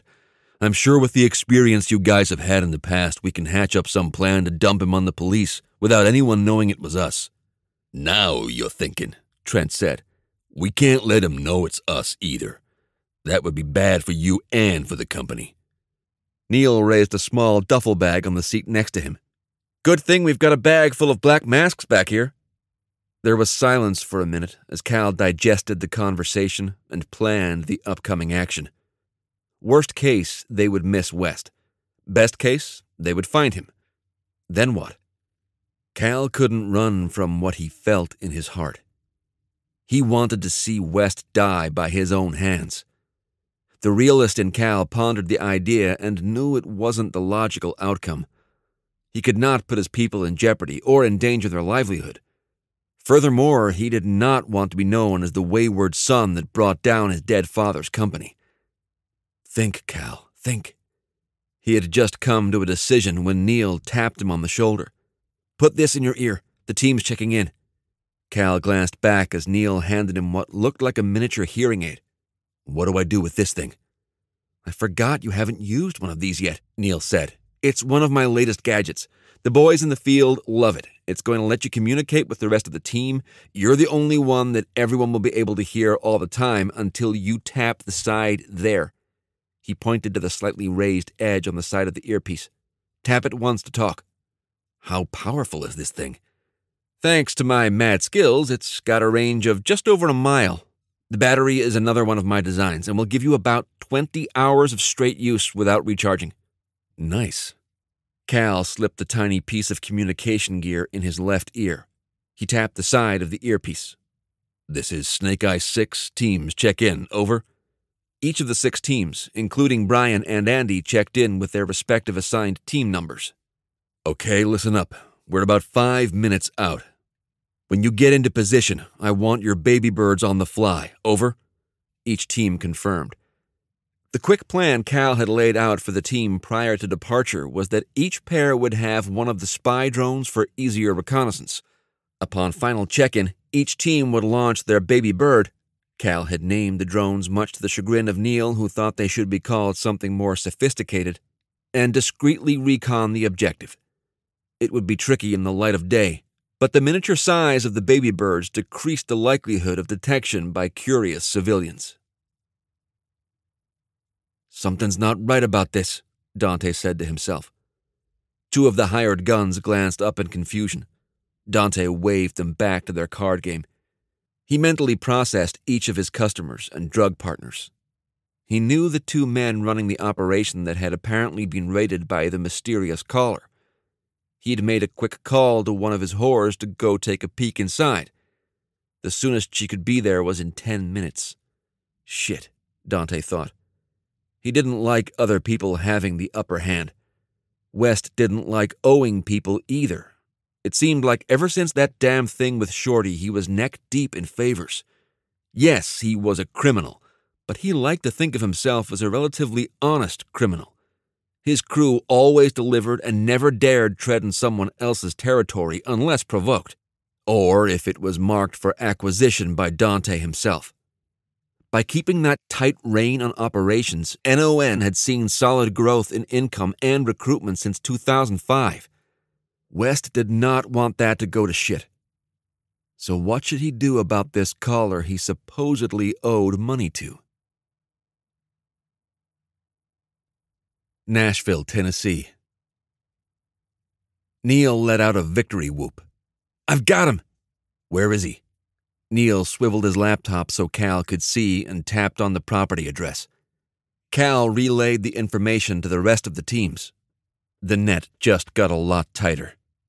We're five minutes out. Let's get him back on the phone just to make sure. Master Sergeant Trent hit redial. Dante answered on the first ring. Yeah. Did you find out where my money is? Not yet. That's not good, brother. I know, I know. Look, I'm working on it. It doesn't help that I can't get a hold of the two boys you handled. Not my problem, Dante. Maybe I should come by and visit. Look, man, I think you know there's no way I'm going to tell you where I am. So how about we just calm down and wait? I'm not so good at waiting, Dante. Trent pushed harder. What if I told you your boys told me where you're hanging out? He looked at Cal and smiled. He could hear the bastard sweating. The comment disturbed Dante. Deep down, he knew there was no way his crew had snitched. Hell, he hadn't even told them where he was hiding. He wasn't stupid. At the same time, the paranoid part of Dante West made him peek out the front window of the house. He didn't see anything suspicious. Besides, he had a house full of firepower, ready to defend himself. The problem was that he just couldn't shake the confidence of this deep voiced caller. I told you, man. There's no way you know where I am, Dante said. Give me another couple of minutes. I got a girl going over to the house. In two minutes, I'll know which of my boys I need to squeeze to get your money. What if I told you I'm on my way to your place right now, Dante? I'd say you're bullshitting me. West peered out the window again. The other men in the room had gone mute and were watching Dante. I don't bullshit, bitch. I'm gonna get my money one way or another. West put his phone on mute and yelled at his crew. Get up off your asses and pack your shit. I think we got trouble coming. The men started running around, gathering their gear in a fairly organized manner. These men were not novices to danger. They already had their weapons at the ready as each headed for the back door and their escape vehicles. Dante took his cell phone off mute. I've had enough of this conversation, man. Even if you are on your way, I'm gonna be gone. I'll call you from another phone later, if I feel like it. He finished the call and began thinking faster than ever. The conversation ended and the line went dead. Cal tapped on his earpiece and started instructing his assault teams. All teams, get the baby birds ready. Target is on the move. I repeat, target is on the move. It was overkill to let his men know to prepare their firearms. These were veterans who didn't hit the latrine without a weapon. They'd be ready when asked to execute. Each knew without being told that action within a civilian neighborhood required extreme caution. Firepower wouldn't be used except as a last resort. Per standard operating procedure, each member was given multiple tasers in the event close contact warranted non lethal intervention. As they rounded the second to last turn approaching the address provided by Neil, Cal pulled down his ball cap to conceal his face as much as possible. He didn't think wearing a black mask in a neighborhood would be the most inconspicuous disguise. Besides, he wasn't planning on letting Dante get a look at him. The others didn't bother with the masks either. No one really thought West would call the cops and describe them to a sketch artist. Cal heard his earpiece beep and listened to Team 3. Six, this is 3. I think we just saw our target roll by. He's in a 90s model maroon Honda Accord. Target is driving, and there are four other targets inside. Big boys, too. How copy? Over? Roger. Let's launch all baby birds now. Team 2, made up of Andy and Brian, chimed in. Six, this is 2. We've got three other vehicles leaving the target address. Damn it. All teams, any ideas how to exploit this situation? Over. There was a pause as each team pondered the question they'd already been calculating. They all knew the danger of exposing themselves. A prolonged chase and shootout was not in anyone's interest. It was Andy who spoke up first. Six, I think we need to go with Plan B. Plan B was to call the local authorities and give them a good location on the wanted gang leader. Cal wrestled with the thought. He wanted nothing else but to get the man who'd killed his beloved. But how could they take the man out without engaging a bunch of armed gang members in the middle of the city? In the desert of the Middle East, he wouldn't have thought twice the decision would have been easy. This war was a different story. His team wasn't riding to battle in armored vehicles and combat gear.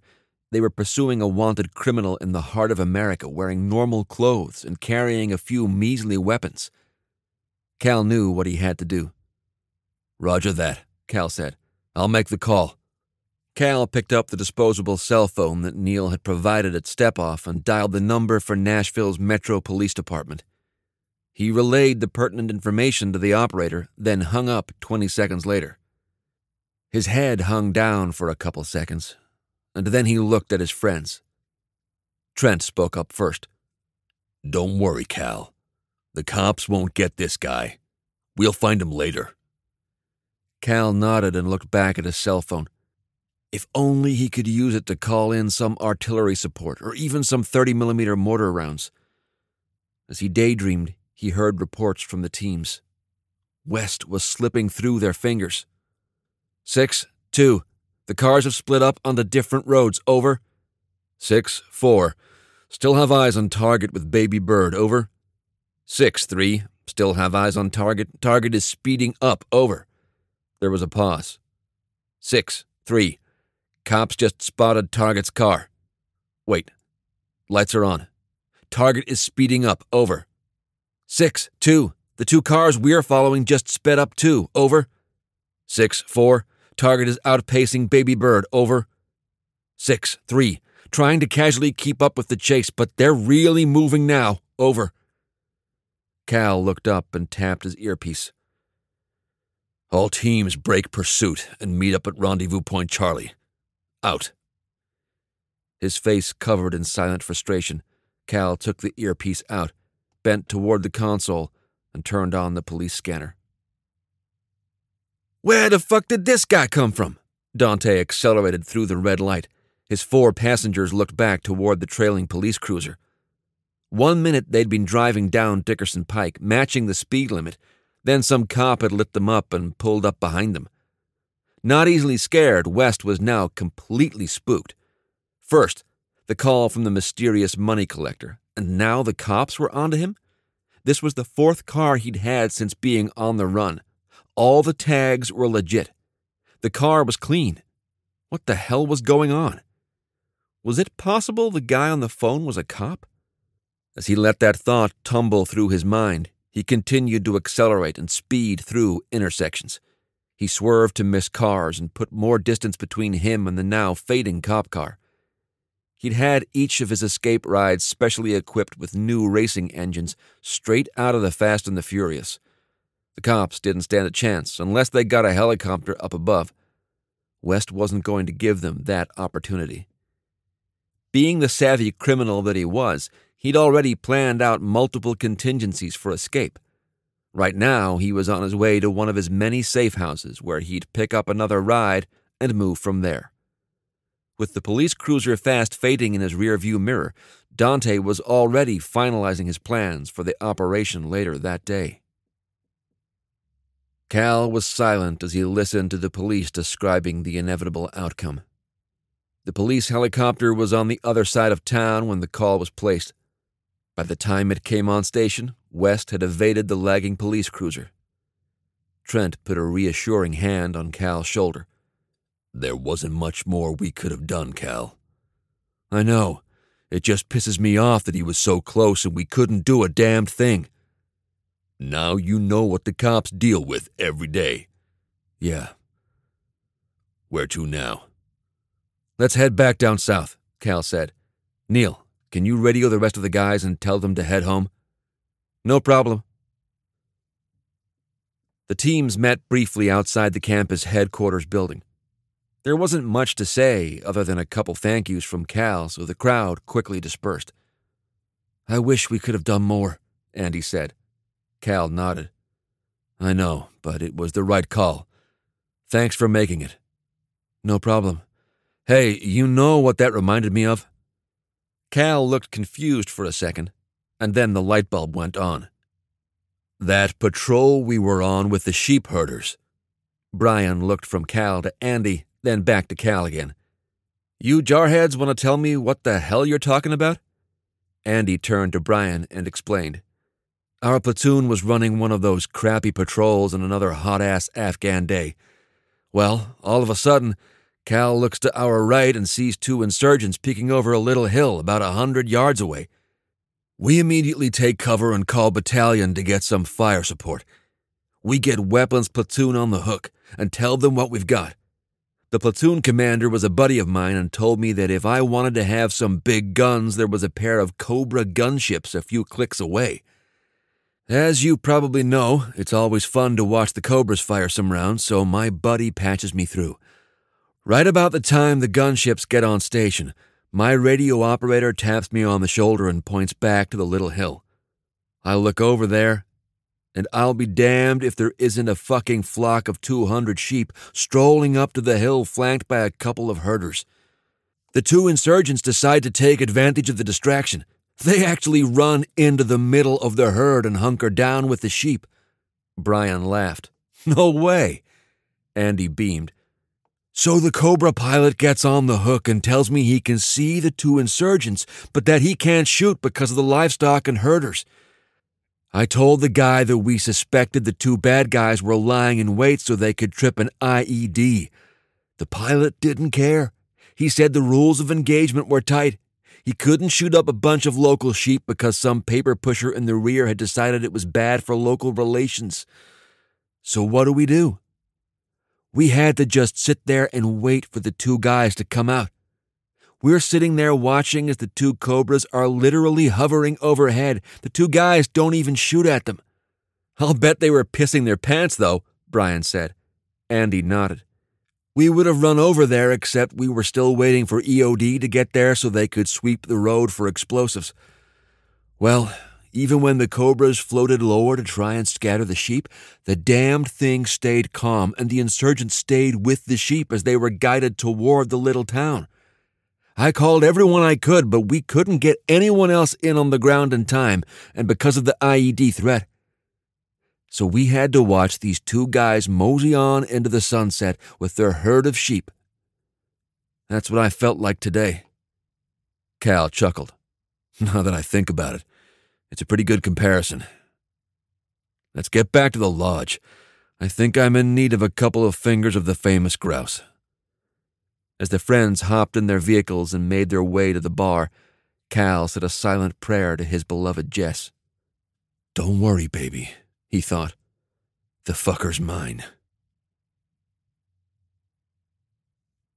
Part 3 NON Safe House, Nashville, Tennessee. Dante, the boys are all set and we have that van you wanted. West stared at the hulking messenger one of the hired guns from New Orleans. He'd especially be glad to have this guy gone soon. West wasn't afraid of much, but being surrounded by a bunch of bouncers with guns, even vouched bouncers, made him antsy. All right, thanks, Dante said. Tell your boys that we'll be taking off as soon as it gets dark. I want everyone on the level. No drinking or drugs. Clear heads for this last thing. We ain't idiots, Dante. We'll be ready to go. West nodded and closed the door to his new bedroom. As he looked around yet another dingy room, he dreamed of the day he could live in luxury once again. Just a few more hours. Just a few more hours. Trent raised his full glass. I'm limiting myself to one of these. My ass is dragging. Cal raised his own in salute. Thanks for all your help today, Top. We wouldn't have even had a chance to catch West if you hadn't tracked him down. Trent drained his glass and looked back at Cal. We'll get the guy, Cal. Let's all get a little shut eye, and we'll hit the streets again tonight. Thanks, Top. Trent nodded, and with surprising grace considering his size, hopped up from the couch and left the bar. Brian motioned to the bartender. Cal had told him the guy was a former Marine sergeant major who'd come on board after losing a leg in the first Gulf War, and soon became one of Cal Sr.'s first hires. The bartender nodded back and walked around the bar with a half full bottle of the famous grouse. He gave everyone in the group a healthy splash, finishing with Cal. Thanks, Sergeant Major. How's the new book coming? Slowly. Took me a while to get my rusty brain running again. Neil set me up with a laptop behind the bar so I can write while I work. Thanks again for that, Neil. Neil waved nonchalantly. Anything for my warriors, Sergeant Major? Andy and Brian looked on, intrigued. Andy spoke up first. What's the book about, Sergeant Major? It's the story about my time in the First Gulf War and how I lost my leg. If I can ask, how did you lose it? Andy asked. I was off doing some long range recon for Cal's dad and ran into a bunch of bad guys. Me and my spotter were able to take out the guys, but not before one lucky son of a bitch lobbed a grenade our way. I'm lucky that I only lost my leg. Hurt something fierce when my spotter dragged me a couple of clicks back to our evac point. So, what made you write the story now? The bartender pointed to Cal. That young man right there. He came back from the sandpit, and after a few libations, he convinced me that someone would want to hear my story. As usual, the sergeant major is being modest, Cal said, leveling the other man with a look. The book isn't just about that one incident. What he failed to mention, of course, was that he got a silver star out of that one because the bad guys in question were on their way to ambush one of Dad's companies. He and his spotter took out almost the entire enemy party of 20 some guys with a sniper rifle and an M203. The rest of the book is going to be about his battle to regain active duty status after losing his leg. His fight to do that will really resonate with wounded guys coming back from war today. Yeah, well, I guess that's where it finally got me. If the book can help even one disabled Marine, how could I say no? Brian slapped Cal on the back. It's good to know that I'm not the only one that doesn't seem to have the ability to say no to our fearless leader here. He takes after his father that way, the bartender said. Never could say no to Colonel Stokes either. They must have some voodoo magic in their blood or something. Cal shook his head and responded to the obvious compliment. No, you've got it all wrong. I've just found that it's a lot easier to convince you guys to do things when you've had a couple of these.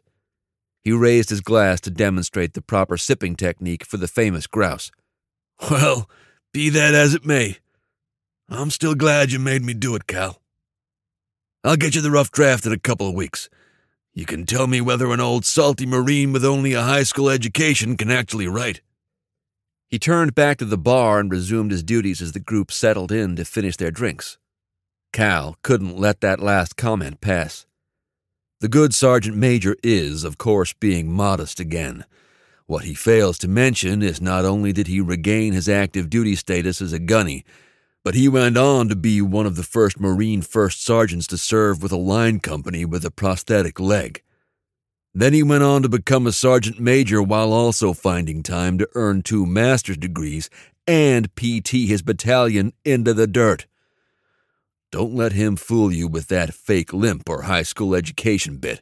He puts on his cheetah prosthesis and he'll give Marathon Andy a run for his money.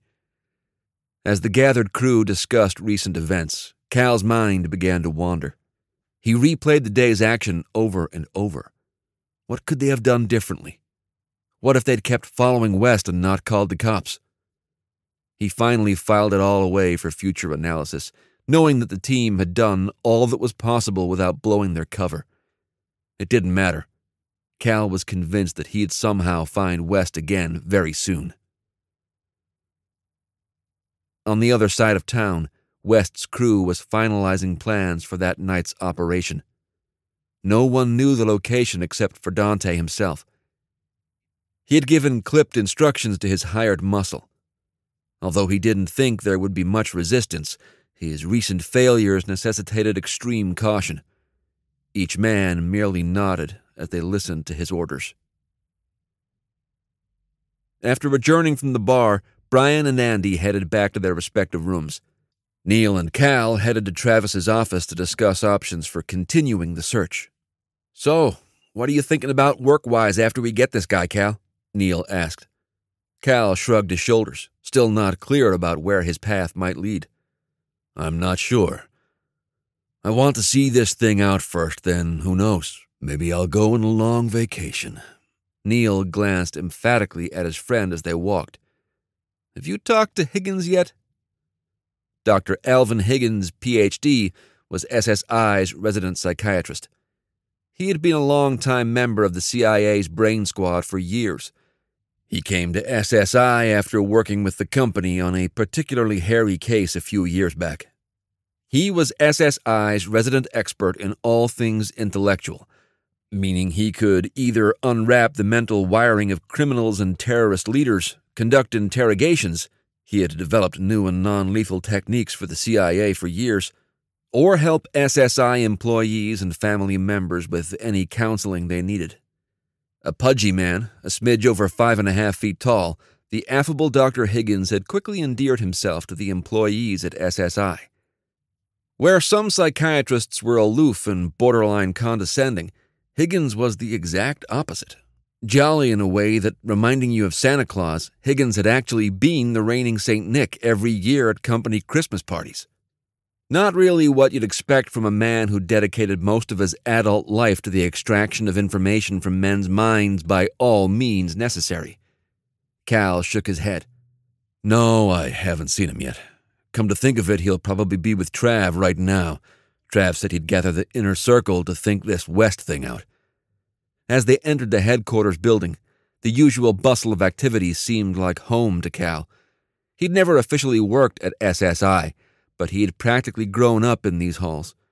At the same time, he always got the feeling that he was in the middle of a battalion headquarters in the field. Electronic maps and target dossiers were displayed on an impressive array of flat screen panels all along each wall. SSI remained on the tip of the technology curve, thanks in no small part to Neil and his team of techie geeks. They headed to Travis's secure office.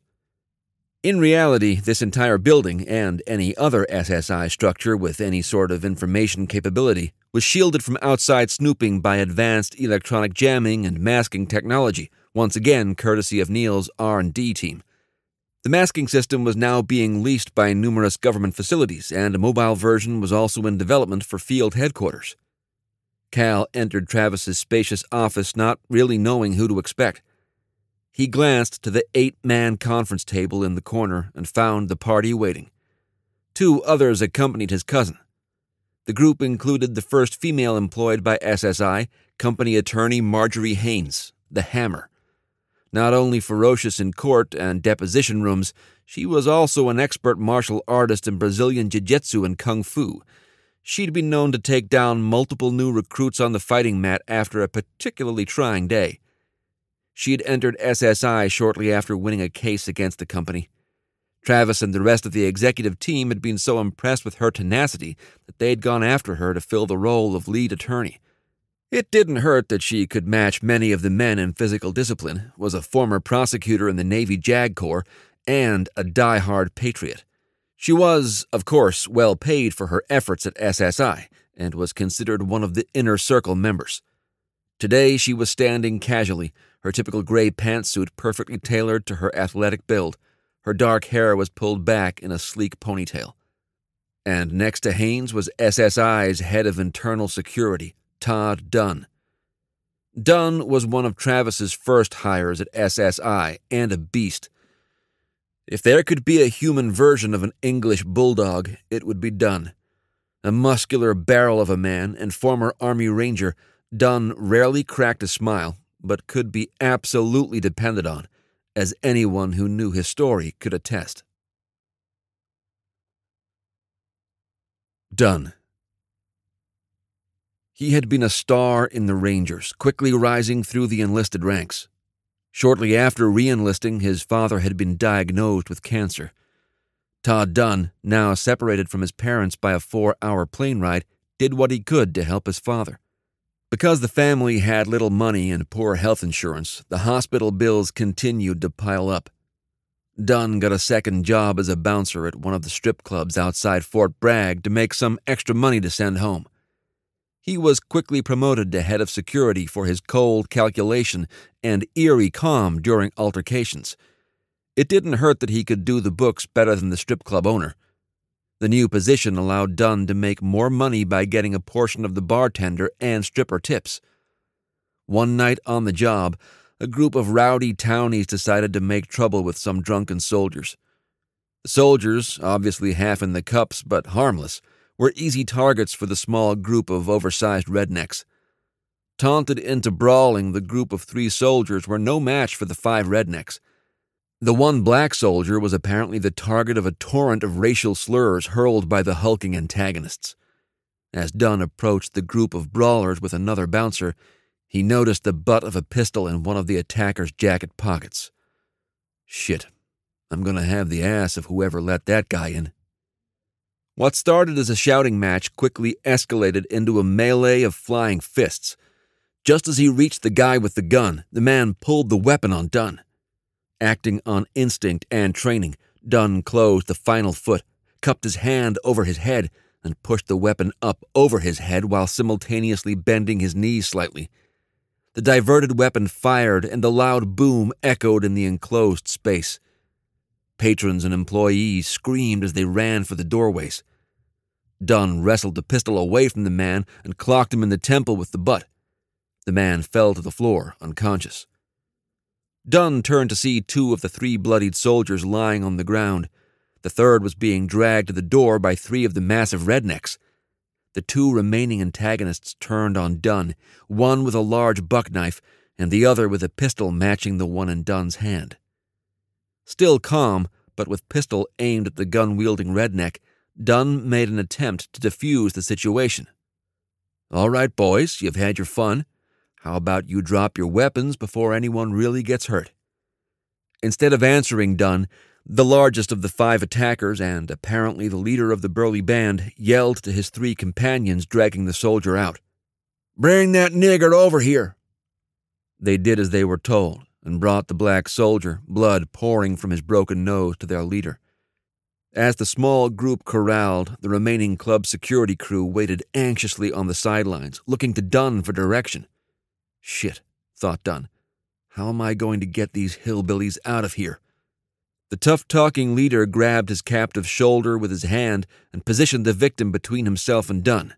Then he put the dazed man in a headlock and pressed the pistol to his left temple. What are you gonna do now, tough guy?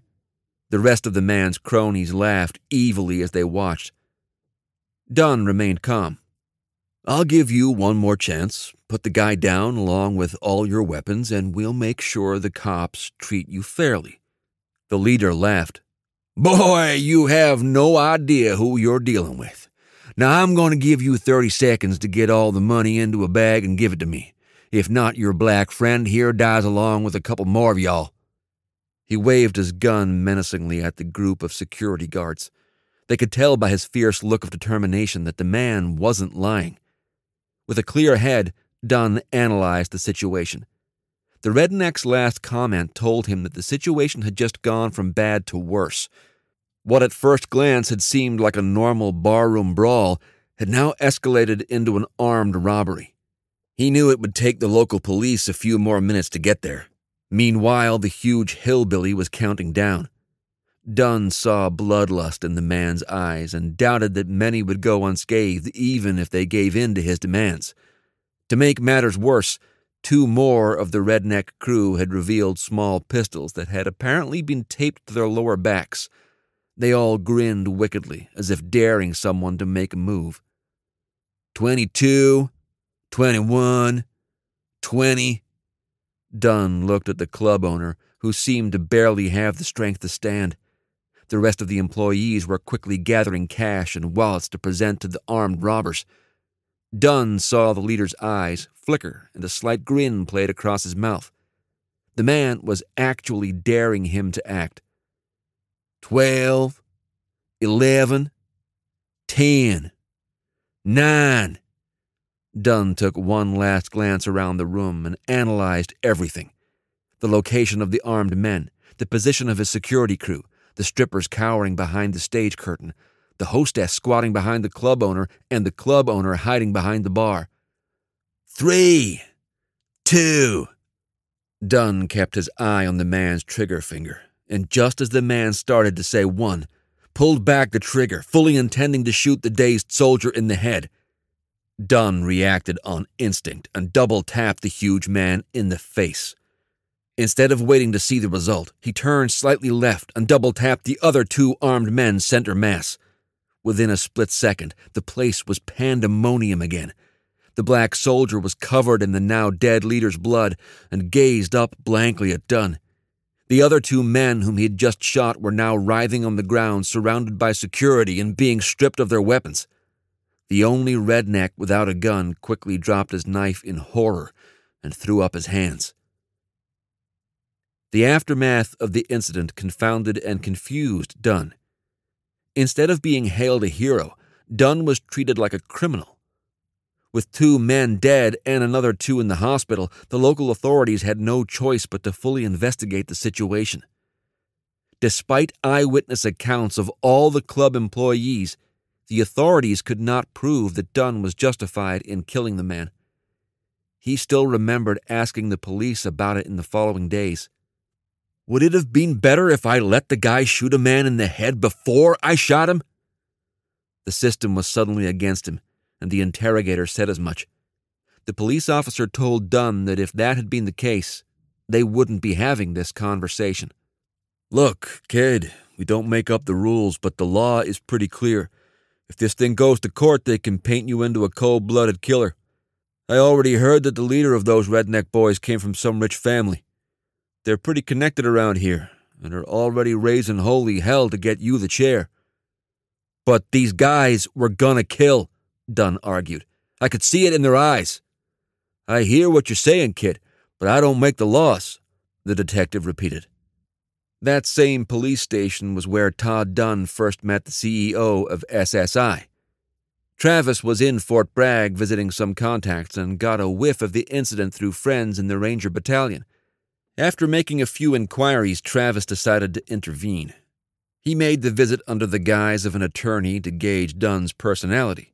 He walked out of the station knowing he had just found a diamond in the rough. Days later, Dunn found himself in a private jet being swept up to some campus in Charlottesville, Virginia. Apparently, this company, SSI, had pulled a few strings, and he'd been honorably discharged, and all charges had been dropped. As he stepped off the plane in Charlottesville, he was met by Travis, now in his casual SSI clothing, outdoor gear, and hiking boots. Travis had apologized for the ruse in the police station and went on to explain what SSI was and find out whether Dunn might be looking for a new job. After coming to the realization that his career in the Army was over, Dunn was quietly overjoyed at the opportunity. One final piece finalized the deal and Dunn's undying loyalty to SSI and Travis Haden. Not only did SSI welcome Dunn into their family, Travis also made sure that Dunn's father's hospital bills were paid off completely and that he received follow up care from the top cancer specialists in the world. Eight years later, the old man was still in remission, and Todd Dunn was enjoying his eighth year as head of security for SSI. Camp Spartan, Arrington, Tennessee. Where do we stand? Cal asked. No blowback from the authorities, Travis said. No one even knew you were there. How about the reporter? Did you get him off my ass? Travis sounded exhausted, but he pushed on. We're still working on that. In fact, it was the hammer that came up with a rabbit trail for him. It's a good one. Haynes glared at Travis for using her nickname. She was a modest woman despite her fiery spirit, and having a nickname like the Hammer didn't help her sense of propriety. Luckily, she and Travis were good friends, and rumored at times to be lovers, and the comments usually rolled off her back. Let's just say I threw the guy a bone through an anonymous source, and he might be pursuing another more lucrative news story, Haynes said. I'm not following you, Marge, Cal said. It's another operation we're running.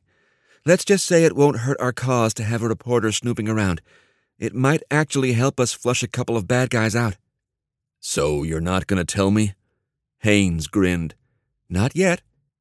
You haven't been officially sworn in or given us your blood brother handshake. Cal shook his head. He always felt one step behind dealing with the hammer. Travis held up his hands. All right, all right. Let's leave little Cal alone. Todd, any inkling about where this West guy ran off to? Nope. Once the cops lost him, he did a pretty good job digging another hole to hide in. I'm thinking he's probably got safe houses all over town. So you're saying we've got nothing? Sorry, boss. Travis sighed. Okay, so what's our next move? Any ideas, Cal? Cal thought it over for a moment. He didn't really have anything concrete. Maybe thinking out loud would help. This last lead was all because of Top, Trent. I guess we could send him out again and get him digging. Do we have any other guys that fit into that part of town? We do, Travis said. But from what you're telling me about this guy, I don't think he'll make the same mistake twice. What do you think, Todd? I agree. I'll bet he made some quick calls to his network and told them to be on the lookout and armor up. I think if we send Willy and some more men up there, they might be easy targets. What about your link to his cell phone, Neil? Haynes asked. Looks like he dumped it. He knew that's how we got a lock on him. That's a dead end now. Just then the door opened and Dr. Higgins waddled into the room. Dr. Higgins spoke so formally he almost sounded British. Sorry I'm late, everyone. I wanted to make sure the file was ready to scan. Ah, hello there, Calvin. Hey, Doc. What file you talking about? Higgins pointed a pudgy finger at Travis. Ever since your attack, our fearless leader over there has had me building a dossier on Mr. Dante West. Mr. Patel, will you pull up the file on this computer? No problem. Neil walked over to the 52 inch touchscreen panel on the office wall and started tapping and scrolling. Is it in the usual place? It is. My friends, what Neil is about to pull up is not only all the police records we could find, but also my analysis of the man's mental abilities and motivations, along with some video surveillance Neil uncovered. Video surveillance? Cal asked. Higgins nodded. Our resident wonder boy, Neil, was able to hack into some kind of database down in New Orleans. We found a thoroughly entertaining video of Mr. West robbing a local bank. Travis huffed impatiently. What are we supposed to get from that? I don't know what you'll get from it, Higgins said, but I was able to determine a lot about our adversary. I won't spoil it for you. Travis rolled his eyes and looked back to the screen. Neil pulled up the main file. The first image showed a worn file folder with an old photo of West. He looked to be in his teens. Higgins cleared his throat before diving into the report. this, ladies and gentlemen, was Mr. West at age 14. It was his first formal arrest. From what we could gather, he was implicated in numerous other crimes since the age of 10, but had never been caught or arrested. This tells me that Dante West is no fool. Even at a young age, the man was smart and cunning. Apparently, the only reason he was arrested in this instance was because one of his accomplices identified West as being the ringleader. As you'll see on the next page, the boy that snitched was later found brutally beaten in the juvenile detention facility. The informer ended up being paralyzed from the neck down as a result. It was assumed naturally that West was the culprit. Once again, the assault charge wouldn't stick to West.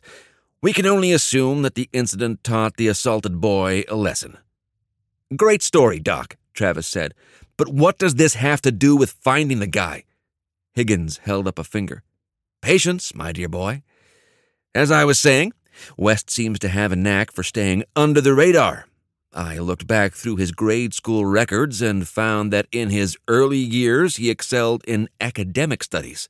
One report even suggested he had an extremely high IQ, although his school did not have the means to test for it at the time. Haynes sat up a little straighter. So, what changed? Dante's father was killed when the boy was nine. It looks like his mother turned to drugs and prostitution shortly after. The state soon took Dante out of the home and placed him in a foster facility. It was apparently in that facility that he had his first taste of gang life. The reports from the foster home staff read like a novel. Good kid gone bad. They all talk about how smart he was, a natural leader. He used his authority with the kids to set up his own little gang. They started by stealing food from the kitchen at night and soon escalated to armed robbery. At the age of 11, he ran away from the facility and never came back. Higgins took out a handkerchief and wiped his forehead before continuing.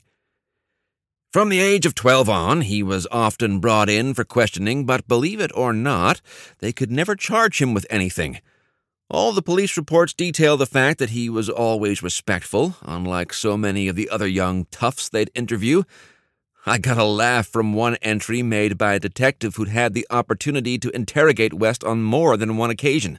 This detective actually recommended that the department stop bringing West in for questioning because the young man was, and I quote, a squared away young man with communication skills far beyond the usual perps.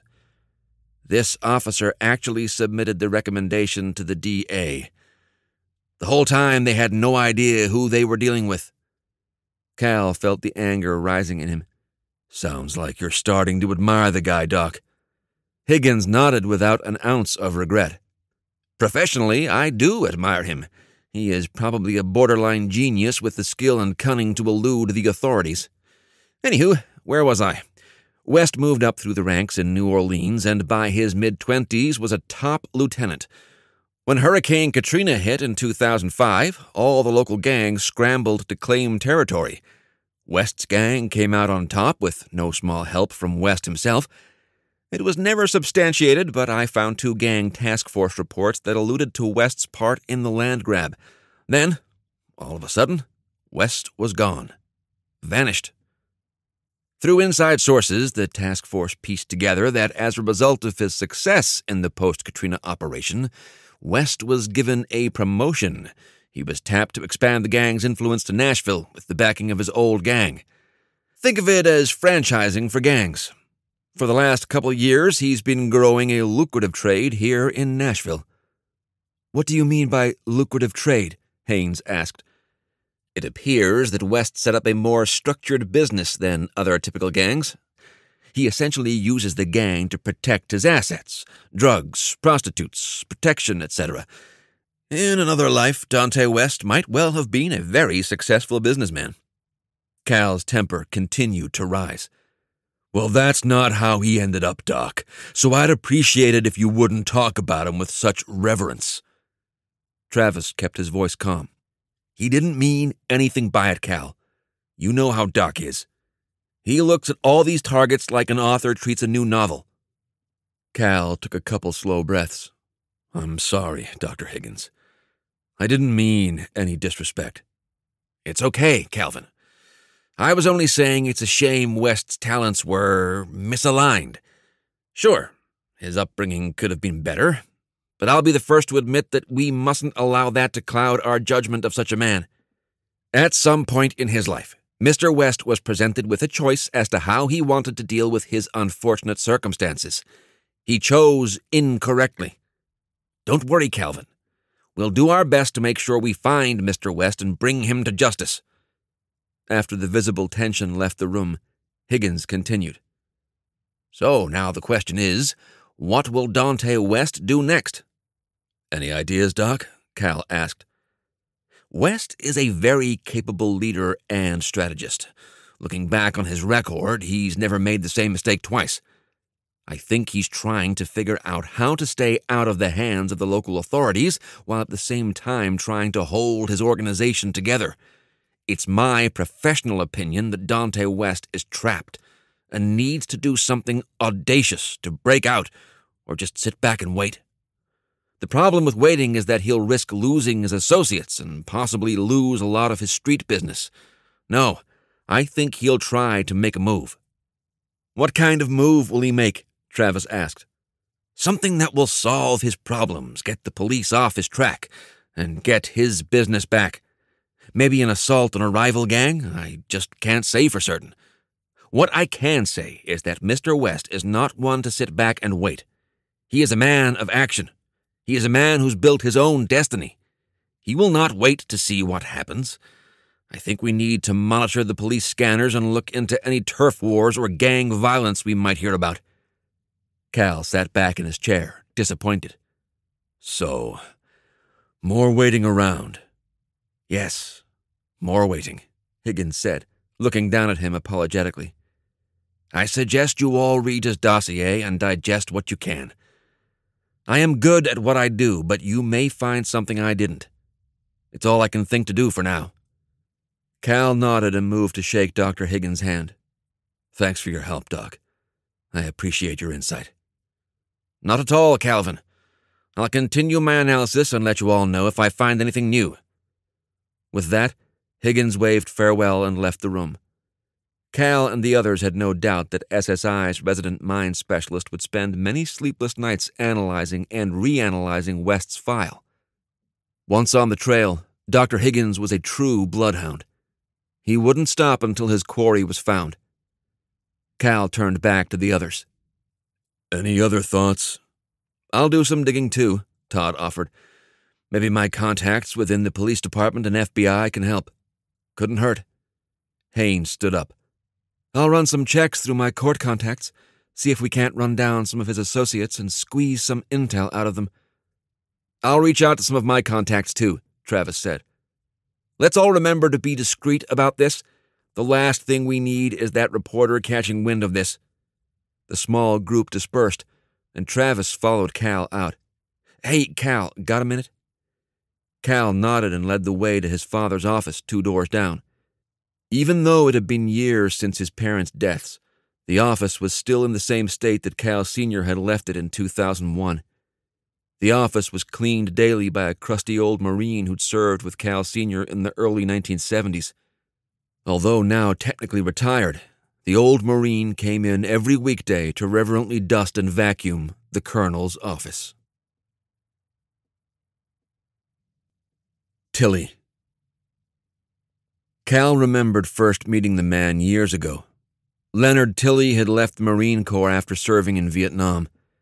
He had been a machine gunner in then Captain Stokes's company. Back in those days, the military wasn't given the same place of honor as in the post 9 11 days. The proud Marine returned home to find protesters spitting at him and calling him names. Worst of all, upon returning to his family, he found that his twin sister, the two had been inseparable from birth, now dressed in hippie garb and spewing the same propaganda he'd heard debarking the airplane ride home. Even after repeated attempts to make peace with his sister, he finally gave up. Unable to settle in or even find a job, he learned to cope through drugs and alcohol. Instead of dealing with the pain and emotional grief, he internalized his pain and went into a quick downward spiral. Within a year, poor man was living on the streets, begging for money so he could buy a hit or swig. Leonard Tilly spent the rest of the 1970s and 1980s bouncing from shelter to shelter and bottle to bottle. In the mid 90s, Tilly had somehow wandered to the Nashville area. By that time, the Stokes family was back in Nashville, and Cal Sr. was reestablishing his roots and expanding his business. One weekend, as father and son were volunteering at a local shelter handing out food, Cal Sr. spied Tilly in the line.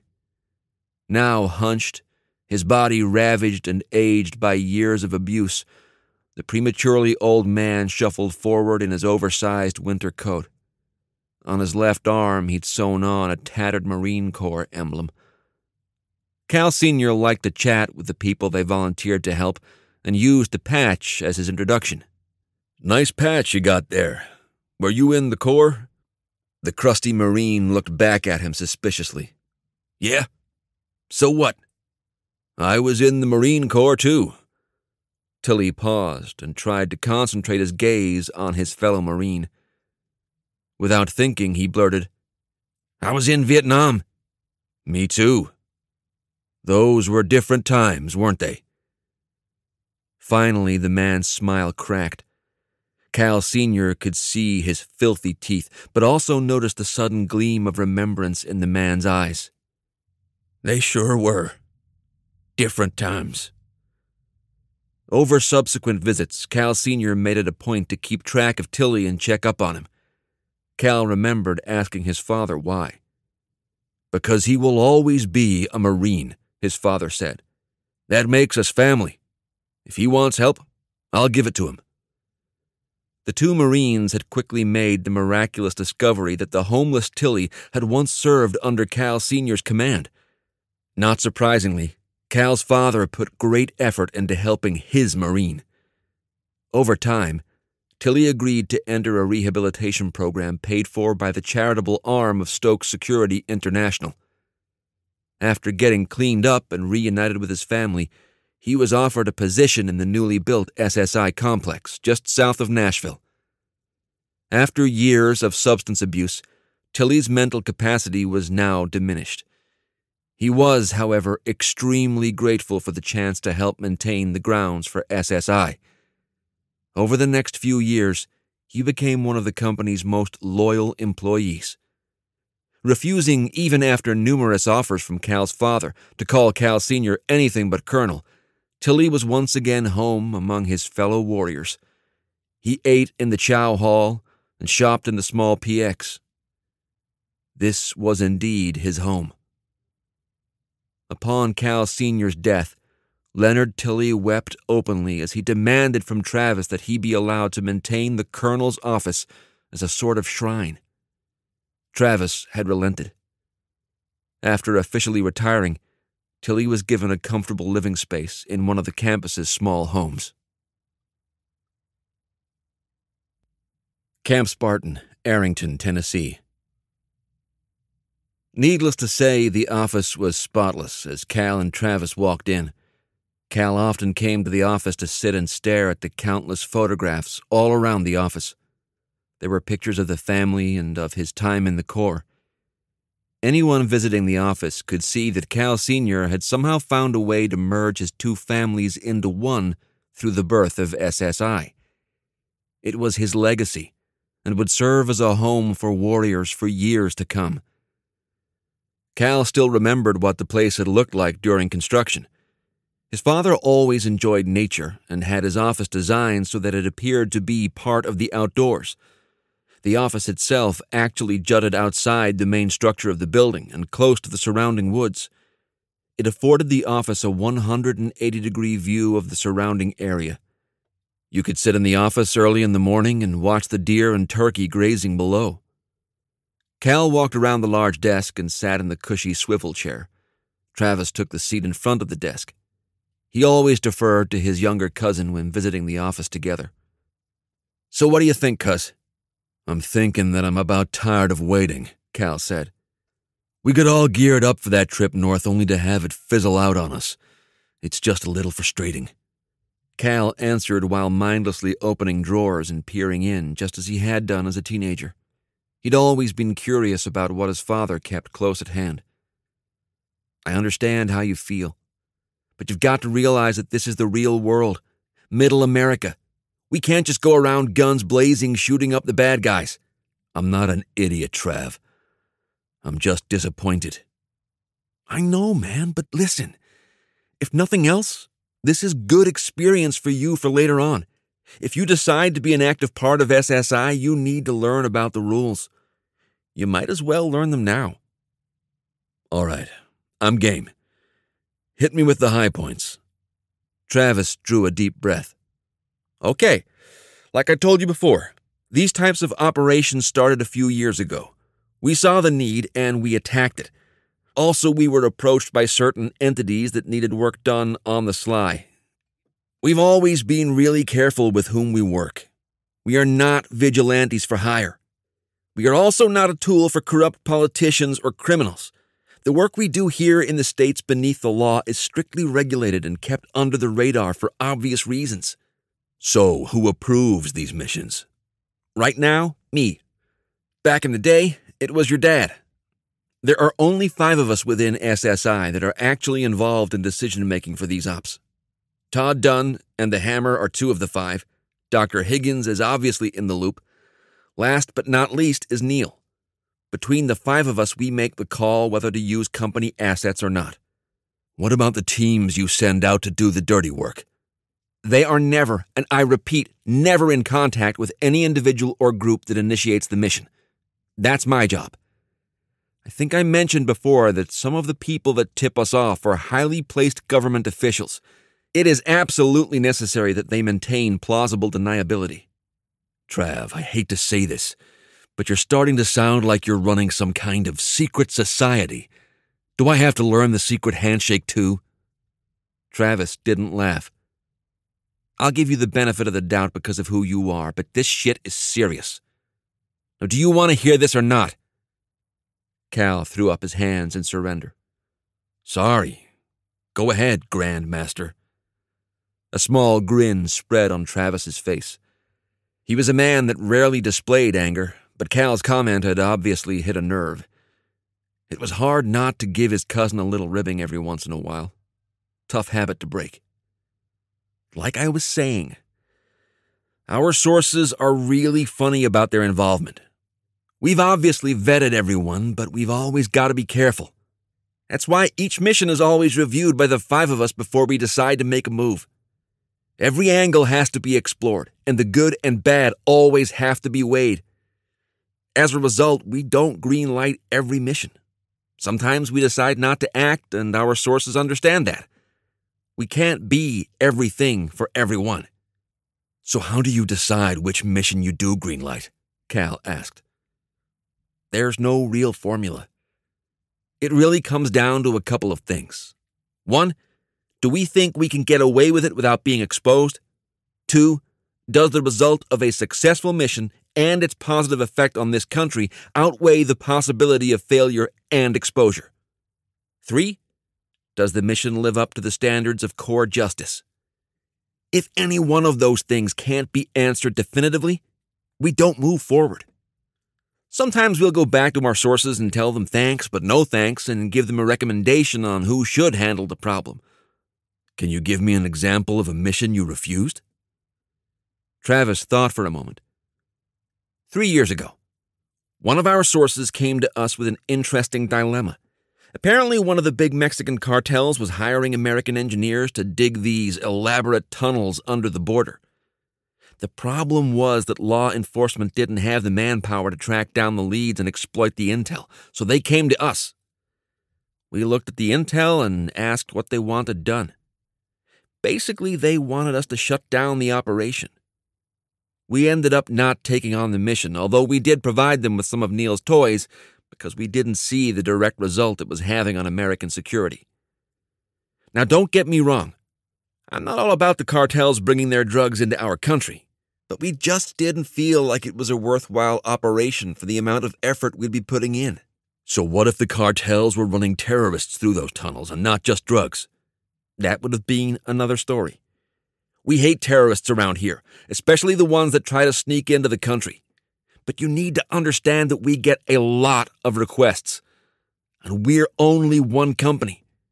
As much as it sucks sometimes, we can't say yes to everyone. I think I've got a better picture now. Cal looked his cousin in the eye. So tell me how you think I'd fit into the equation. Honestly, I just don't have the time to run it anymore. It's not that we run a lot of ops, it's just dealing with our sources and going through the thought process. As CEO, it's probably best that I don't run it anyway. Too much visibility. I'll still be involved, but I think you've got the brains and experience to run it. Trav, I'm a Marine Staff Sergeant. You're talking about running a covert arm of this company. I'm not sure I'm really qualified to do that. You'll have help. Dunn, Haynes, Patel, and Higgins to start. And don't forget that I'm not going anywhere either. Don't worry, we're not just gonna throw you to the wolves on day one. We'll ease you into it. Cal was skeptical. That sounds like what my company gunny said before I took over as platoon sergeant. This ain't the Marine Corps, cuz. SSI is a well oiled machine. Besides, not to pump up your ego too much, but you've got a lot of your dad's talents. The guys around here already respect you and think you're part of the team. Anyone gives you grief, I'll deal with them. Plus, is there anyone else in this world that we could trust more to run our covert ops? I think not. Cal mulled it over. Is this really what he wanted to do? He'd always respected his father's company and the men in it, but running what was essentially a division within a multi billion dollar corporation at his age was almost too much to fathom. The sun had already set as he thought about what else to ask his cousin. Cal obviously didn't need the money. He had considered going back to school, maybe heading back to UVA to finally finish his degree. He couldn't go back in the Marine Corps. It was still entrenched in two wars, and he'd already gotten funny looks from those who knew about the Navy Cross. He loved the Corps, but that chapter was finished. He couldn't go back. Besides, this might give him the opportunity to actually do some good without being bogged down by rules of engagement or meddling by higher headquarters. He could think of a lot worse options out there. So, you're saying that at some point, I'd have final say in any operation we take on? Cal asked. Yep. Do we have a name for this quote unquote division? Not really. I call our inner circle the Fantastic Five, but no one thinks that's very funny. I guess if you want to name it, you can. I wouldn't recommend going out and getting business cards, though. Cal nodded. The idea was starting to grow on him. NON Safe House, Nashville, Tennessee. Dante looked around at his underlings. All were armed and ready. They'd taken the remainder of the afternoon to inventory their gear and finalize plans. Any questions? The gathered men shook their heads. They knew the plan. It wasn't a complicated one. All right, let's get going. West led the way to the back of the house and out the door. Their vehicles were waiting and fully gassed. They'd all been serviced earlier in the week per West's instructions. He was not about to let a low oil light or a faulty transmission screw up this night's action. The assault crew piled into their respective vehicles and cautiously pulled out of the driveway. After the episode with the police earlier, everyone was on edge. The caravan made its way out of town and onto the interstate. It would be a short 20 minute ride to their destination. West was almost giddy with anticipation. He calmed his nerves, as he always did, by imagining a mental picture of a dead Cal Stokes. Cal and Travis talked until the sun had fully set. There were still a lot of details to be ironed out once the former Marine had made his final decision, but Travis was confident that Cal would come around. So, like I said, Cal, sleep on it, and we'll talk about it again over the next couple of days. Right now, your focus needs to be on trekking down west. Okay. Give me a day and I'll give you a decision one way or another. How about we. Cal felt the cell phone vibrate in his pocket. He pulled it out and checked the caller ID. I better take this. It's Frank. You want to wait or see you tomorrow? I'll catch you in the morning, Travis said. Give Frank my best. Travis got up out of his chair and turned to leave. Cal picked up the call. Hey, Frank. There was a pause on the other end. Frank can't come to the phone right now. If you'd like to leave a message, please wait until the sound of the gunshot. Cal's blood froze. He knew the voice well. He had heard it over and over in his brain since waking up in the hospital. Dr. Higgins had it right. Dante West had made his play. Travis turned to wave goodbye and apparently noticed the pale expression on his cousin's face. He quickly walked back into the room and shut the door. What happened? he whispered. Cal grabbed a piece of paper and pen from the desk and scribbled, It's West.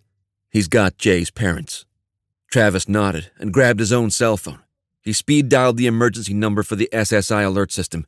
Within minutes, the entire internal management team would be assembled in the war room and the quick reaction force would be mobilized. Cal turned his attention back to the call. What do you want? I guess I don't formally need to introduce myself. By the tone of your voice, it sounds like you already figured that one out. What have you done with Jess's parents? Oh, nothing yet. Just a couple bruises.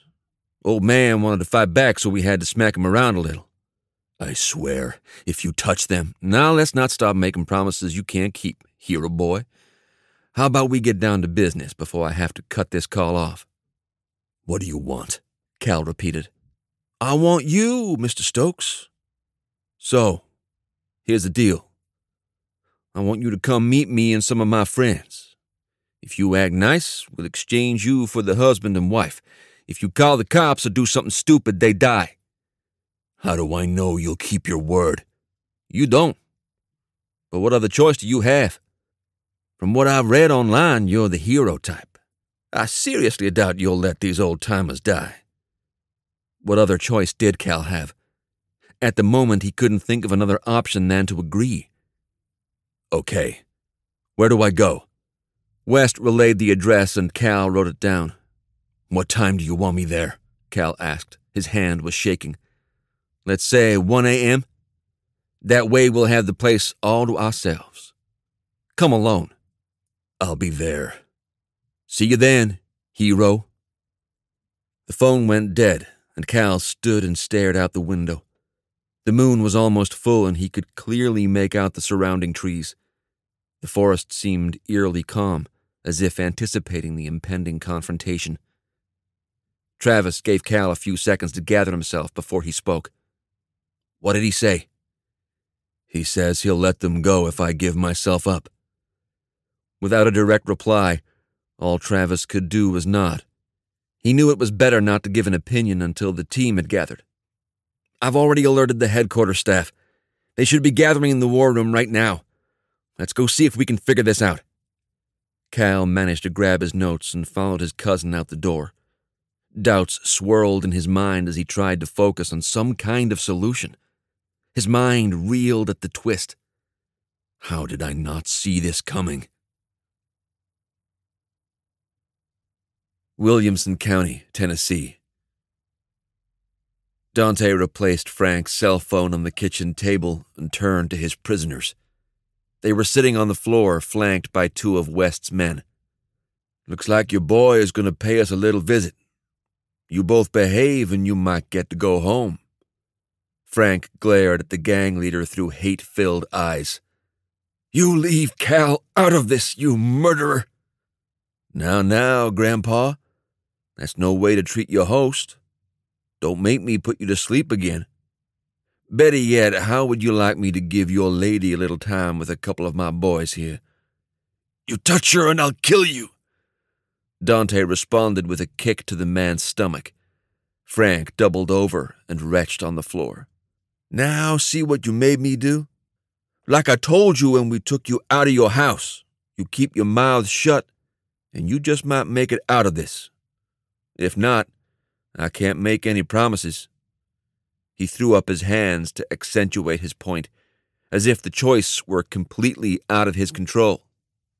Frank looked up again and put his arm around his quietly sobbing wife. Dante rubbed his hands together. Now we've only got a few short hours to wait. My boys will take you back to the master bedroom, tie you up so you can get some sleep. I'll come get you when the time comes. West waved a casual dismissal, and the two guards pulled the prisoners to their feet and took them to the back of the house. Dante turned back to the window and repeated the phone conversation over in his head. He'd always had the ability to find the calm within the storm. His analytical brain outshone any of his competitors. Many had underestimated his talents. His was a gifted mind that catapulted him up through the ranks. That, coupled with his ruthless tactics, would see him rise once again. My redemption nears. Camp Spartan, Arrington, Tennessee. The SSI Inner Circle gathered in the secure conference room down the hall from where Cal and Travis had just been. Each member walked in quietly and waited for the information. This was not their first emergency session. Travis took a seat at the head of the table, and the rest arrayed themselves close by. Cal stayed standing as he continued to pace the length of the room. Cal, Travis said gently, why don't you give everyone a quick rundown of the conversation you had with West? Cal did in a tone that suggested his mind was already searching for possibilities. Okay, Travis said, looking around the room. We've got about four hours until Cal needs to be there. The good news is that as smart as West is, he has no clue that Cal's got SSI assets behind him. Anyone have any questions or comments? Todd spoke first. I think we need a few teams to infiltrate into the area right now. We can take them in low with two helos we have on site and drop them in about a mile away. Hell, there's so much farmland out there the launch will be easy. After landing the teams, the helos can take up station and give us some video using their infrared cameras. We should be able to get a damn good idea of who's with them and the layout of the place. Travis nodded. Okay, get it done. Dunn grabbed his phone, slipped to the corner, and made the call in clipped, whispered commands. What else? Travis asked. Neil was next. I'll make sure all the teams have multiple drones at their disposal They'll each be rigged with non lethal darts. Might help take out some of West's friends. Travis nodded and pointed to Dunn. Go talk to Todd and make sure those guys don't leave without getting as many of your toys as possible. I mean it, Neil. Anything they need. Got it. Neil got out of his seat and headed over to chat with Dunn. Who's next? I know I'm asking the obvious, Higgins said. But have any of you cowboys thought about how young Calvin is going to get out alive? I'm not worried about that, Doc. I understand. You will, however, be going in unarmed into the lion's den, as they say. Dr. Higgins is right, Cal, Travis said. It won't do anyone any good if West gets his hands on you. Cal's voice was steel. I don't care about me right now. I need to get them out of there. If that means I go in alone, then I'll go in alone. I know you're upset, cuz, but you need to take a step back on this one. If you don't, you'll be playing right into his hand. Neil stepped back into his spot and snapped his fingers. Damn it! What? Travis asked. I can't believe I didn't think of this before. I've got a couple of things that might be able to help Cal out.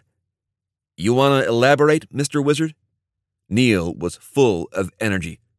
Let me run down to the Bat Cave and grab a few more toys. It'll be easier to show you than to explain. I'll meet you guys outside. He ran out of the room with an excited, almost childlike grin on his face. Travis shook his head. I don't know, sometimes with him. Okay, so who else has a brilliant idea? Marge, you got anything? Haynes thought for a second before she answered. Clearly, you guys have the operational stuff taken care of. I'm just trying to think of the aftermath.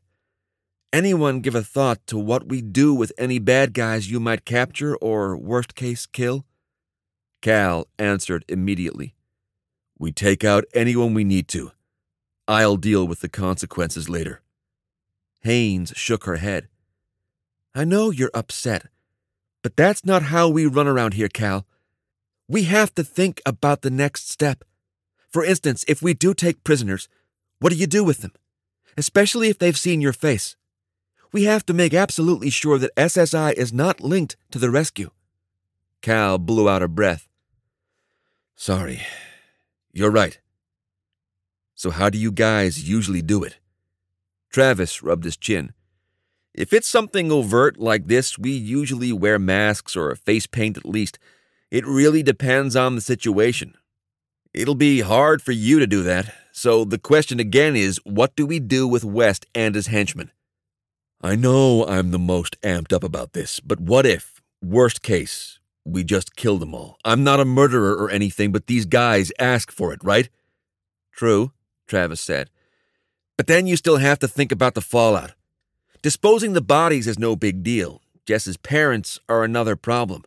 We can't have them blabbing about this team of guys dressed in black coming to save the day. I thought Frank and Dad were good friends. Doesn't he know some of what we do? Sure, but not at this level. I guess we just have to be careful about how much we expose them to. I agree, Haynes said. The less they know, the better. If it ever comes to sitting on the witness stand, I want them to have plausible deniability.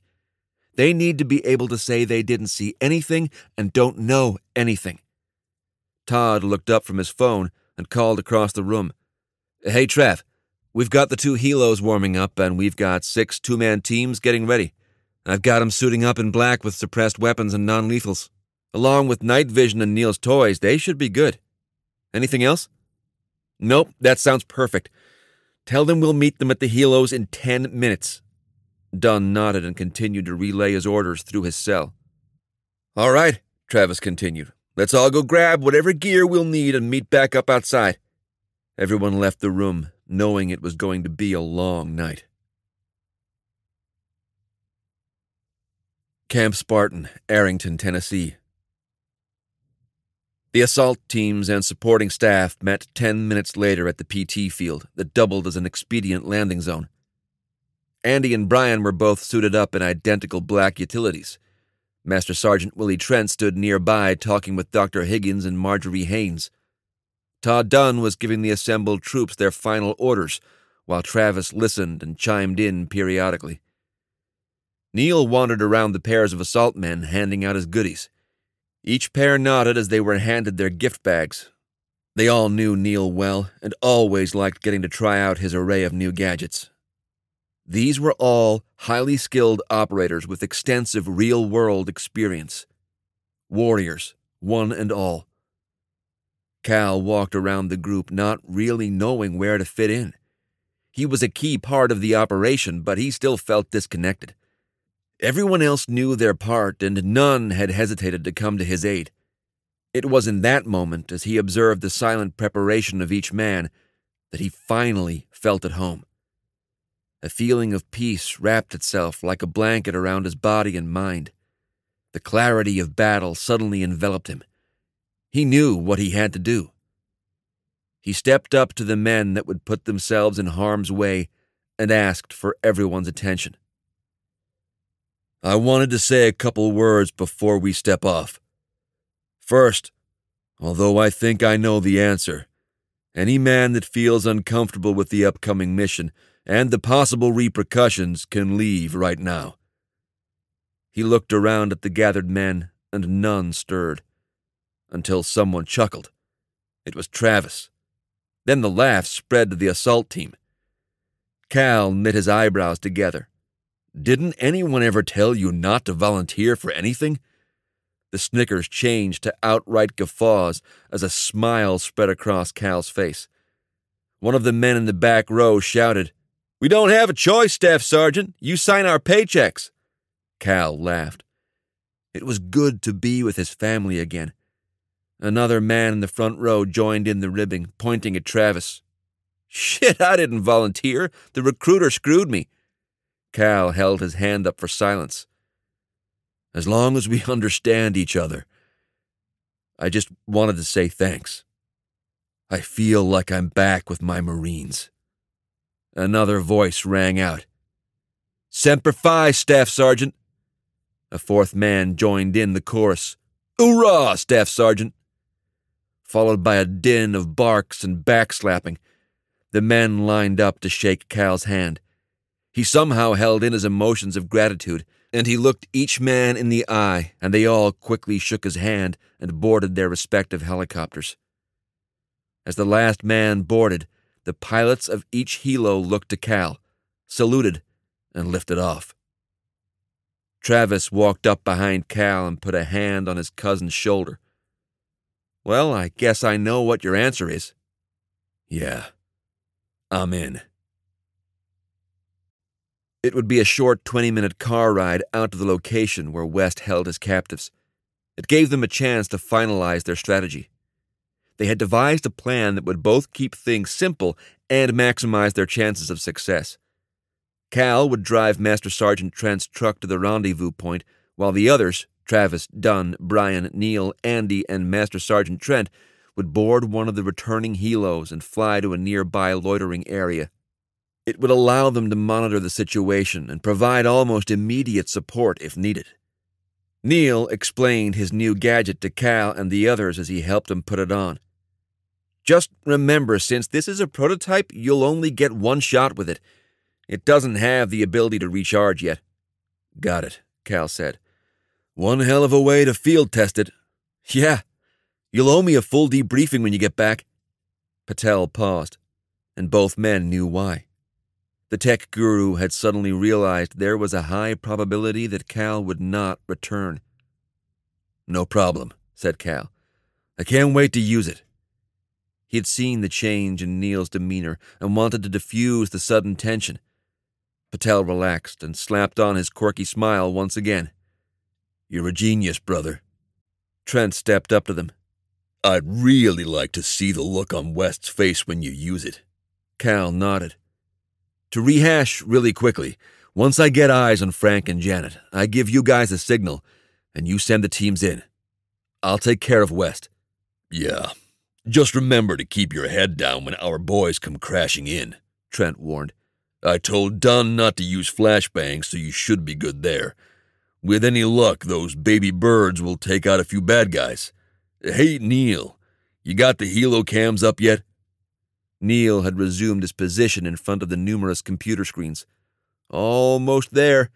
They just called in to say the insertions were successful. Can you patch that through your speakers? Cal asked. Just a sec. Neil played out a few keystrokes. Got it. The small group looked over Neil's shoulder to see the live stream from the two helicopters.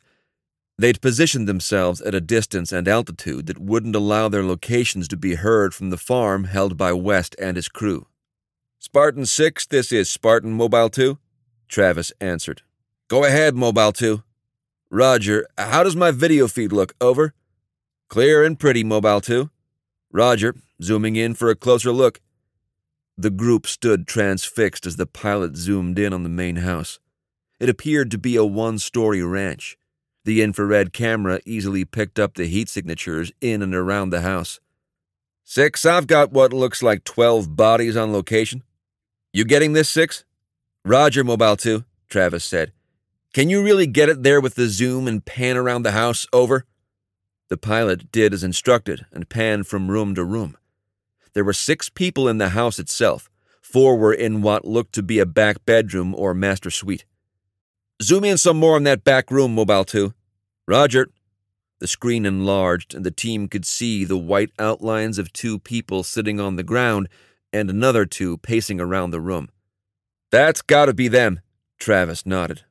Mobile 2, can you give us a better look at the perimeter? Roger. The video slowly zoomed out and panned around the property. Six, I've got what looks like four teams of two patrolling the perimeter. Over. Silence reigned as the team continued to follow the moving video. Each man was analyzing the battlefield in a different light. They could already make out the patrol patterns. Are we patching this to the assault teams? Travis asked. Neil nodded. I gave them some tablets that have the video streaming live. Each two man team has one. Good. I want to make sure we're all seeing the same things. They continued to watch the live feed, knowing that the landscape they now observed would soon be underfoot. The fourth patrol had just checked in. Nothing but a bunch of deer and turkey. His boys weren't used to farm landscape, but none had complained. They knew better than to gripe now. West walked to the master bedroom and addressed the captive couple. You have about another hour until your hero gets here. Don't go thinking you're going to try anything. Both of my boys here have orders to shoot you if you run. Don't worry, though. I told them only to shoot you in the legs. It'll hurt like hell, but it's better than being dead. The bound pair said nothing for fear of more beatings. They'd already silently agreed to wait until Cal showed up. They believed in Cal's abilities, and, more importantly, Frank secretly hoped SSI would be involved. You ready, Cal? Trent asked. Yeah. Thanks again for loaning me your truck. Trent grinned. No problem. I know if anything happens to it, you'll buy me something better. You bet. Travis came over to join them. He had the look of brotherly worry already etched on his face. Are you ready? Geez, how many dads do I have around here? I'm fine, Trav. Travis shrugged, but he didn't look sorry. Had to ask. I know. Anything else you need? How about you have a nice glass of the famous grouse waiting for me when we get done? You got it. But really, Cal, are you sure you're ready for this? You did just get shot like two weeks ago. I'm still a little sore and weak, but I'm not planning on doing any of the heavy lifting. I'll let the assault teams take on the bad guys. Good. Like we talked about, keep your head down and our boys will take care of the rest. Travis patted him on the back. Cal nodded and jumped in the truck. He had to adjust the front seat to accommodate his smaller frame. Starting the engine, he looked back at his friends gathered next to the truck. All right, boys. I'll see you on the other side. He closed the door and didn't look back. Pressing on the gas, he wondered if this would be the last time he'd see them. Dante played the scenario out in his head. He knew that the Stokes kid would probably try something. Hell, he'd try some little trick too if he was in the same boat. It didn't matter, though. The plan he had concocted couldn't even be foiled by an FBI raid. Revenge was fast approaching. Williamson County, Tennessee. Cal pulled into the dirt driveway that led to the appointed rendezvous point. He knew the assault teams were simultaneously tracking their targets and getting ready. Taking a deep breath, he drove the oversized truck up the lane.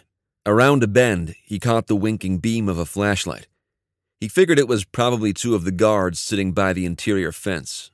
Sure enough, as he pulled up, he saw two thugs armed with rifles flagging him down. He slowed and approached the gate. The guard's voice was hard. Get out of the truck. Okay. Cal complied and slowly opened the truck door. He came out with his hands raised. You have anything on you? The guard asked. Just my cell phone. The guard shouldered his weapon and expertly frisked Cal. He took out the cell phone and gave the other guard a thumbs up. Then he turned back to Cal. Get in the truck. We'll be in the back with our guns pointed at your head, so don't try anything stupid. I wouldn't think of it. The three men climbed into the truck, and one guard directed Cal to drive up to the house. Cal did as instructed, and they made it to the modest structure without further interference. The other guy in the cab ordered Cal out of the truck. For the second time that night, Cal carefully stepped out of the cab. He looked up to the porch and saw another thug standing in front of the door. He motioned for Cal to come closer. Once again, Cal was subjected to a thorough frisking. These guys weren't messing around. The first guard handed Cal's cell phone to the house guard and walked back to the truck. A third guard pointed at the house. Go in through the door right there. Dante's waiting for you. Cal nodded and headed to the door, trailed by the third guard. He opened it and stepped inside. The guard motioned to the right. Cal walked towards what he knew was the kitchen. As he moved, he imagined the assault teams quietly moving into their final positions, drawing beads on West's patrols. He walked into the kitchen and tensed as he saw the familiar face of Dante West. Welcome to my humble abode. Where are Jess's parents? Right down to business, huh? He yelled to whomever was in the other room.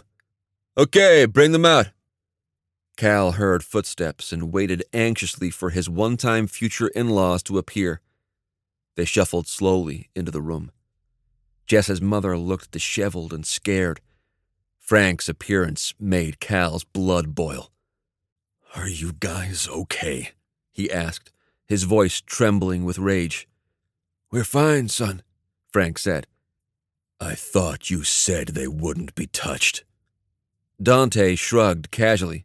It's not my fault the old guy wanted to put up a fight. You're going to regret touching them. I don't think you're in a position to do much threatening, white boy.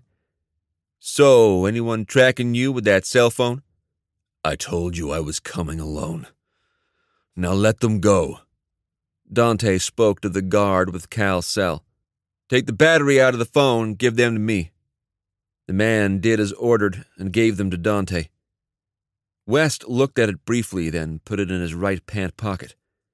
West pointed to his two prisoners and spoke to his men. Take these two out back and get rid of them. I'll take care of the hero. Cal screamed, You motherfucker! Cal lunged at Dante. The man sidestepped and watched Cal drop to the floor. It's time for you to take a nap, white boy. West pulled out his pistol and slammed Cal in the back of the head. The last thing Cal remembered before blacking out was a foggy image of a screaming couple being dragged out of the house. Oh shit, Neil said. Travis leaned over his shoulder. What?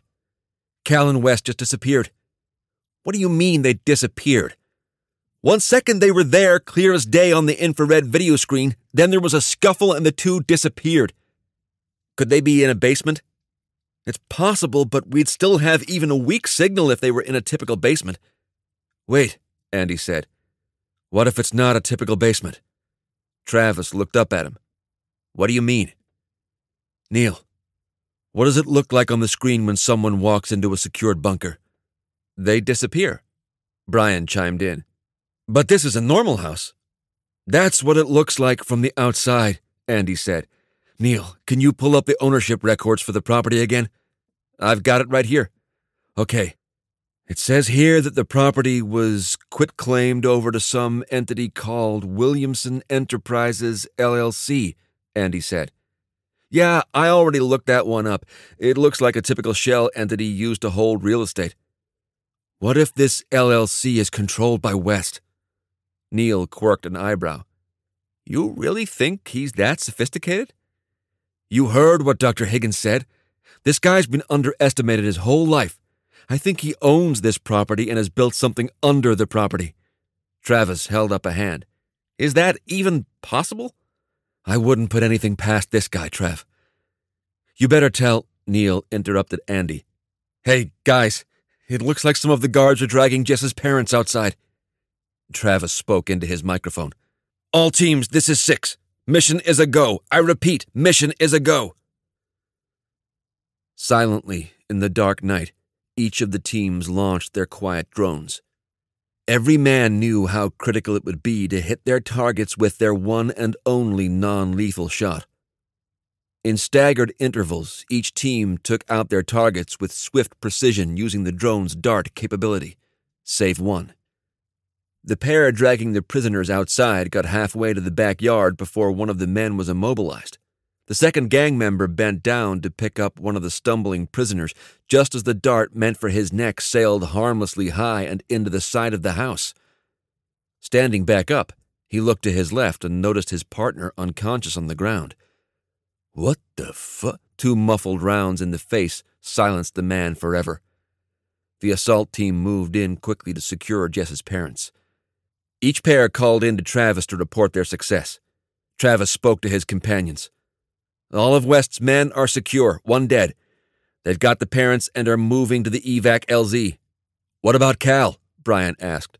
Travis shook his head. There's no sign of him. The house is empty. NON Underground Facility, Williamson County, Tennessee. Cal awoke to find himself strapped to a two wheeled dolly by a set of orange vehicle tie downs. He was being carted down what looked like a narrow tunnel with intermittent lighting. It was cold, musty, and damp as he tried to get his bearings. Suddenly, the dolly stopped and West stepped around to face Cal. You awake? Where are we? where nobody will find us. Underground? Not as dumb as you look, white boy. Where are you taking me? I guess I can tell you now. Once my boys take care of your girl's parents, they're going to join us down here. Then the fun starts.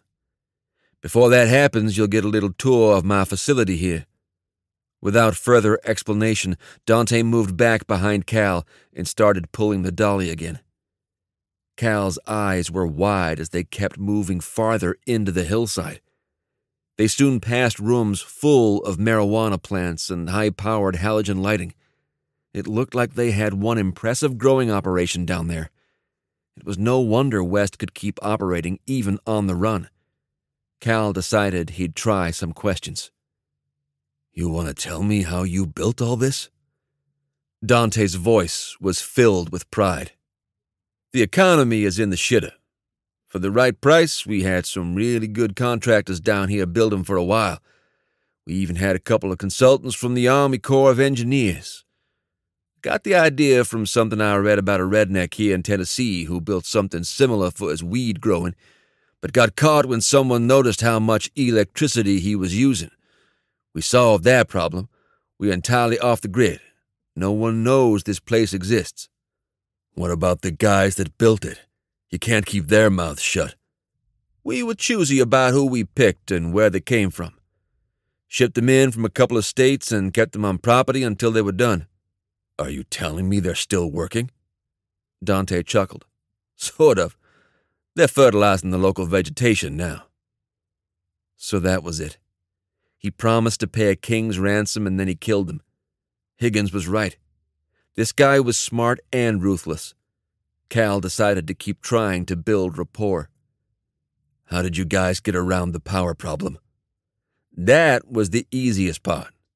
My boy in the White House decided to start giving out tax credits for new energy sources like solar and geothermal. We got a huge geothermal footprint all around the underground tunnels. On top of that, we got dedicated generators powered by everything from gas to solar. Not bad for a kid from the hood. Is this your only facility? Now, why do you think I'd tell you that? I figure you're probably going to kill me. So what's the harm? Fair enough. We got a total of five of these babies scattered around Williamson County. Three are operational. We get to make our goods right under one of the richest counties in the nation. We're starting out with marijuana, then we'll probably get into the meth business. That's what you white boys like, right? Cal was impressed by the size of the underground facility. The sheer magnitude of dirt moved illustrated the power of West's burgeoning empire. The problem? How the hell was he going to get out? The assault teams gathered on the front porch, listening to Travis give orders.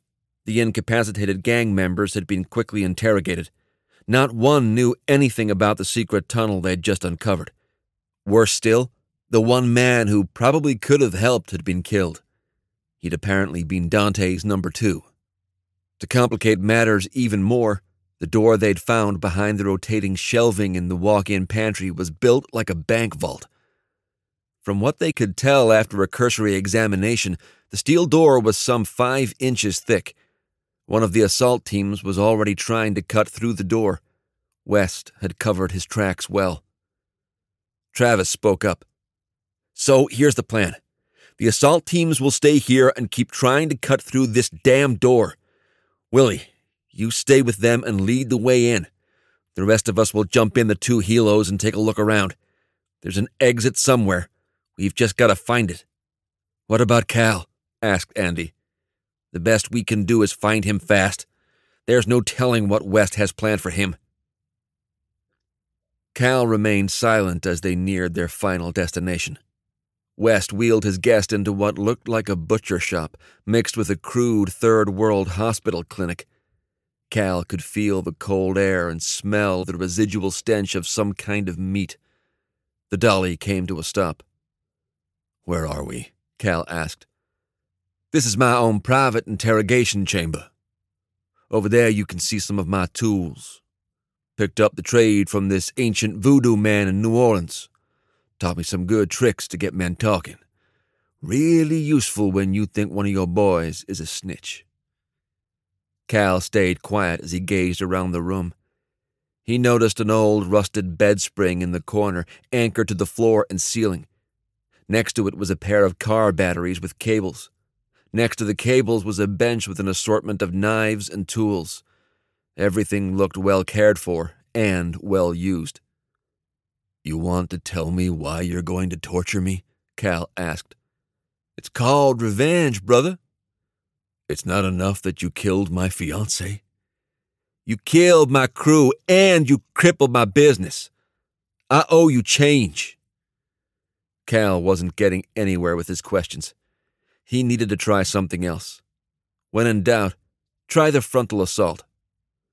For a guy as smart as you, I'd think a pussy move like attacking a harmless couple was a dumb move. Dante froze. What the fuck are you talking about? Shit, Dante, I heard you were a pretty smart guy back in the day. I guess all that dope you've been slinging gets harder and harder to say no to. You don't know a thing about me, motherfucker. I know about your dad and how he died. I know about how your mom gave you up when you were a kid. Dante stopped what he was doing. His eyes went wide, then flashed with anger. He also registered a touch of unease in response to Cal's comments. How could this white boy know that? It was never in the papers. He'd made sure his past had been buried a long time ago. It was amazing what he could snag with a couple quick break ins. You made that up. Oh, really? Then ask me how I know that you've got a really high IQ and that up until the age of 10 you were doing well in school. Who have you been talking to? Cal laughed. You dumb shit. Obviously, there are things about me that you don't know. You better watch your mouth. Looks like you forgot who's in charge. Really? I'd say in the next couple of minutes my boys are going to be coming through that door over there. Who? Cops? No, asshole. Tell you what, why don't we leave it as a surprise? West stared hard at his prisoner. You a gang leader now? Want to try me? You know why I don't believe you? Dante said. Why? Because I designed this place myself. Oh, I forgot. You were passed out when we passed through not one, but three doors built like bank vaults. It'll take days to cut through that shit. Cal tried to gauge whether the gangster was bluffing or not. Either way, one of them would be right soon. Cal could only hope that his friends would find him quickly. Main House, NON Compound, Williamson County, Tennessee. Six, this is Big Dog. It was Master Sergeant Trent. Go ahead, Big Dog, Travis said. We've got a little issue here. We got enough of a hole cut to see through the other side with our fiber optics. Looks like there's another door on the other side, some ten feet down the passageway. You're kidding me. You know I wouldn't do that, Six. All right. Keep working and we'll do the same. Let me know if you have any other ideas. Six out. Travis looked to his companions and gave them the news. West was surprising them at every turn.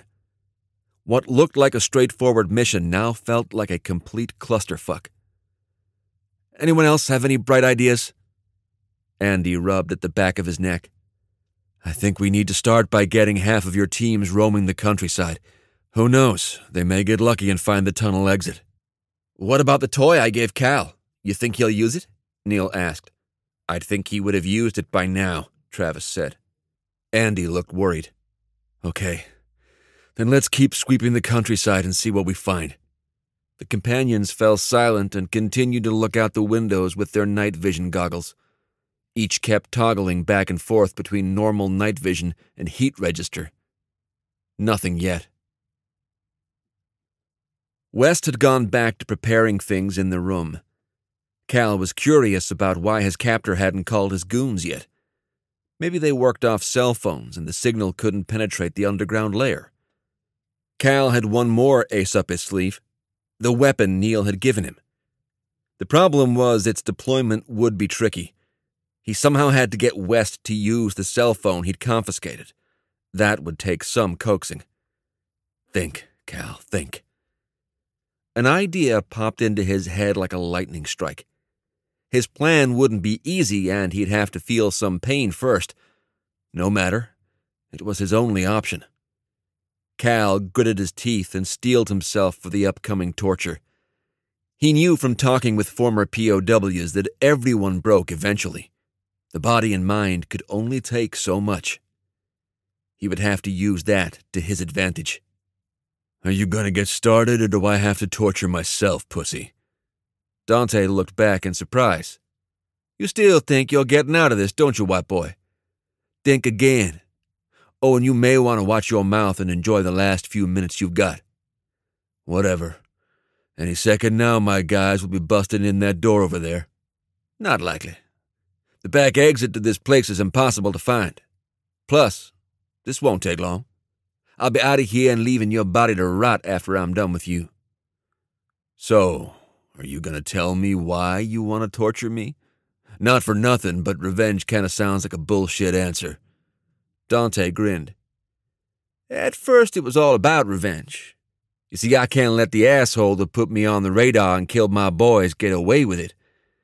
The second reason came to me a minute ago while you were running your mouth. I'm curious about these so called secrets you say you have. It might be a good investment of my time to do a little digging. Bingo. Dante moved back to the dolly and pressed the pistol to Cal's temple. Now I'm going to unstrap you and take you over to the bed spring. You try anything, I'll shoot you. You got me? Yeah, I got you. He released Cal slowly, not once allowing the gun to slip. He ushered his prisoner over to the bed spring that was now connected to the two car batteries. West methodically strapped Cal to the metal frame with zip ties on his ankles and wrists. Cal was spread eagle, glaring at West and prepared for pain. I'll start with a low setting, Dante said. I just want you to get a little taste. West switched the machine on, and Cal heard the buzz of electricity. Next, Dante grabbed the power knob and turned it to the first setting. Cal's body seized and his eyes shut involuntarily. This wasn't going to be fun. Travis was agitated. All the teams just checked in. Nothing from the guy scouring the farm. Neil, are you finding anything in those property records? Nothing. Obviously, no plans were ever submitted to the local commissions for the building. Looks like he really did it on the sly. What about the police records? Any complaints for noise or blasting? Already checked that and no. Besides, the property is just shy of a thousand acres. They could get away with a lot without ever being seen or heard. What about the topography? Brian asked. Travis turned to him. What do you mean? I know there's a lot of land in the hundred year floodplain around here. I would assume that if West wanted a long term facility, he would have factored that in. Maybe we can find out which way the tunnel leads by taking away certain portions of the topography? Good idea. Neil, pull up all the topo maps with elevation and floodplain data. It's the only lead we've got right now. West had just shocked Cal for the third time. He had yet to ask a single question. It was obvious he was just enjoying seeing the pain register on the former Marine's face. Cal, although in extreme pain during each shock, was starting to finalize his plan. It was a strange talent he'd uncovered while on the battlefield in Afghanistan. He'd found that in times of extreme pain and duress, his mind became hyper focused instead of losing its edge and dissolving into fog. It was what had allowed him to keep going, even after being wounded multiple times. Within this clarity, he remembered hearing stories from former POWs from the Vietnam War and World War II. They had survived by divulging mere snippets of the truth. They had survived by effectively weaving lies within the truth. Cal was about to try the same tactic. Cal was panting. Are you going to ask me any questions or just get your rocks off watching me shake? Man, you must really have a death wish. You ready to die already? No. I'm just ready to be done with your bullshit. Still hoping your buddies are coming to save your ass, huh? That's right. And when they do, I'm gonna strap you to this fucking thing and let you go a couple rounds. Hate to tell you this, boy, but that ain't gonna happen. How about we just get down to the questions? This time we're gonna play a new game. If I think you're not telling the truth, I turn on the machine again. If I really think you're bullshitting me, I'm only gonna beat on you a little bit. Dante picked up a steel baseball bat from the corner and demonstrated practice swings. His grin returned. What? No knives yet? Oh, those'll come soon enough. So let's get to the questions. Master Sergeant Trent pulled at the heavy steel door with all his strength. They'd finally cut around the locking mechanism. Sweat beaded on his brow as the door finally separated from the last bit of steel holding it to the lock. The door swooshed open, and the assault team quickly jumped into the space, guns at the ready, panning for targets. The leader called out, All clear. Trent eyed their next obstacle. Does it look like the same kind of door as the first one? It does, Top. You want us to start cutting again? Do it. The team leader nodded to his demolitions experts, and the man moved quickly to the next door, his cutting tools already in hand. Trent spoke into his mic. Six, this is Big Dog. Travis answered immediately. Go ahead, Big Dog. First door breached. Moving to breach door number two. Over. Roger. Let me know as soon as you have an idea of what's on the other side. Roger. Out. Trent was praying there wouldn't be a third door. West had begun the interrogation with some basic questions date of birth, home address, sexual preference, etc. It was obvious that West was building some kind of rudimentary baseline to see if he was lying, sort of a gangster version of a lie detector test. Time for some real questions, Dante said. How did you find out about me? My company. What do you mean, your company? I own a company. What kind of company? A consulting company. This is your one and only warning. Stop trying to drag this out. You answer me, or I'll make you answer it. You got me? I thought I was doing damn well, asshole. Without warning, West picked up the baseball bat and took a quick swing square into Cal's gut. Cal tried to dodge and somehow absorb the blow. His head sagged as the wind was knocked out of him. You've got about 30 seconds to catch your breath, and then you start answering. Cal could feel his recent gunshot wounds throbbing and threatening to bleed again. He had to stay focused and buy more time. The only problem was how much more could he take? Hurry up, Trav. Andy crossed his arms over his chest. The best I can see is that the tunnel has to run this way under the ridgeline. Any other way, they risk going into or at least skirting the floodplain. I'm still not totally sold on the idea, Travis said. I think West would have thought about this. The guy went through Hurricane Katrina, and probably the flood of 2010 here in Nashville. He doesn't strike me as a guy that would take any chances. Okay, so where does the tunnel dump out? I say we start right over here by the Harpeth River. We might. I just had another idea, Neil interrupted. What? Travis asked. Let's assume that West is using this place as some kind of drug manufacturing center. Even if he's able to mask the heat of his power source, he'll still need to have some kind of exhaust. Explain that. It's like a car engine. All that heat has to go somewhere. The intake and exhaust help keep the engine cooled. If West is using heat lamps, for example, that hot air has to go somewhere. It would be crazy expensive to have a self contained system like they have in a nuclear sub. I'm betting they had to build vents to get the hot air out. Then shouldn't we see them with our heat vision? Travis asked. Neil shook his head. Not necessarily. The scopes we use are calibrated to see obvious variances, like the difference between a person's body temperature and the ambient air temperature. Andy cut through their conversation. But then how do we see people at night when we use the same scopes in the desert? There's still a difference between your body temp and the air temperature, Neil said. It's just that the air's warmer. So, how do we find these vents? asked Andy. Let me see if I can patch into the Helo's infrared system and recalibrate it for much smaller variances. All right, but do it fast, Travis said. The longer we take, the less I like Cal's chances. West was getting more and more excited as the interrogation went on. He'd already found out about SSI and Cal's stake as owner. Who would have thought he'd catch the heir to a billion dollar company? The options started to whirl in Dante's head. Maybe he could ransom Cal. Maybe he could exchange his prisoner for money and weapons. The possibilities were endless. You in luck, rich boy. I'm thinking that you might just make it out alive today. Cal looked up through puffy eyes and spit more blood onto the floor. His insides were on fire, and his tongue felt like a puffed up marshmallow. Every time he got shocked, he swore he'd bitten off another piece of his tongue. Dante smiled down at him. What's wrong? No more smart ass comments? Cal's voice was thick when he answered. What do you want me to say? How about you give me the number to someone I need to call at your company?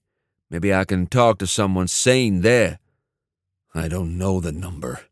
It's on my cell phone. Dante glanced down at his pant pocket as if he'd forgotten the missing cell phone. He pulled the cell phone and battery out. How do I know they won't track me as soon as I put this battery in? Aren't you the one that told me cell phones don't work down here? True. So how the hell would they track it? Okay. So what's the phone number? Call my cousin Travis. It's under T. Or, or wait, you can read, can't you? West shook his head and looked back down at the phone. He replaced the battery and turned the phone on. Cal watched, expressionless, waiting for the perfect moment to reveal his surprise. He wondered if he'd even be able to reach the trigger Neil attached to his right molar with his tongue. Neil had instructed him to tap the molar three times, and the miniature flashbang he'd installed within Cal's cell phone would detonate. The problem now was getting his swollen tongue to react at the right moment. Cal moved his numb tongue around in his mouth and spat another gob of blood and phlegm onto the floor. He looked back to Dante. This thing's asking me for a password. What is it? Cal gave Dante the access code and instructed him on how to retrieve the correct phone number. You may want to try making the call from the phone. It's got enhanced signal strength and could work, Cal offered. I thought you said it wouldn't work down here. It's worth a shot. Might get you through faster, unless you have a better idea. Dante glared at him for a moment and then shrugged. What the hell? Dante speed dialed Travis's number and held the phone up to his ear. Just as it reached his ear, Cal carefully tapped his molar three times. The cell phone exploded. West collapsed to the floor, his hearing in his left ear thoroughly wiped out. He lay unconscious as Cal tried to find a way out of his restraints. Neil had been very clear on the last point. West would only be incapacitated for a maximum of three minutes. Cal had to hurry. Above NON compound, Williamson County, Tennessee. The team on the helicopter waited anxiously as Neil patched into the onboard system and clicked away. I've almost got it. There. Everyone looked expectantly at the video monitor to see the change. Neil had been right. What had looked before like only a few spectrums now looked like a rainbow where every color bled into the next. Travis's voice rose. You want to tell me how the hell this helps us? Patience, Travis. I'm about out of patience, Neil. My cousin, your friend, is down there right now having that fucking gangster do who knows what to him. He might already be dead. Andy placed a hand on Travis's shoulder. We don't know that, Trav. Neil's doing his best. So, show us how this works, Neil. Neil pointed to the monitor. Now, this is all just theory, but I'm thinking that if we zoom in close enough, we might be able to see the vents. Travis began to calm down. What are we looking for? It should almost look like a little fire, Neil said. You know how you look at a flame, say, coming out of a pipe? I'm thinking if I got the calibration right, we'll be able to see that. The group spent the next minute staring at the screen as Neil zoomed and panned over the terrain. Brian almost jumped out of his seat, pointing. What's that right there? Neil leaned closer. Let me zoom in. That looks like a vent. Now let me follow it up this way. There's another one, Andy shouted. Good job, Neil, Travis said. Now keep following those vents and let's see if we can find that damned rabbit hole. In under a minute, Cal had somehow managed to scrape the zip tie on his left wrist almost all the way through on the rusted bedspring. He gave one last tug and the tie popped off on his bloodied wrist. He glanced back down at the still unconscious West. His internal clock told him he probably had less than a minute to get out. He was in no condition to find out if his body could handle a hand to hand fight right now. The helicopter crew tracked the vents to a location just over a mile from the main house. There they found some kind of tiny structure that appeared to be a sewer drain. Travis decided to start the search on the ground there. After hearing from Master Sergeant Trent that there was a third steel door behind the second, Travis ordered Trent to leave the two men to guard the house and bring the rest via helicopter to the possible tunnel exit. Travis spoke to the pilot, pointing to an open spot below. Put her down right over there in that field. We'll hump the rest of the way. Where do you want me? Neil asked. Stay on the helo and give us updates from the air. Doc, I want you ready with whatever medical gear you have. Roger, Brian answered. Andy, how do you feel about going in first? Travis asked. I'm game. Okay. The rest of us will provide support. The pilot spoke up. Ten seconds to LZ. Roger, Travis said, surveying his team. Let's go get our boy. Cal had almost removed his last restraint when Dante started stirring. He looked up in confusion and shook his head, trying to clear the cobwebs. Attempting to focus, he got up to his hands and knees, just as Cal snapped the last zip tie off his left ankle. With speed that surprised Cal, Dante got to his feet and reached in his pocket.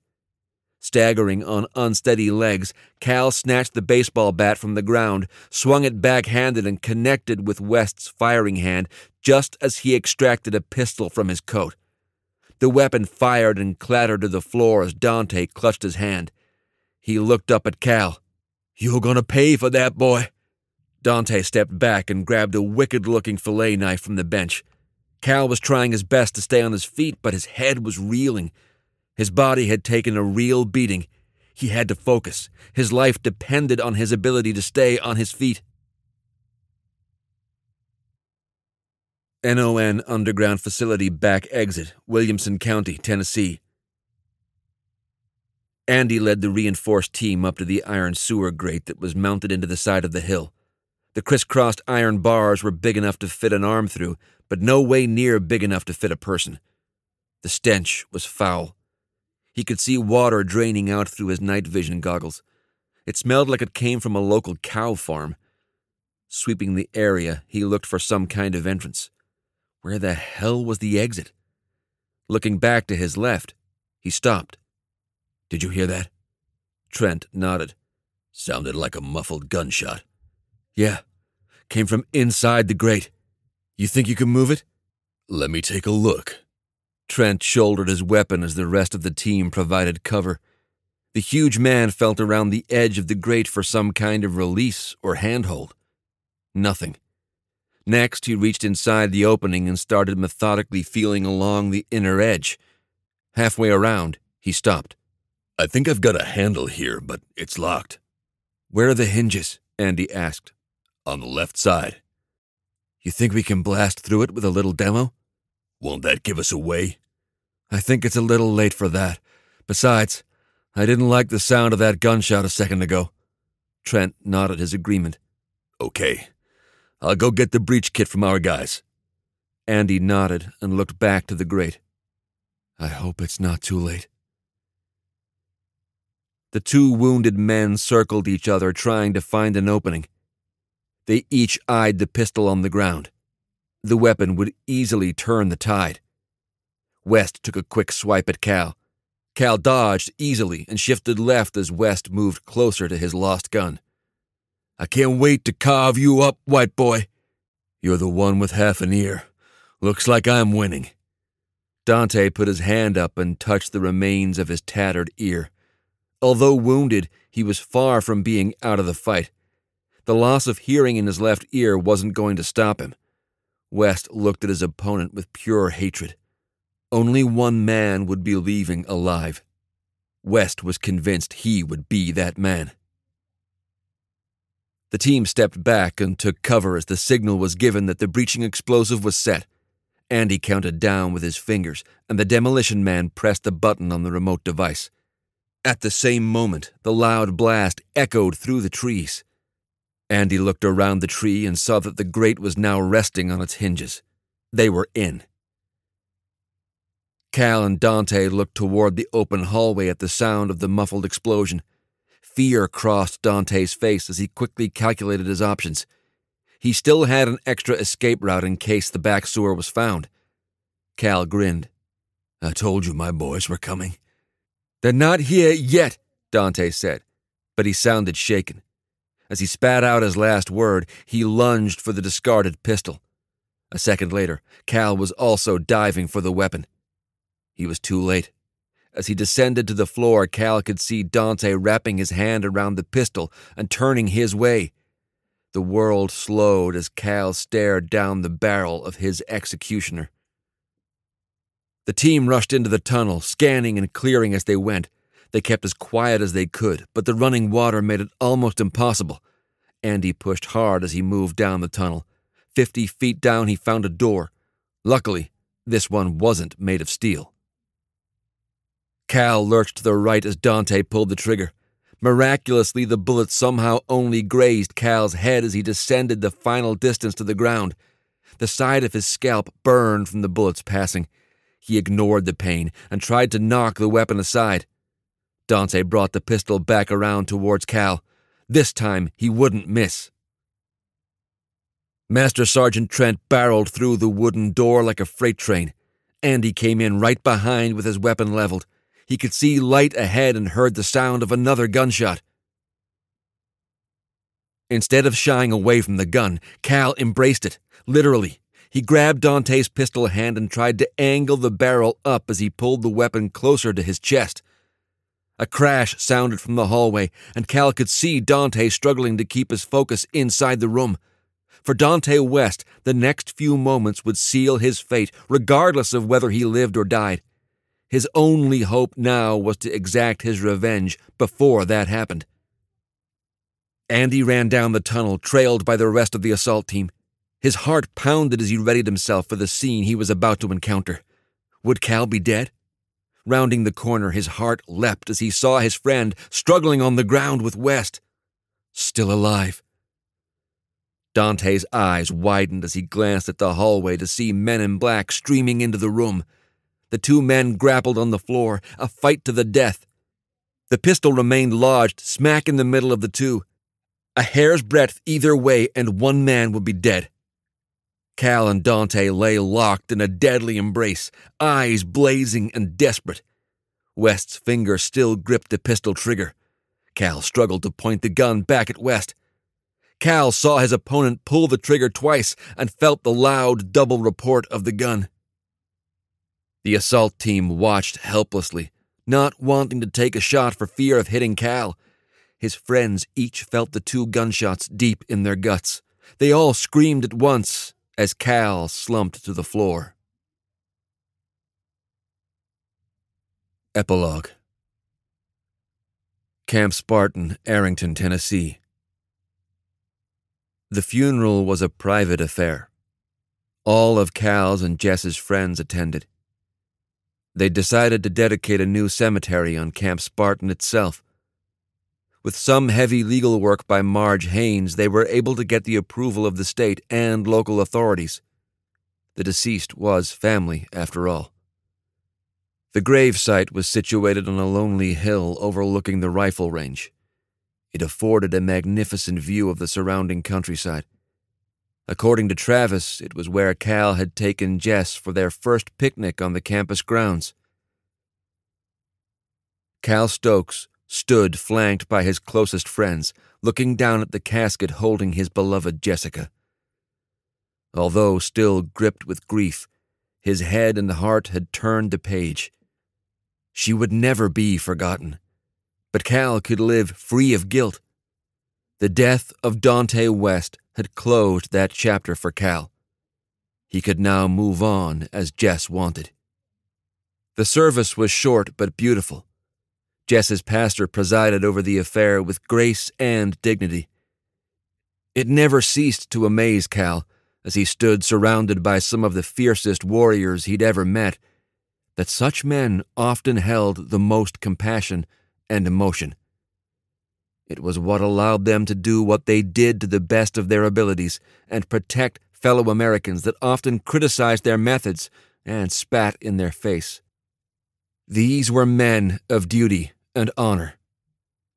Among the tear stricken brave, he was finally home. Cal said his final farewells to Jess's parents and split off to rejoin his friends. Travis cut him off before he got there. How you doing, Cal? Still a little bruised up, but I'm okay. It's only been a week. You'll have plenty of time to heal now.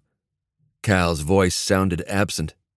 Yeah, Hey, I know this might not be the best timing, but I've got some people I'd like you to meet. Here? Actually, down at the lodge. Cal raised an eyebrow. How about a hint? It's a little hard to explain. Why don't you tell the guys we'll meet them at the bar in about an hour? The sergeant major's bringing out the good stuff. Travis led the way down the second floor corridor of the lodge. Cal could see two burly men in suits standing outside one of the large suite doors. What the hell? He decided to keep his mouth shut and follow Travis's lead. I guess I'll find out soon enough. Travis nodded to the two guards as one mumbled into his lapel mic. Following his cousin into the suite, he noticed the backs of nine men as they entered. Each man was dressed in casual attire, but even their clothing couldn't dampen their air of dignity and power. They came in varying shapes and sizes, but all seemed familiar to Cal and apparently with each other. The tallest guest turned, as did the other eight, at hearing the sound of the door closing. Cal almost tripped as he recognized each and every man, not from personal acquaintance, but because in the suite stood nine of the most powerful American political leaders of the last two decades including three former U.S. presidents. Gentlemen, allow me to introduce my cousin, Cal Stokes. Cal, say hello to the Council of Patriots. We hope you have enjoyed this story. If you have, please share this audiobook with a friend. Your friend will appreciate it, and the Gigabizzle Bupenheimers of the algorithm will like it too.